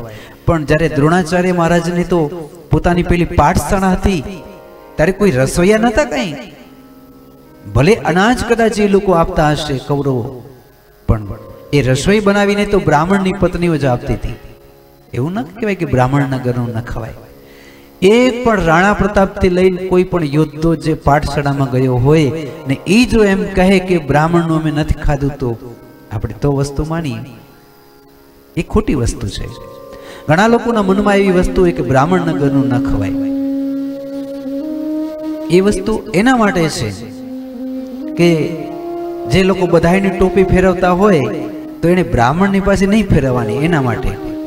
એને આપણે મૂકી દેવાના. એવા લોકો એ ઠીક છે બ્રાહ્મણ ગરુ ખાવામાં તેમ કઈ ખાવાની વસ્તુમાં પૈસા હોય તો આખી અલગ વસ્તુ થઈ જાય. એટલે તમે આના બાર વર્ષ તો આના ઘર તમે જમ્યા છો. બીજું, એની માં સતી નથી થઈ ગઈ કારણ કે એ આ દીકરાના આધારે આધારે જીવે છે. અને તમને કહ્યું હજી પણ એક વાત કહું. મને સમજાણે છે કે આપણા દસ દીકરાને મરવા દેવા પણ આપણા જો ગુરુ વલ્લભકુળના આચાર્ય હોય અને એના દીકરા ઉપર કદાચ કષ્ટ હોય, તો એના દીકરાને બચાવવા આપણા દસ દીકરાને મરાવી નાખવા. આપણો ધર્મ છે. આપણા દીકરા ભલે મરે, પણ ગુરુનો વંશ ચાલવો જોઈએ. સમજો ને તમે? હું જે કહેવા માંગુ, કે આચાર્યનો વંશ જો ખંડિત થતો હોય અને એમાં કદાચ આપણે આપણા દીકરાને મરાવી નાખવા હોય ને તો એ આપણી તૈયારી રાખવી પડે. પણ કોઈ દિવસ ગુરુના વંશ છેદ થઈ જાય, ખંડિત થઈ જાય. એ આપણી આંખેથી સાંભળવું નહીં, જોવું પણ નહીં. સમજો છો ને? એટલા માટે જો આને મારી નાખશું, તો દ્રોણાચાર્યનો વંશ ખંડિત થઈ જશે. માટે કૃષ્ણ, તમે આને તો આશીર્વાદ આપો કે ચિરંજીવી થઈ જાય. પછી ભગવાને આશીર્વાદ દીધા કે ચિરંજીવી થાવ પણ પછી અર્જુને શું કર્યું? એના કપાળમાં મણી હતી એ લઈ લીધી. અને ધક્કા મારીને બારે કાઢ્યા. જો બ્રાહ્મણોને મારી નાખવા હોય ને તમારે બ્રહ્મત્યા લેવી હોય, તો કઈ નથી કરવાનું. ખાલી ધક્કો મારીને તમે કાઢી નાખો ને. ખાલી તમે ધક્કો મારીને કાઢી નાખો. હાથ ચાલીને નીકળો બારે. એટલે સીધી તમને બ્રહ્મત્યા લાગી જાય. કારણ કે બ્રાહ્મણોને અવધ્ય માનવામાં આવ્યા છે. એને મારવા હોય તો એનું ભયંકર અપમાન કરવું એટલે તરત જ મૃત્યુ સમાન કહેવાય. તો અસ્વસ્થતામાં ધક્કા મારીને બારે કાઢ્યા. અસ્વસ્થતામાં ક્રોધે ભરાયા વળી પાછું બ્રહ્માસ્ત્ર કાઢી. અભિમન્યુની પત્ની ઉત્તરાના પેટમાં ગર્ભ છે. પાંચ મહિનાનો એ ગર્ભ ઉપર બ્રહ્માસ્ત્ર મૂક્યું. ધકધકતું બાણ આવ્યું. અંદરનો ગર્ભ બળવા માંડ્યો. ઉતરા દોડી ભગવાનના શરણમાં જાય છે. અને ઉત્તરા પ્રાર્થના કરે છે. પાહી પાહી મહાયોગીન દેવ દેવ જગતપતે નાન્યમ તદભયમ પશ્ય યત્ર મૃત્યુ પરસ્પરમ. આ બીજું સૂત્ર. પેટ બળે છે. બાણ અંદર હાલી ગયું છે અડધું. ત્યારે ખરેખર દોડીને વૈદ પાસે જવું જોઈએ ને પહેલે દૃષ્ટિએ યા તો પોતાની સાસુ દ્રૌપદીને કહે, યા તો મોટી સાસુ કુંતાજીને કહે યા તો યુધિષ્ઠિરને કહે યા તો અર્જુનને એમ કહે કે મારી રક્ષા કરો એના બદલે ઉતરાએ ભગવાનની શરણાગતિ સ્વીકારી જ્યારે આપને ખબર પડે ને કે આ પરિવારમાંથી કોઈ અત્યારે મને મદદ કરી શકે તેમ જ નથી ત્યારે દોડીને મારા ઠાકરજીના ચરણ પકડી લેવા જ્યારે કોઈ તમને સહાયતા નહીં કરે ને ત્યારે મારા ઠાકરજી તમને સહાયતા કરશે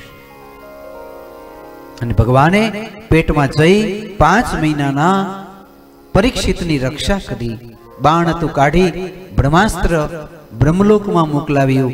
પોતાના હાથથી સજીવન કર્યો, ટચલી આંગળીથી અમૃત પાયું અને એ પાંચ મહિનાના પેટમાં પરીક્ષિતને ભગવાને દર્શન આપ્યા. એવો એક દાખલો નથી ઇતિહાસમાં કે માના ગર્ભમાં કોઈને ભગવાનના દર્શન થયા હોય. એવો એક જ દાખલો પરીક્ષિત રાજાનો કે જેને માના ગર્ભમાં ભગવાનના સાક્ષાત્કાર આ આંખથી દર્શન થયા. એટલા માટે નરસિંહ મહેતા બહુ સરસ વાત કરી કે પ્રાણે થકી મને વૈષ્ણવે વાલા. રાતિ દિવસે હું જાગું તપતી રથને વૈકુંઠ મૂકીને સંત પુકારે ત્યાં જાઉં. પ્રાણ થકી મને વૈષ્ણવે બાલા.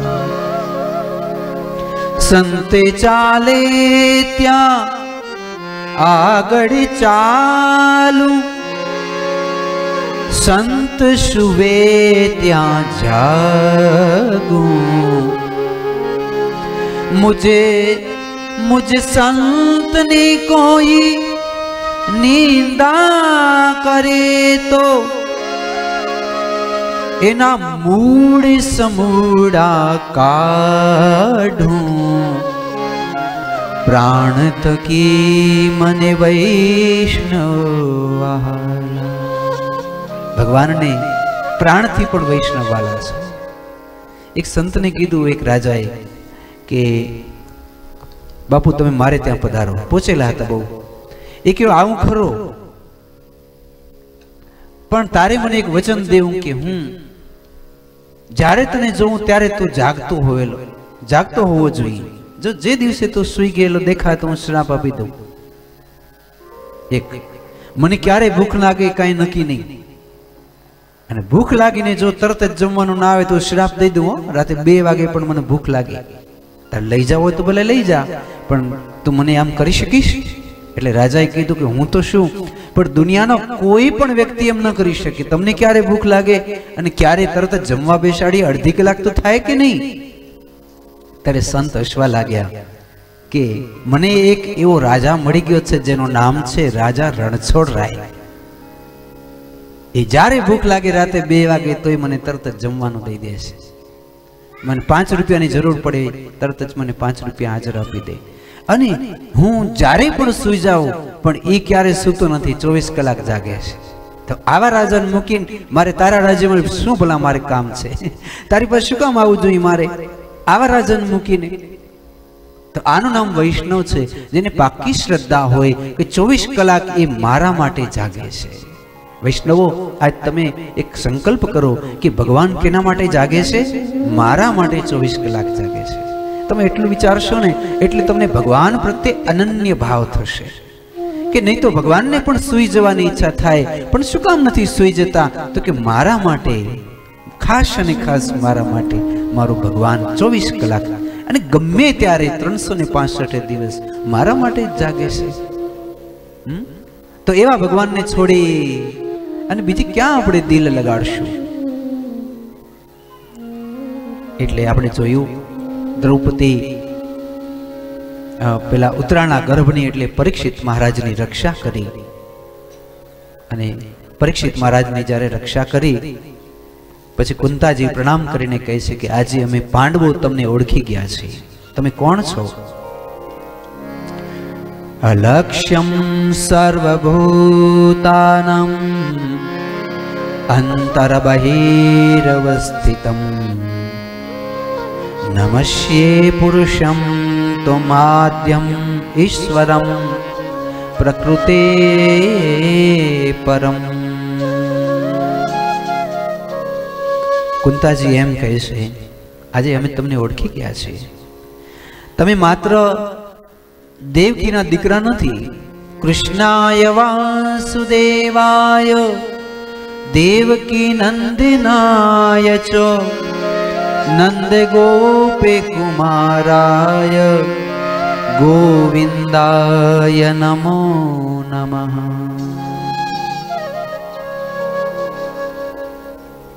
અમે જે શ્વાસ લઈએ છીએ ને, એ આપણી કૃપાથી જ અમે શ્વાસ લઈએ છીએ. કુંતાજી કહે છે, અમે તમને ઓળખી ગયા છીએ. તમે કોણ છો? અમે તમને જાણીએ છીએ. ભગવાને કીધું, જો તમે જાણી ગયા તો વરદાન માંગો. એટલે કુંતાજી એક રાત રોકાઈ જવાનું પહેલા કહે છે, ભગવાન રોકાઈ ગયા. ત્યારે કુંતાજીએ જમુના જળમાં કેસર ગોળી સ્નાન કરાવું શામળા એવી સેવા કરી. સૌથી મોટો, ભગવાન તમારા ઘરે આવશે. મન લો કે આવે, ઉચિતાના. તો શું કરશું? આમાંથી શીખવાનું છે. આવે એટલે તરત જ જમુના જળમાં કેસર ગોળી, સ્નાન કરાવું સાંભળા હળવે હાથે અંગો ચોડી લાડ લડાવું સાંભળા એ તમને આવડતું હશે. તો એ રીતે ભગવાન આવે જો, એને કોઈ વસ્તુની ખામી નથી. એને આવો ભાવ જોઈએ છે. એટલે કુંતાજીને કે રોકાણા. કુંતાજી કીધું કે વરદાન માંગો. વિપદઃ સંતુના વિપદઃ સંતુના સસ્વ તત્ર તત્ર જગત ગુરુ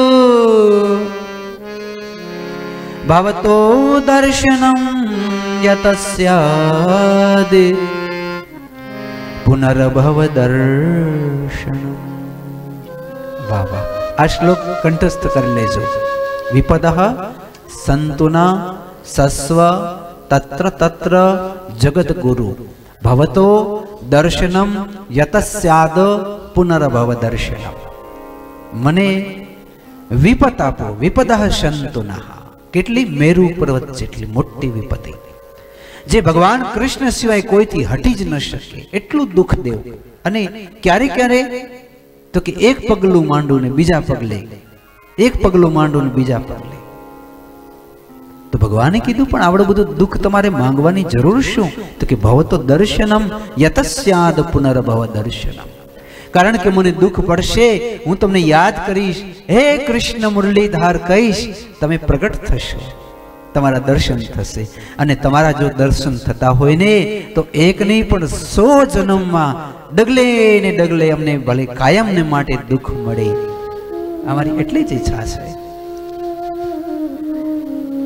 એટલું આપજે પ્રભુ છેલ્લી ઘડી ન રહે માયાના બંધન છેલ્લી ઘડી. જિંદગી મોંઘી મળી પણ જાગૃતિ ન મળી. તો જાગૃતિ પડે, મૃત્યુ વખતે સ્મરણ રહે તારું ઘડી બે ઘડી. અંગ બધા ઢીલા પડે, શ્વાસ છેલ્લો સંચરે. ત્યારે શાંતિ ભરી નિંદ્રા દેજે પ્રભુ છેલ્લી ઘડી.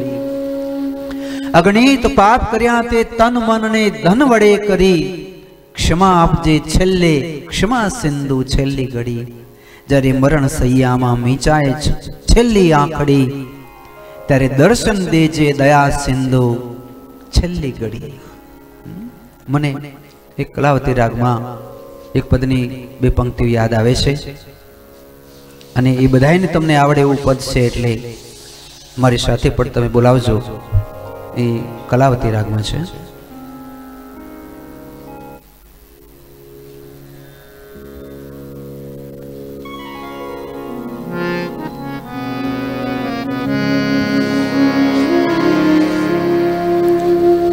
મને મુક્તિ મળે કે ના મળે?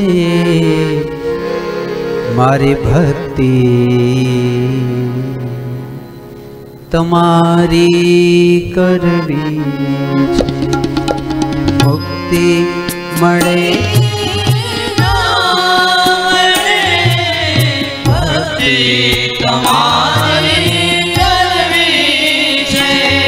મને મેવા મળે કે ના મળે સેવા તમારી કરવી છે મને મેવા મારો કંઠ મધુરો ન હોય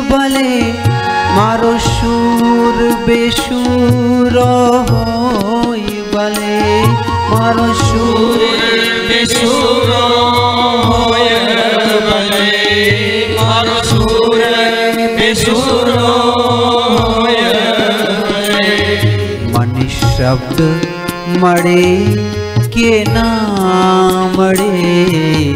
શબ્દ મળે કે ના મળે? સ્તુતિ તમારી કરવી છે, મને મેવા મળે મળે? સેવા તમારી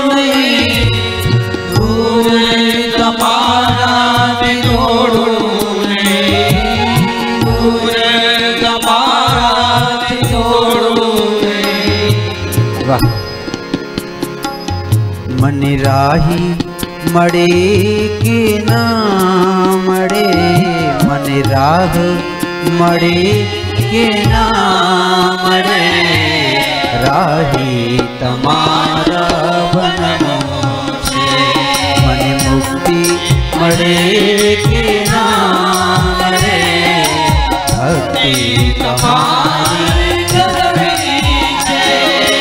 ભક્તિ તમારી કરવી છે મને ભક્તિ તમારી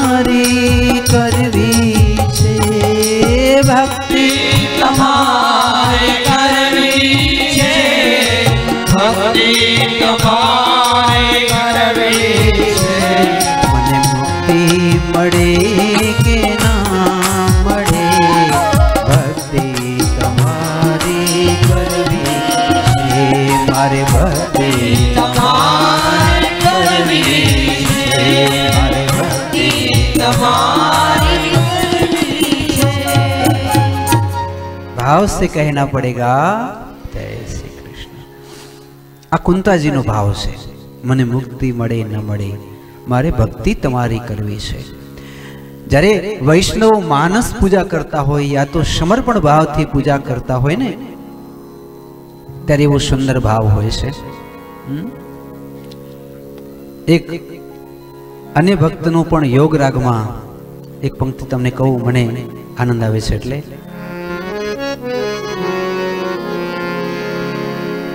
कहत मुसाफिर सुनो मेरे यारो श्री कृष्ण की धून लगा देना ક્યારે કે જ્યારે આપણે નનામી બાંધવાની તૈયારી થાય આપણું મૃત્યુ થઈ ગયું હોય ત્યારની વાત છે મેરે છૂટે શરીર પે श्री कृष्ण नाम लिखा दे જ્યારે મારું મૃત્યુ થાય ને ત્યારે કંકુથી જય શ્રી કૃષ્ણ જય શ્રી કૃષ્ણ મારા આખા શરીરમાં તમે પહેલે બધા લખી નાખજો તમને જો માળા પહેરાવવાની ઈચ્છા થાય તો કૃષ્ણ નામ કી માલા બના કે मेरे गले में पहना देना देना कृष्ण की पूजा के फूलों से जनाजा मेरा सजवा दे એક પણ ફૂલ બજારમાંથી ન લઈ આવજો જે ફૂલ ભગવાનને ચડાવેલા હોય એ જ ફૂલ મારા પાર્થિવ શરીર ઉપર મૂકજો. અને ભગવાનને પહેરાવેલી ભગવાનની જૂઠી માળા એ જ તમે મારા કંઠમાં પધરાવજો. ચરનામૃત કા પાણી થોડા મુજે પિલા દેના. और लाल कंकु काटिका પ્રભુ કા मेरे सर पे लगवा देना જો તમારે ચાંદલો જ કરવો હોય મને તો ભગવાનનું જે જે- જૂઠું કંકુ જે તિલક હોય એનો જ મને ચાંદલો કરજો અને ચરણામત જો પીવડાવવાની ઈચ્છા થાય તો પ્રભુને તરત જ સ્નાન કરાવી અને એનું એઠું ચરણામત જ પીવડાવજો મારે કોઈ ગંગાજળ પીવા નથી મને પ્રભુનું નવડાવેલું ચરણામૃત જ પીવાની ઈચ્છા છે અંત સમયે. અને જ્યારે માથે કઈ ખાંપણ ઉટાડવાની ઈચ્છા થાય તો? લાલ રંગ કી યા શ્યામ રંગ કી, ચુનરી શ્યામલ કી. પ્રેમ સે મુજે પહેના દેના. रोना नहीं मेरे पीछे यारो। कृष्ण दूने को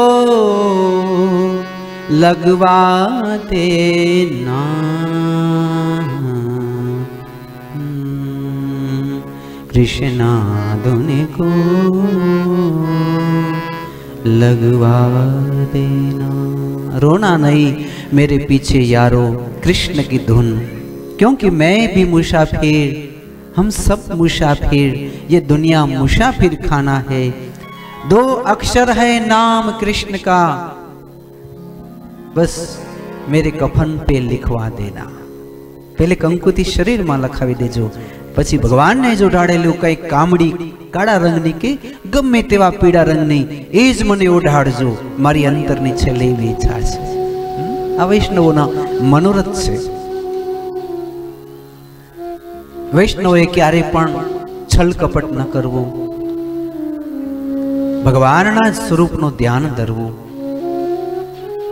ભગવાનને છોડી કોઈની પાસે ક્યારે કંઈ પણ માંગવું નહીં. એક મને હજી પણ પંક્તિ યાદ આવે છે, અલગ રાગમાં છે. પણ એક જ પંક્તિ સંભળાવીશ હજી સમય પણ થાય છે મારે પણ હજી ઘણી બધી કથાઓના રસ તમને કહેવા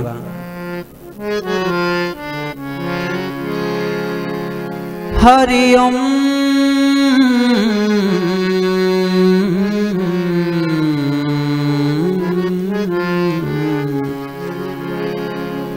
दर्द से मेरा दामन भर दे ઓ કૃષ્ણ ભક્તિ માર્ગનું પહેલું સૂત્ર કે જીવનમાં દર્દ હોય. દર્દ છે મેરા, દામન ભર દે, ઓ કૃષ્ણ. ફિર ચાહે દીવાના કર દે હો કૃષ્ણ.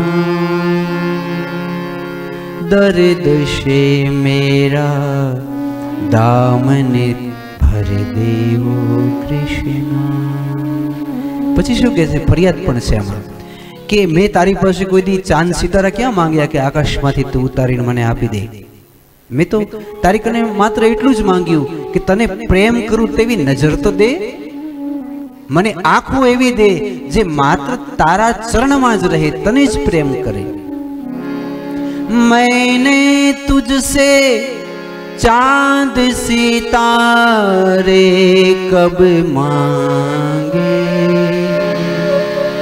रोशन दिल बे दाग नजर दे ઓ કૃષ્ણ મને એવી આંખો દે કે જે માત્ર તને જોયા પછી જ તૃપ્ત થાય કોઈ પણ સંસારના ભોગ સાધનોથી તૃપ્ત ન થાય.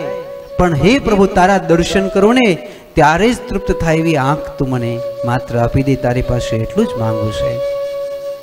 તો આવા કુંતાજીના ભાવ ભગવાન પાસે વિપત્તિ માંગી. ભગવાને કીધું કે, માં, મારું સુમિરણ કરતે કરતે જ તમે મારા લોકમાં પધારશો. પછી ભીષ્મ દાદાની કથા. હવે કુંતાજી સહિત બધાએ ભીષ્મ દાદા પાસે પધાર્યા અને ભીષ્મ દાદા તો બાણની સયામાં સૂતેલા છે.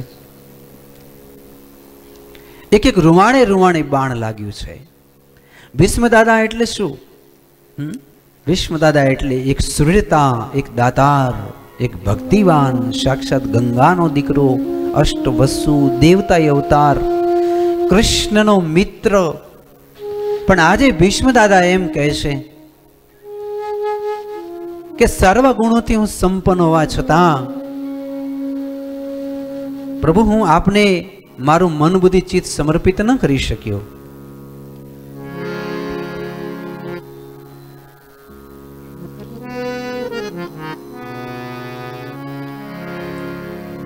इति मतिरूपे कल्पिता वितृष्णा भगवति सात्वत्पङ्वे ಜ್ಞಾನಿ ಸ್ವಸುಖಮುಪಗತೆ ಕ್ವಚಿದ್ವಿಹರ್ತು પ્રકૃતિમુપેયુષિ યદભવ પ્રવાહ બેનો આ એક શ્લોક યાદ રાખી લેવાના ભાગવતમાંથી વીસથી પચીસ એવા શ્લોકો છે જે તમે કંઠસ્થ કરી લો ભીષ્મ દાદા એવી સ્તુતિ કરે છે કે પ્રભુ લાંબી કથા છે, પણ સમયને અનુસાર બિલકુલ ટૂંકમાં કહું તો. એમણે પહેલે યુધિષ્ઠિરને જ્ઞાન આપ્યું, મહાભારત ક્યારેક જોઈ લેજો. પછી વિશ્વદાદા એમ કહે છે કે, હવે એવી કૃપા કરો, મરવા પડ્યો છો તો એ મનમાંથી તૃષ્ણા મટતી નથી. આ આપણા બધાનો પ્રશ્ન. એવું કરો ને એથી મતિરૂપ કલ્પિતા વિતૃષ્ણા. મારી તૃષ્ણા તમારા ચરણમાં જ લાગી રહે. મારું ચિત્ત તમારા ચરણને છોડીને ક્યાંય લાગે જ નહીં. અને લાગ્યું તો ભલે લાગ્યું, હવે જીવ જ્યારે છૂટી રહ્યો છે, ત્યારે તો કંઈક એવી કૃપા કરો ને નાથ, કે મારું મન માત્ર ને માત્ર તમારા ચરણમાં જ લાગે. એમાં શ્લોક છે ને પેલો? કે કપપીત વાતે કંઠ વરોધન વિદો સ્મરણ કુતસ્તે. છેલ્લે છેલ્લે થોડું તમારું સ્મરણ કરી શકીશ. કદાચ મને કોઈ હોસ્પિટલમાં લઈ ગયા હશે, યા તો બેભાન થઈ ગયો હોઈશ. યા તો કોઈ ઓક્સિજનની નલીઓ ચડાવી હોય, આ બધા વચ્ચે શ્રી કૃષ્ણમ શરણમ હું કહી શકું કોઈ દી? માટે લેવો આજે હું જવાન અવસ્થામાં જ આપને પ્રાર્થના કરી દઉં છું, પ્રભુ, જ્યારે મારી અંત અવસ્થા આવે અને હું કદાચ આ ડૉક્ટરોના પ્રપંચમાં તમને ભૂલી જાઉં, તો તમે ભૂલી ગયેલા હોવા છતાંય એક વખત તમારી ફરજ બનશે કે સામે આવીને વાંસળી વગાડી મારા ચિત્તનું તમે ચોરીને હરણ કરજો. પછી કદાચ ભૂલી જાઉં તો બીજા નંબરની વાત. પણ ડૉક્ટરોના હોસ્પિટલમાં ભલે હોઉં ને, તોય એકવાર તો તમારે આવવું જ પડે. હું કદાચ ભૂલી જાઉં તોય તમારે આવવું પડે. એમ કે છે. કારણ કે પ્રભુ, મારું ચિત્ત એવું છે કે મને ખબર જ છે કે તમારા ચરણમાં સારી રીતે લાગતું નથી. અને એવા સ્વરૂપના દર્શન આપો, જે દર્શન કર્યા પછી એમ કહેવાય કે વૈકુંઠના દ્વાર ખુલી જાય, મનની ભ્રમણાઓ નષ્ટ થઈ જાય બધી. એવા કંઈક આશીર્વાદ આપો. ભગવાન અત્યાર સુધી ભીષ્મદાદાના ચરણ પાસે ઊભા હતા. યાદ રાખજો, ભગવાનને એવું નાના મોટા જેવું નથી, દાદાના ચરણ પાસે ઊભા છે. અને એ જાણે પણ છે કે કૃષ્ણસ્તુ ભગવાન સ્વયં, છતાં પણ. હવે ભગવાન બાજુમાં આવ્યા. ભગવાને પોતાની ટચલે આંગળીથી ગાલને સ્પર્શ કર્યો, માથે હાથ મૂક્યો. ત્યાં તો બ્રહ્મરંધ ફાટ્યું. અને ભીષ્મ દાદા ખરેખર તો જવાના હતા સ્વર્ગમાં, એના બદલે વિમાનમાં બેસી વૈકુંઠમાં જવા લાગ્યા. ત્યારે ભીષ્મદાદા કહે છે, મેં તો એવડી ભક્તિએ નથી કરી, કારણ કે યજ્ઞ તપ દ્વારા સ્વર્ગ સુધી પહોંચી શકાય. વૈકુંઠ સુધી તો આપણી કૃપા હોય, અનુગ્રહ હોય, તો જ પહોંચાય. તો શું ના તમે અનુગ્રહ કર્યો? ત્યારે ભગવાને કીધું, તથાસ્તુ. મેં સાંભળ્યું તો હમણાં મને પપ્પુભાઈ મોકલાવી હતી ક્લિપ કે કથામાં બેઠા હોય ને ત્યારે ભગવાન એમ જ કહેતા હોય, તથાસ્તુ.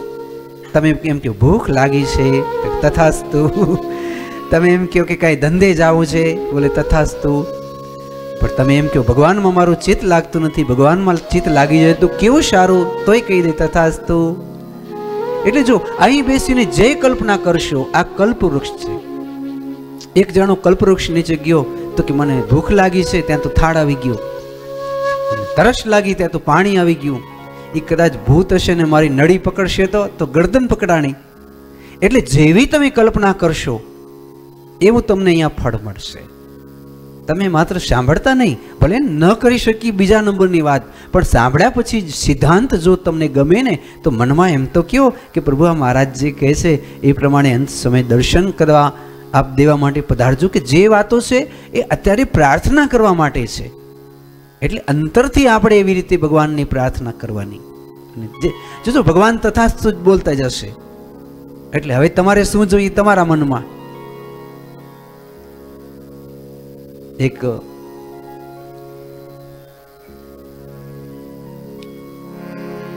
એક પંક્તિ માત્ર સંભળાવો જબ કંઠ પ્રાણે આવે કોઈ રોગ ના સતાવે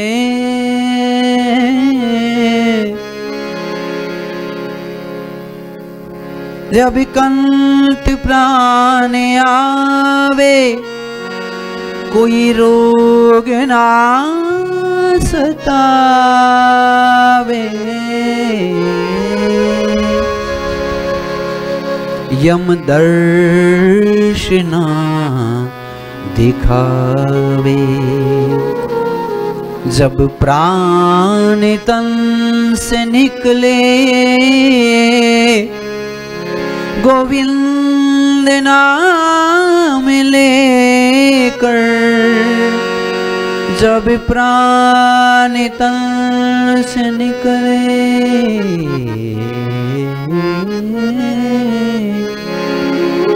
इतना तो करना स्वामी इतना तो करना स्वामी પ્રાર્થના કરજો કે જબ કંઠ પ્રાણ આવે, કોઈ રોગ ન સતાવે, યમ દર્શ ન દેખાવે. એ ભગવાનની અનન્ય ભાવની ભક્તિ છે. તો ભીષ્મ દાદાનું ભગવાને કલ્યાણ કર્યું. પરીક્ષિત રાજાનો જન્મ મહોત્સવ થયો. હવે પાંડવોનું છે, એ કેવી રીતે ભગવાનમાં સમર્પણ થાય છે? એ કથા. પાંડવો સ્વર્ગારોહણ જાય છે. પહેલી કથા આવશે ધૃતરાષ્ટ્ર મહારાજની. આપણે જોયું હતું ને? સ્ટાર્ટિંગમાં જ કે વિદુરજીએ કૃષ્ણની કથા કીધી ને, એ સાંભળી વિદુરજીને ભક્તિ થઈ. તો હાથ પકડીને ચાલ્યા ગયા બદ્રી કેદાર, ધૂતરાષ્ટ્ર જેવા પાપિયાને કોણે સુધાર્યો? ભાગવતજીની કથાએ. અંતરમાં રાખજો. કદાચ આપણી પત્ની કીધું માનતી ન હોય, બહુ અવડચંડી હોય, તો બાજવાનું નહીં, એને ભાગવત સંભળાવવાની. આપણો પતિ આપણો કીધું ન માનતો હોય, બહુ જ એકદમ ક્રોધી હોય તો એનાથી ઝઘડો નહીં કરવાનો, પણ એ પતિની ભાગવત શીખવાડવાનું. ઘણી વખતે દીકરાની વહુ એકદમ સાસુ સસરાની પેલી કરતી હોય કે સાસુ આકરી કાંઈ પણ હોય, દવા એક જ શ્રીમદ ભાગવત સંભળાવવાની ઘરમાં કજીયો થાય, તરત જ જોઈ લેવું ક્યાં ભાગવત ચાલુ છે. સીધું બીજે દિવસે કથામાં બેસી જાવ એક કલાક. એટલે તરત જ ઝઘડામાંથી મુક્તિ. એટલે વિદુરજી પણ અહીં કથા સાંભળીને ખરેખર ભગવાનના પરમ ધામને પ્રાપ્ત થયા. પાંડવોને જ્યારે ખબર પડી કે હવે ભગવાન ન રહ્યા, અર્જુન તો લૂંટાઈ ગયા. કાબે અર્જુન લૂંટ્યા એ ધનુષ્ય હિ બાન સમય બડો બલવાન, નહીં પુરુષ બલવાન. તો કહે છે, ચાલો ને હવે તો આપણે ચાલીએ ક્યાં? હિમાડે હાડ ગાળવા માટે. જ્યારે ભગવાન જ નથી રહ્યા, તો પછી જીવન શું? સમજાણું? તમને પણ જ્યારે એમ લાગે ને કે આજના દિવસે મારાથી ભગવાનની સેવા ન થઈ ને રાત્રે જો તમને રડવાનું ના આવી જાય, તો સમજવાનું કે શું આપણે ભલા પૂજા કરી? પાંડવોને એમ લાગે છે કે ભગવાન નથી તો ભલા સંસાર શું? એમ આપણે પણ એમ જ લાગવું જોઈએ કે ભગવાનને જો પૂજા ન કરી શક્યા, એને રાજી ન કરી શક્યા, તો આજનો દિવસ ભલા જીવ્યા તો શું, ન જીવ્યા તો શું? એટલે રાત્રે પસ્તાવો થાય, આંખમાંથી આંસુઓની ધારાઓ વહેવા માંડે કે આવતીકાલે તો હું વહેલી જ જાગી અને ભગવાનને મારા પ્રભુ પાસે ક્ષમા યાચના કરી અને પૂજા કરીશ. પાંડવો તરત જ સ્વર્ગારોહણના માર્ગે ચાલતા થયા. ત્યારે યુધિષ્ઠિર કહે છે કે હવે ભગવાનના ચરણ સુધી પહોંચવાનો એક જ રસ્તો છે બહેનો, છેલ્લો સાંભળેલો રસ્તો. કે જ્યાં સુધી એમ કહીશું કે આ પત્ની છે, આ પતિ છે, આ ભાઈ છે, આ બહેન છે, આ ગુરુ છે, આ શિષ્ય છે, એ વસ્તુ અહીંયા રહી જાય છે. જ્યારે છેલ્લા સ્ટેપમાં મુક્તિ સુધી ભગવાનના સાયુજ્ય સુધી પહોંચવું હોય, ત્યારે બધા જ સંબંધો વિસર્જન. જીવતે જીવતે કોઈ મારી મા નથી, કોઈ મારો બાપ નથી, કોઈ મારો ભાઈબંધુ નથી, કોઈ મારો પતિ નથી, મારો એક જ પતિ છે, માત્ર ને માત્ર કૃષ્ણ. આ બનેલી ઘટના છે કે ત્યાં કને બદ્રી કેદારમાં દાભડાની ગાંઠો મારી, પછી છોડી અને એમ કીધું, દ્રૌપદી, તું આજથી અમારી પત્ની નહીં, અમે તારા પતિ નથી. તું પણ કૃષ્ણની ભક્ત, અમે પણ કૃષ્ણના ભક્ત.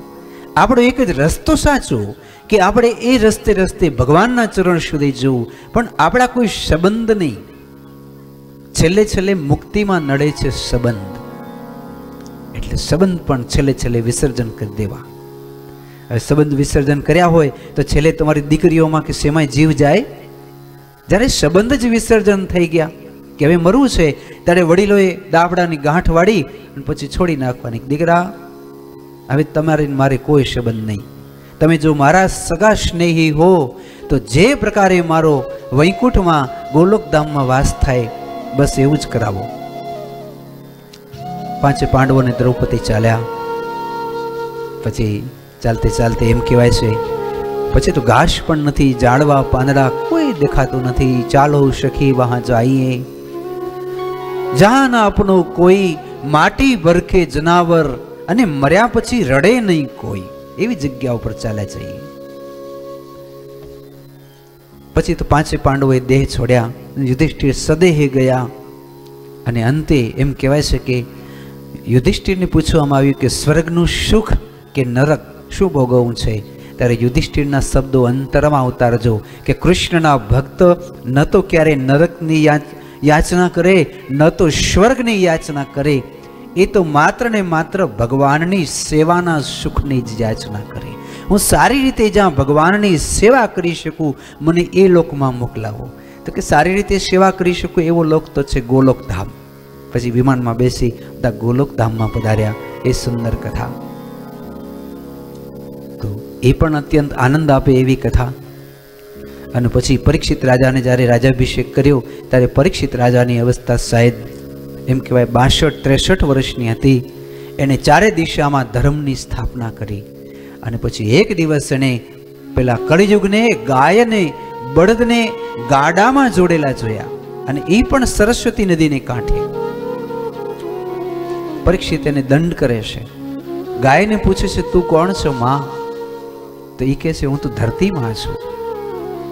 અને જ્યારે જ્યારે એમાંથી કળયુગ આવે છે ને, કળયુગો કે કોઈ પણ યુગ, પણ ધર્મની હાનિ થાય ત્યારે હું ગાયનું રૂપ લઈ લઉં છું. તો અત્યારે ધર્મની હાનિ છે પરીક્ષિત? તો પરીક્ષિત પૂછે, શું ધર્મની હાનિ છે? ત્યારે પેલું બળદ એટલે સાક્ષાત સનાતન ધર્મ એ ઓગણચાલીસ પ્રકારના ધર્મ બતાવે છે. વૈષ્ણવના કેટલા ધર્મ છે? ઓગણચાલીસ.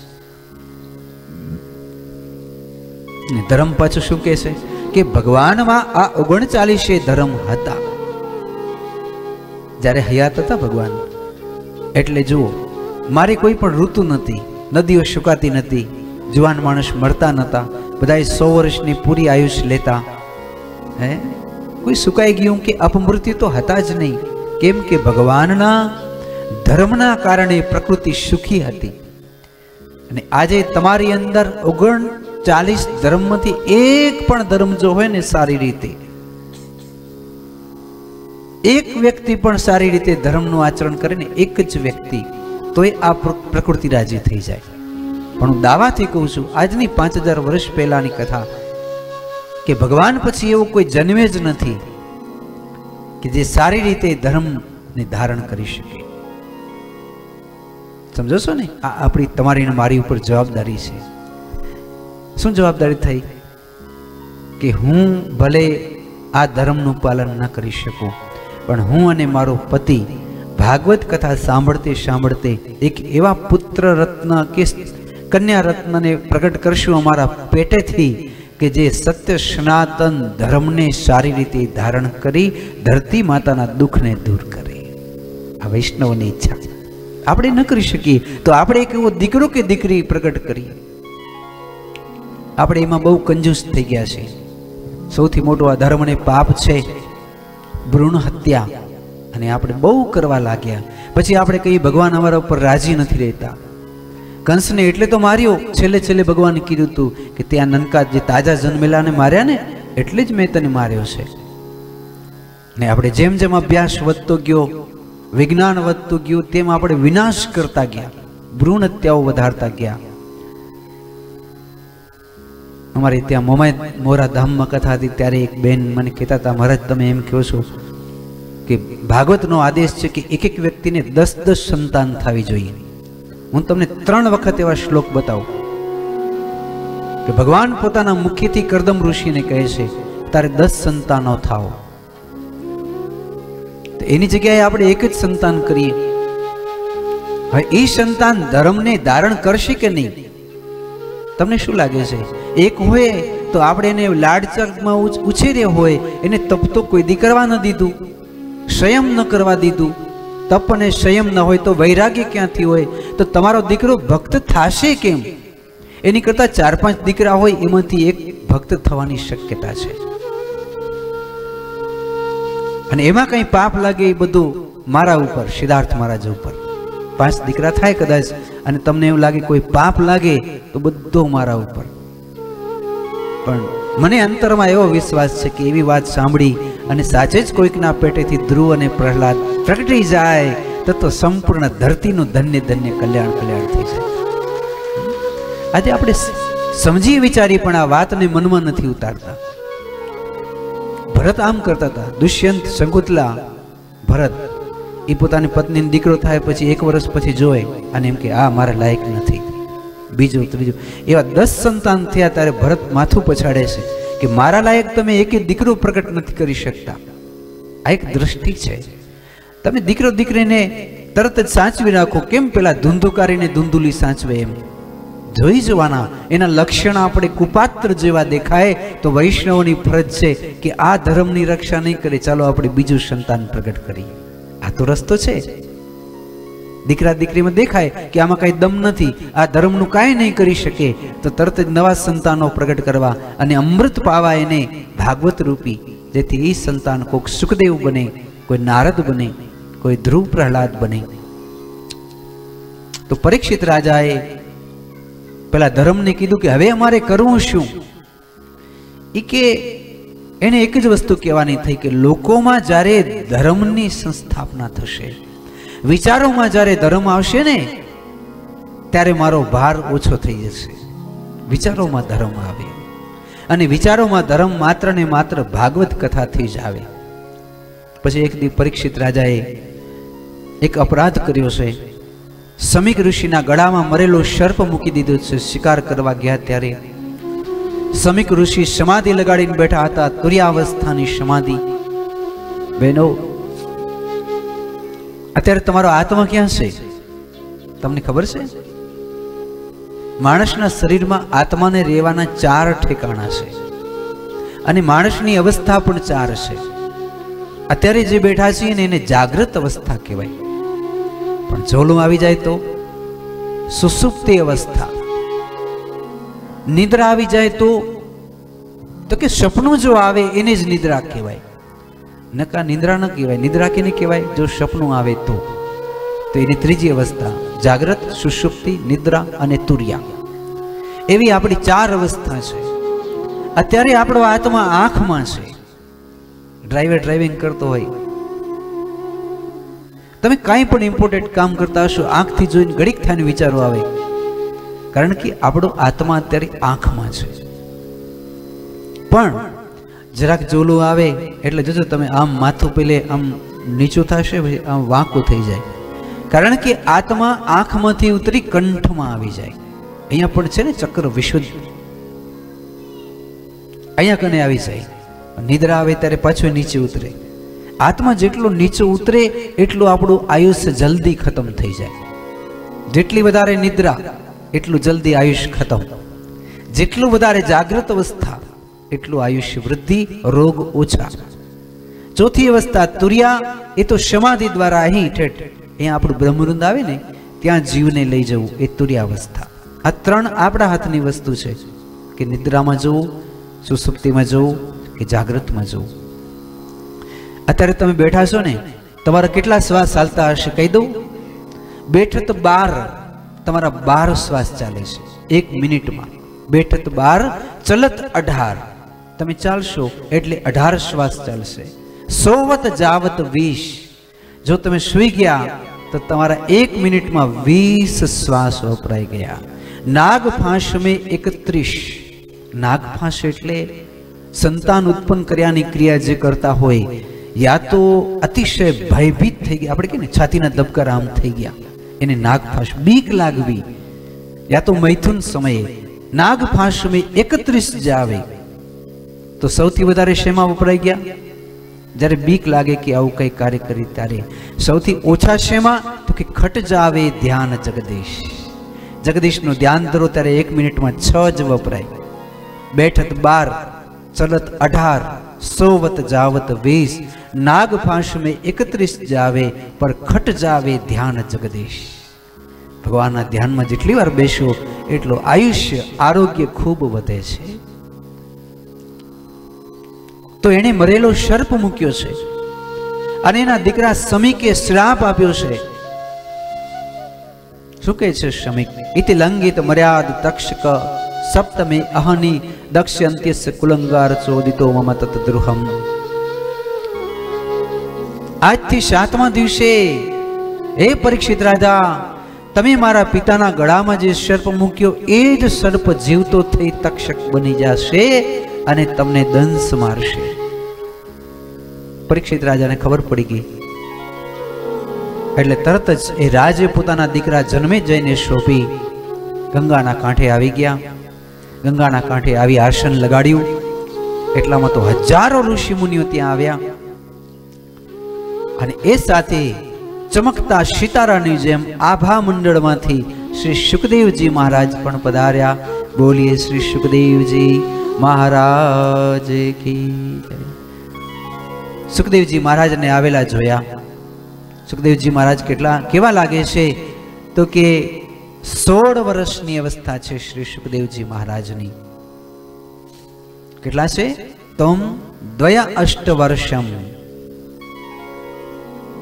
અલક્ષલિંગો નિજલાભ તુષ્ટો વૃતિશ્ચ બાલેર અવધૂતવેશ તમ દ્વય અષ્ટ વર્ષ સુકુમાર પાદ કરોરુભાવમ સુખપોલ ગાત્ર અઢાર આઠ નટ સોળ વર્ષના છે દ્વયમ અષ્ટ આઠ નટ સોળ તેવા સુખદેવજી પધાર્યા સમય પણ થઈ ગયો એટલે જરાક ઝડપથી કહું કે સુખદેવજી મહારાજ છે સર્વભૂત હૃદય હતા એને પ્રગટ જ્યાં પણ થવું હોય ત્યાં થઈ શકે.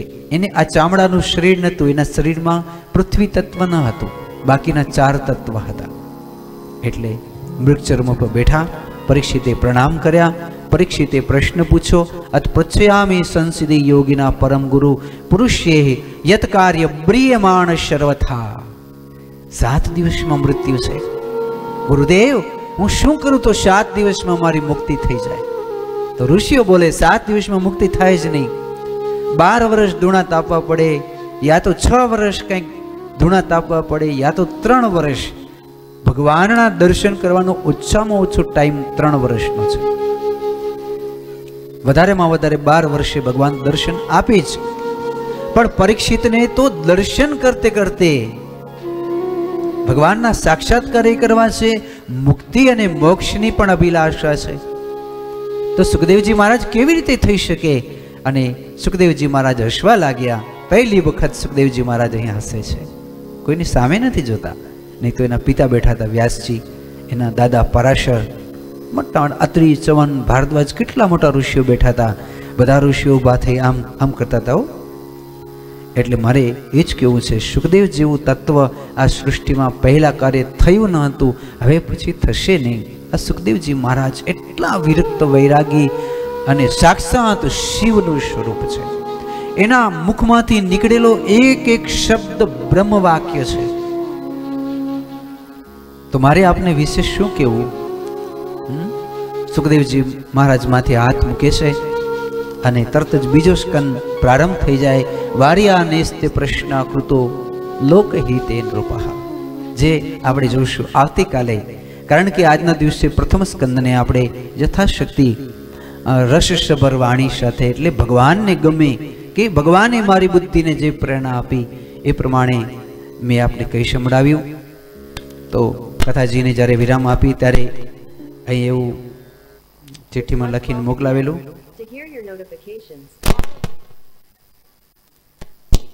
જય હો જય હો. તો આપણે બધા સાથે મળીને એક પદ જે આપણે ગાવાના છીએ એ વિશે દ્રઢ ઇન ચરણન સાથે બોલશું સાથે બધા પછી એક રાસ નાનકડું લેશું, પાંચ મિનિટ. દ્રઢ ઇન ચરણન કેરો ભરોસો દ્રઢ ઇન ચરણન दृढयिन् चरणन के रोबरोषु दृढयिन् चरण ्रडयीण चरणषो द्रडयिन श्रीवल्लभट सब जग मा सब जगमा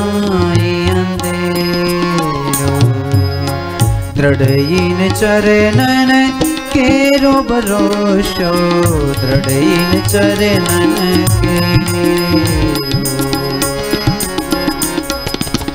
साधन और नाही अकली में जाशो ना में साधन और नाही कली में जासो होतनी में सुर कहा कहे दी दिया दे रो बिना मोल बना रो बीना मूल कि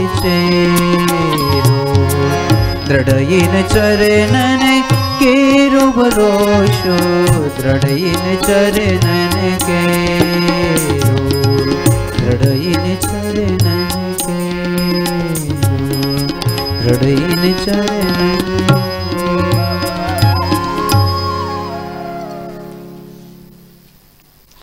રસ લેવાનું છે. પાંચ મિનિટ. વાહ.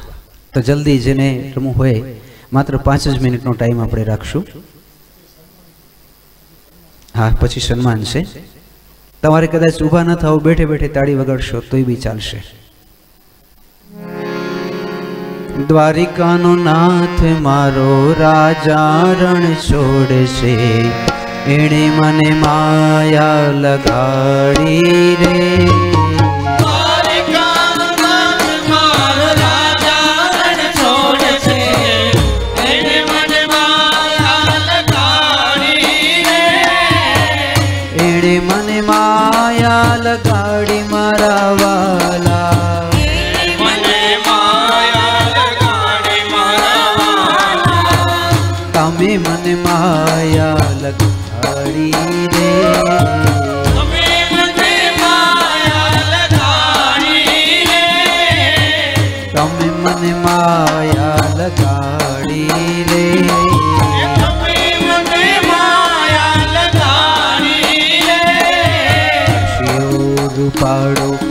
રંગ રેલિયો ગીર જાવું ગમતું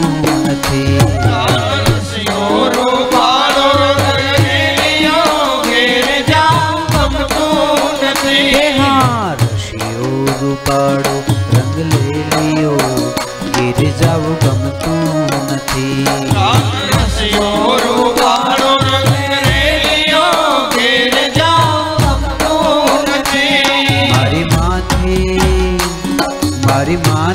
શ્રી જમુનાજીની હેલ રે. ગીર જાવું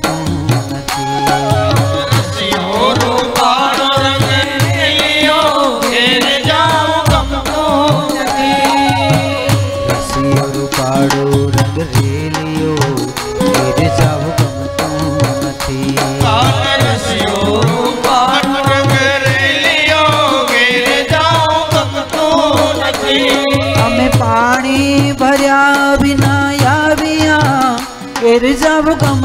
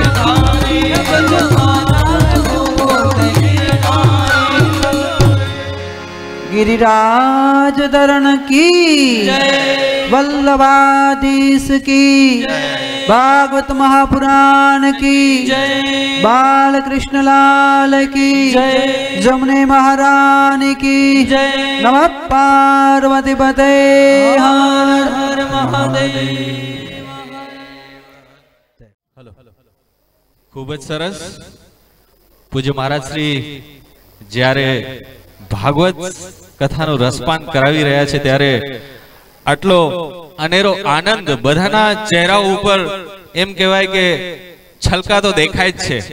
અને વક્તાને કથા સાંભળવાનું, સંભળાવવાનું ત્યારે વધારે મજા આવે, જ્યારે ભક્તો છે ને એ સાંભળવા માટે રસિયા હોય. અને રસપાન કરાવવાનું પણ એમને એક એક કહેવાય કે દ્રષ્ટાંત આપીને સમજાવવાની મજા પણ ત્યારે જ આવે જ્યારે શ્રોતાઓ વિશેષ ધ્યાન દઈને સાંભળતા હોય ત્યારે.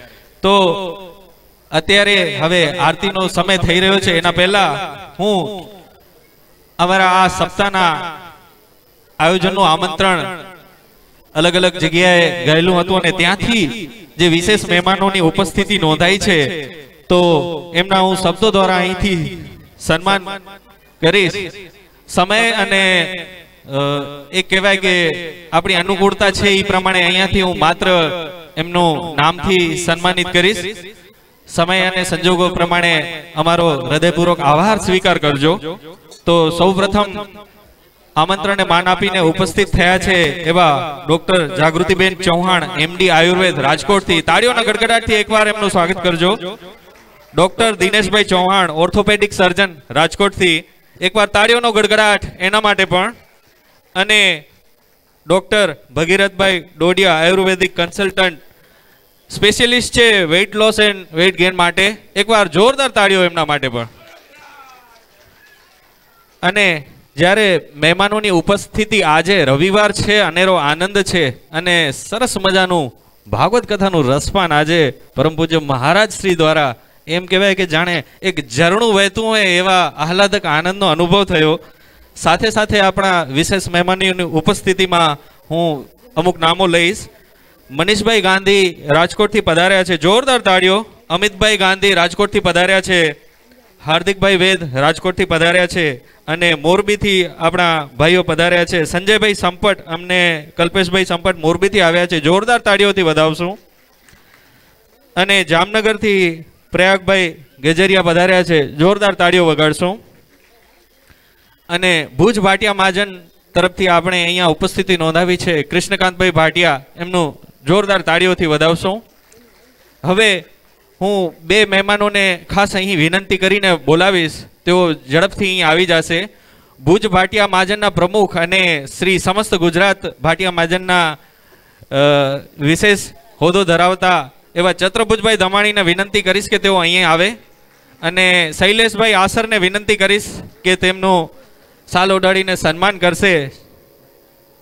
શૈલેષભાઈ પ્લીઝ વેલકમ અને ત્યારબાદ સંજયભાઈ આસર, શ્રી સમસ્ત ગુજરાત વાટિયા મહાજનના પ્રમુખ, જામનગરના પ્રમુખ, તેઓ અહીં ઉપસ્થિત રહ્યા છે. જોરદાર તાળીઓથી વધાવશું આપણા આમંત્રણને માન દઈને અહીં સમય ફાળવીને ઉપસ્થિત રહ્યા છે. સંજયભાઈ પ્લીઝ વેલકમ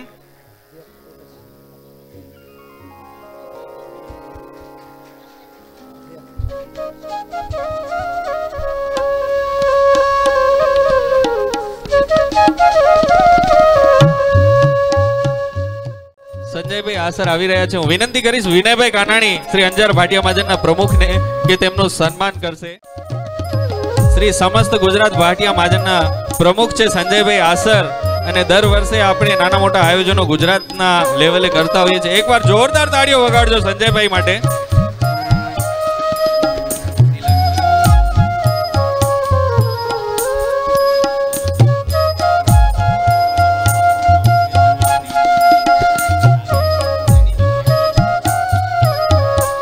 અને આપણા આ આયોજન માટે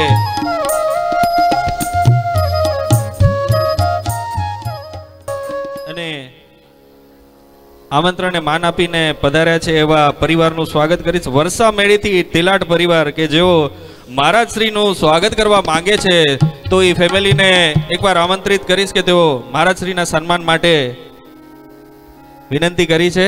ઝડપથી આવી જશું.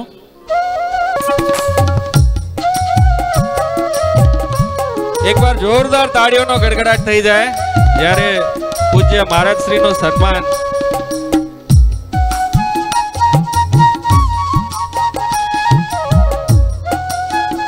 અને દેવી અનસુયાબેનનું સન્માન પણ તેમના દ્વારા.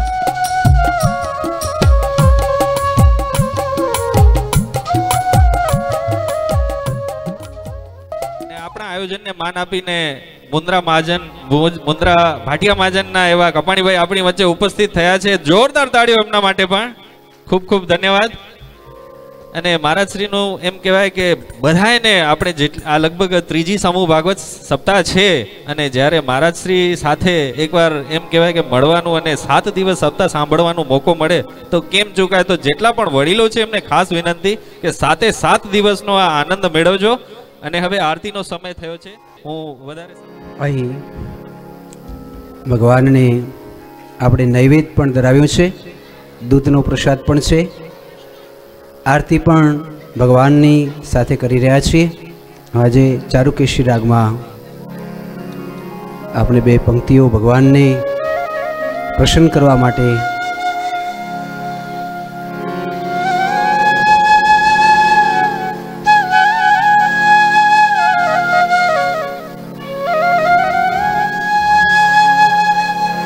श्या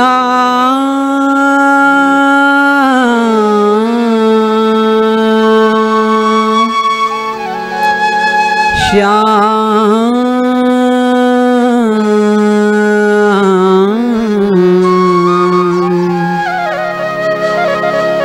श्या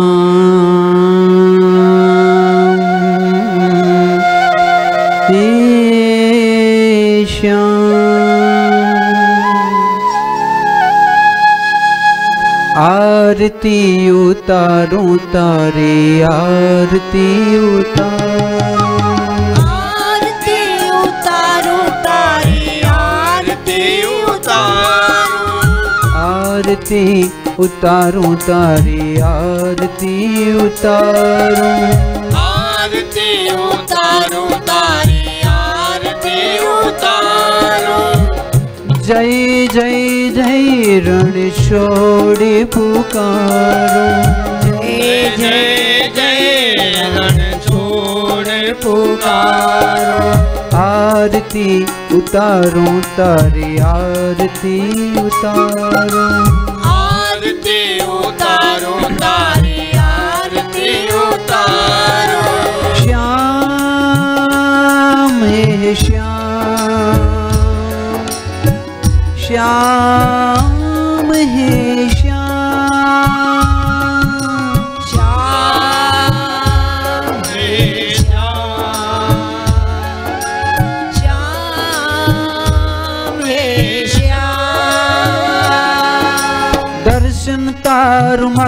મંગલકારી મૃત્યુલોકમાં ગાજે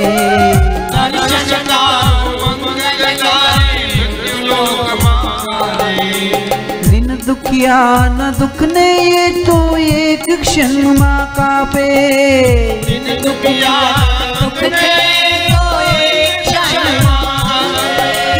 એક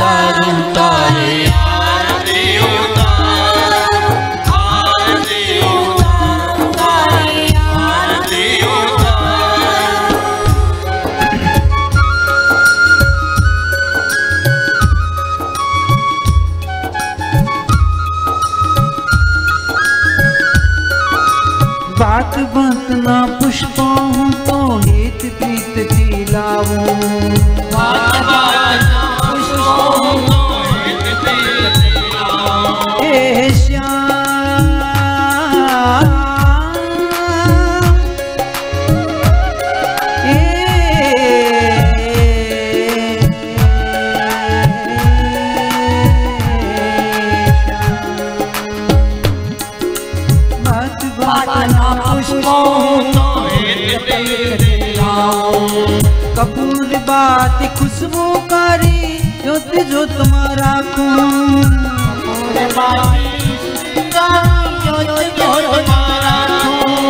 જોત જોતમાં રાખું પૂજા શણગારી.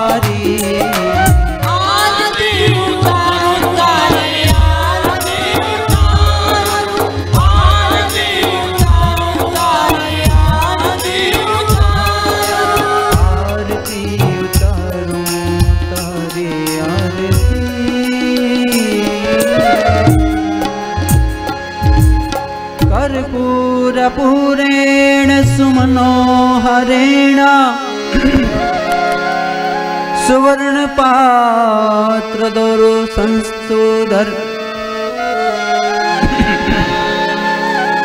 कर्पूरपूरेण सुमनोहरेण सुवर्णपात्रोदरसंस्थितेन प्रदीप्तभासा सह सुतेन निराञ्जनन्ते जगदीश कुर्वे त्वमेव माता च पिता त्वमेव। त्वमेव बन्धु च सुखा त्वमेव। त्वमेव विद्या द्रविणं त्वमेव त्वामेव शर्व मम देवदेवा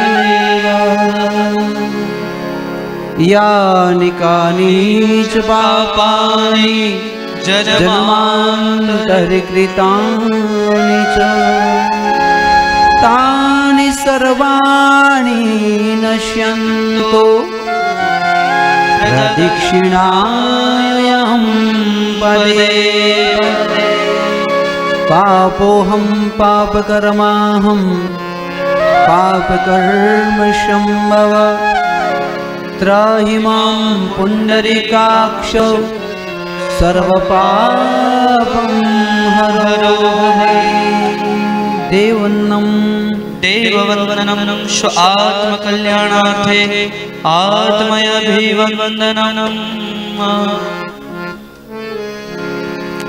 जयति तेदिकं जन्मना व्रज श्रयत इन्दिरा शशुदत्रि दिक्षुताविका त्वयि द्रुतं स्वस्त्वं विचिन्लते बालकृष्णलालके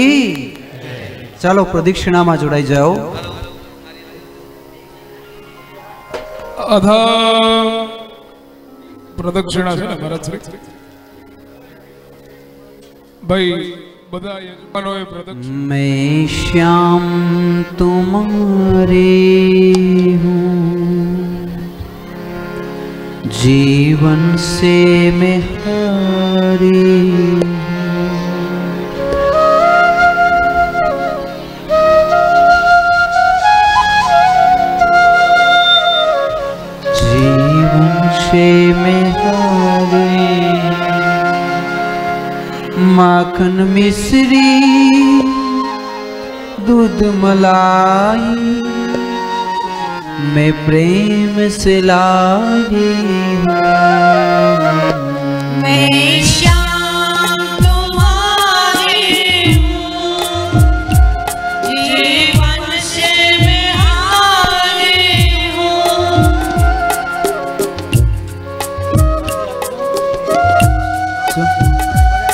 આપી દો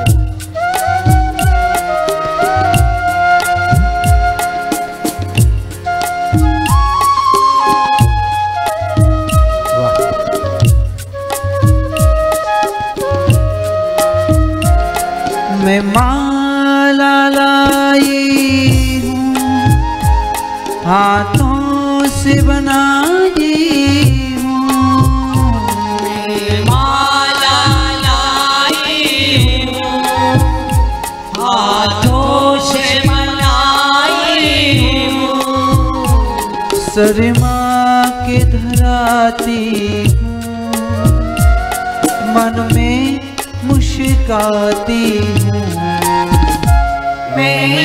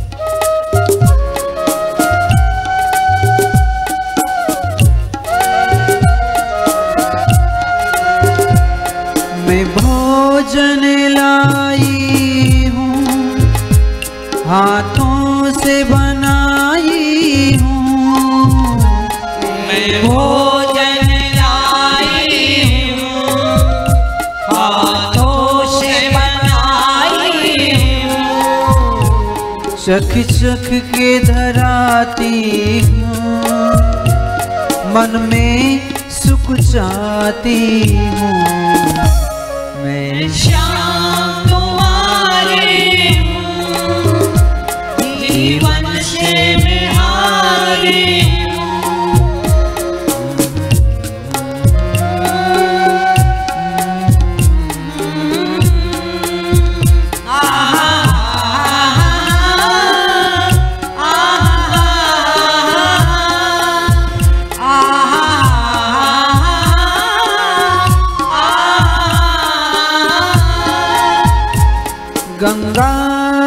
लाई हूँ हाथों से उठाई हूँ गंगा जल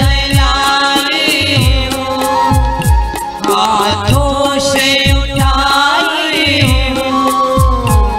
अश्रु जल से तेरा, श्रृंगार सजाती हूँ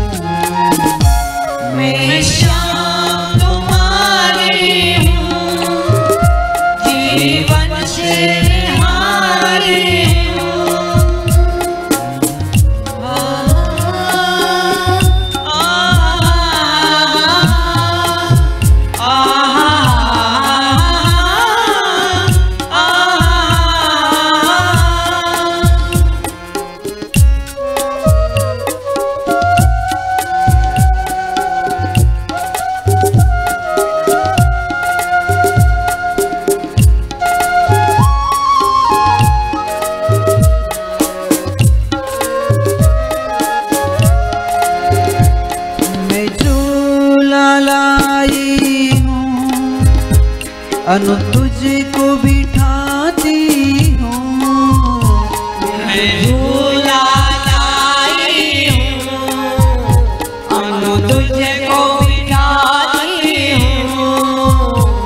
चरणों चुम के तेरे मैं दिल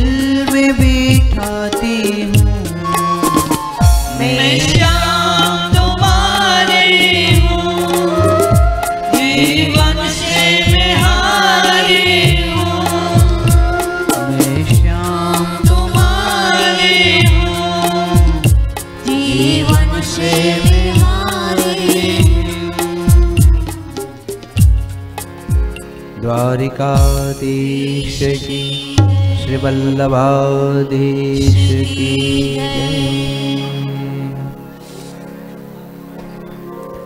मेरो तो यादा श्री वल्लभ के चरणारविंद मेरो तो यादा श्री वल्लभ के चरणारविंद मेरो तो आधार श्री वल्लभ के मेरो तो आधार श्री श्याम के चरणारविंद।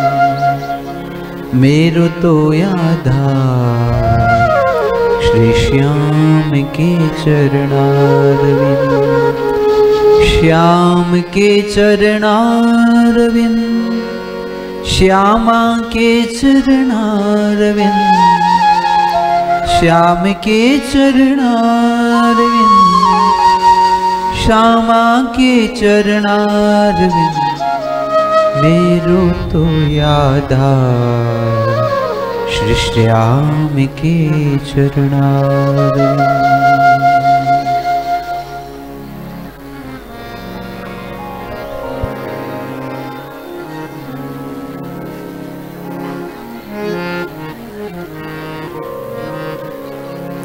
चरणारविंद आशा करूं छापनी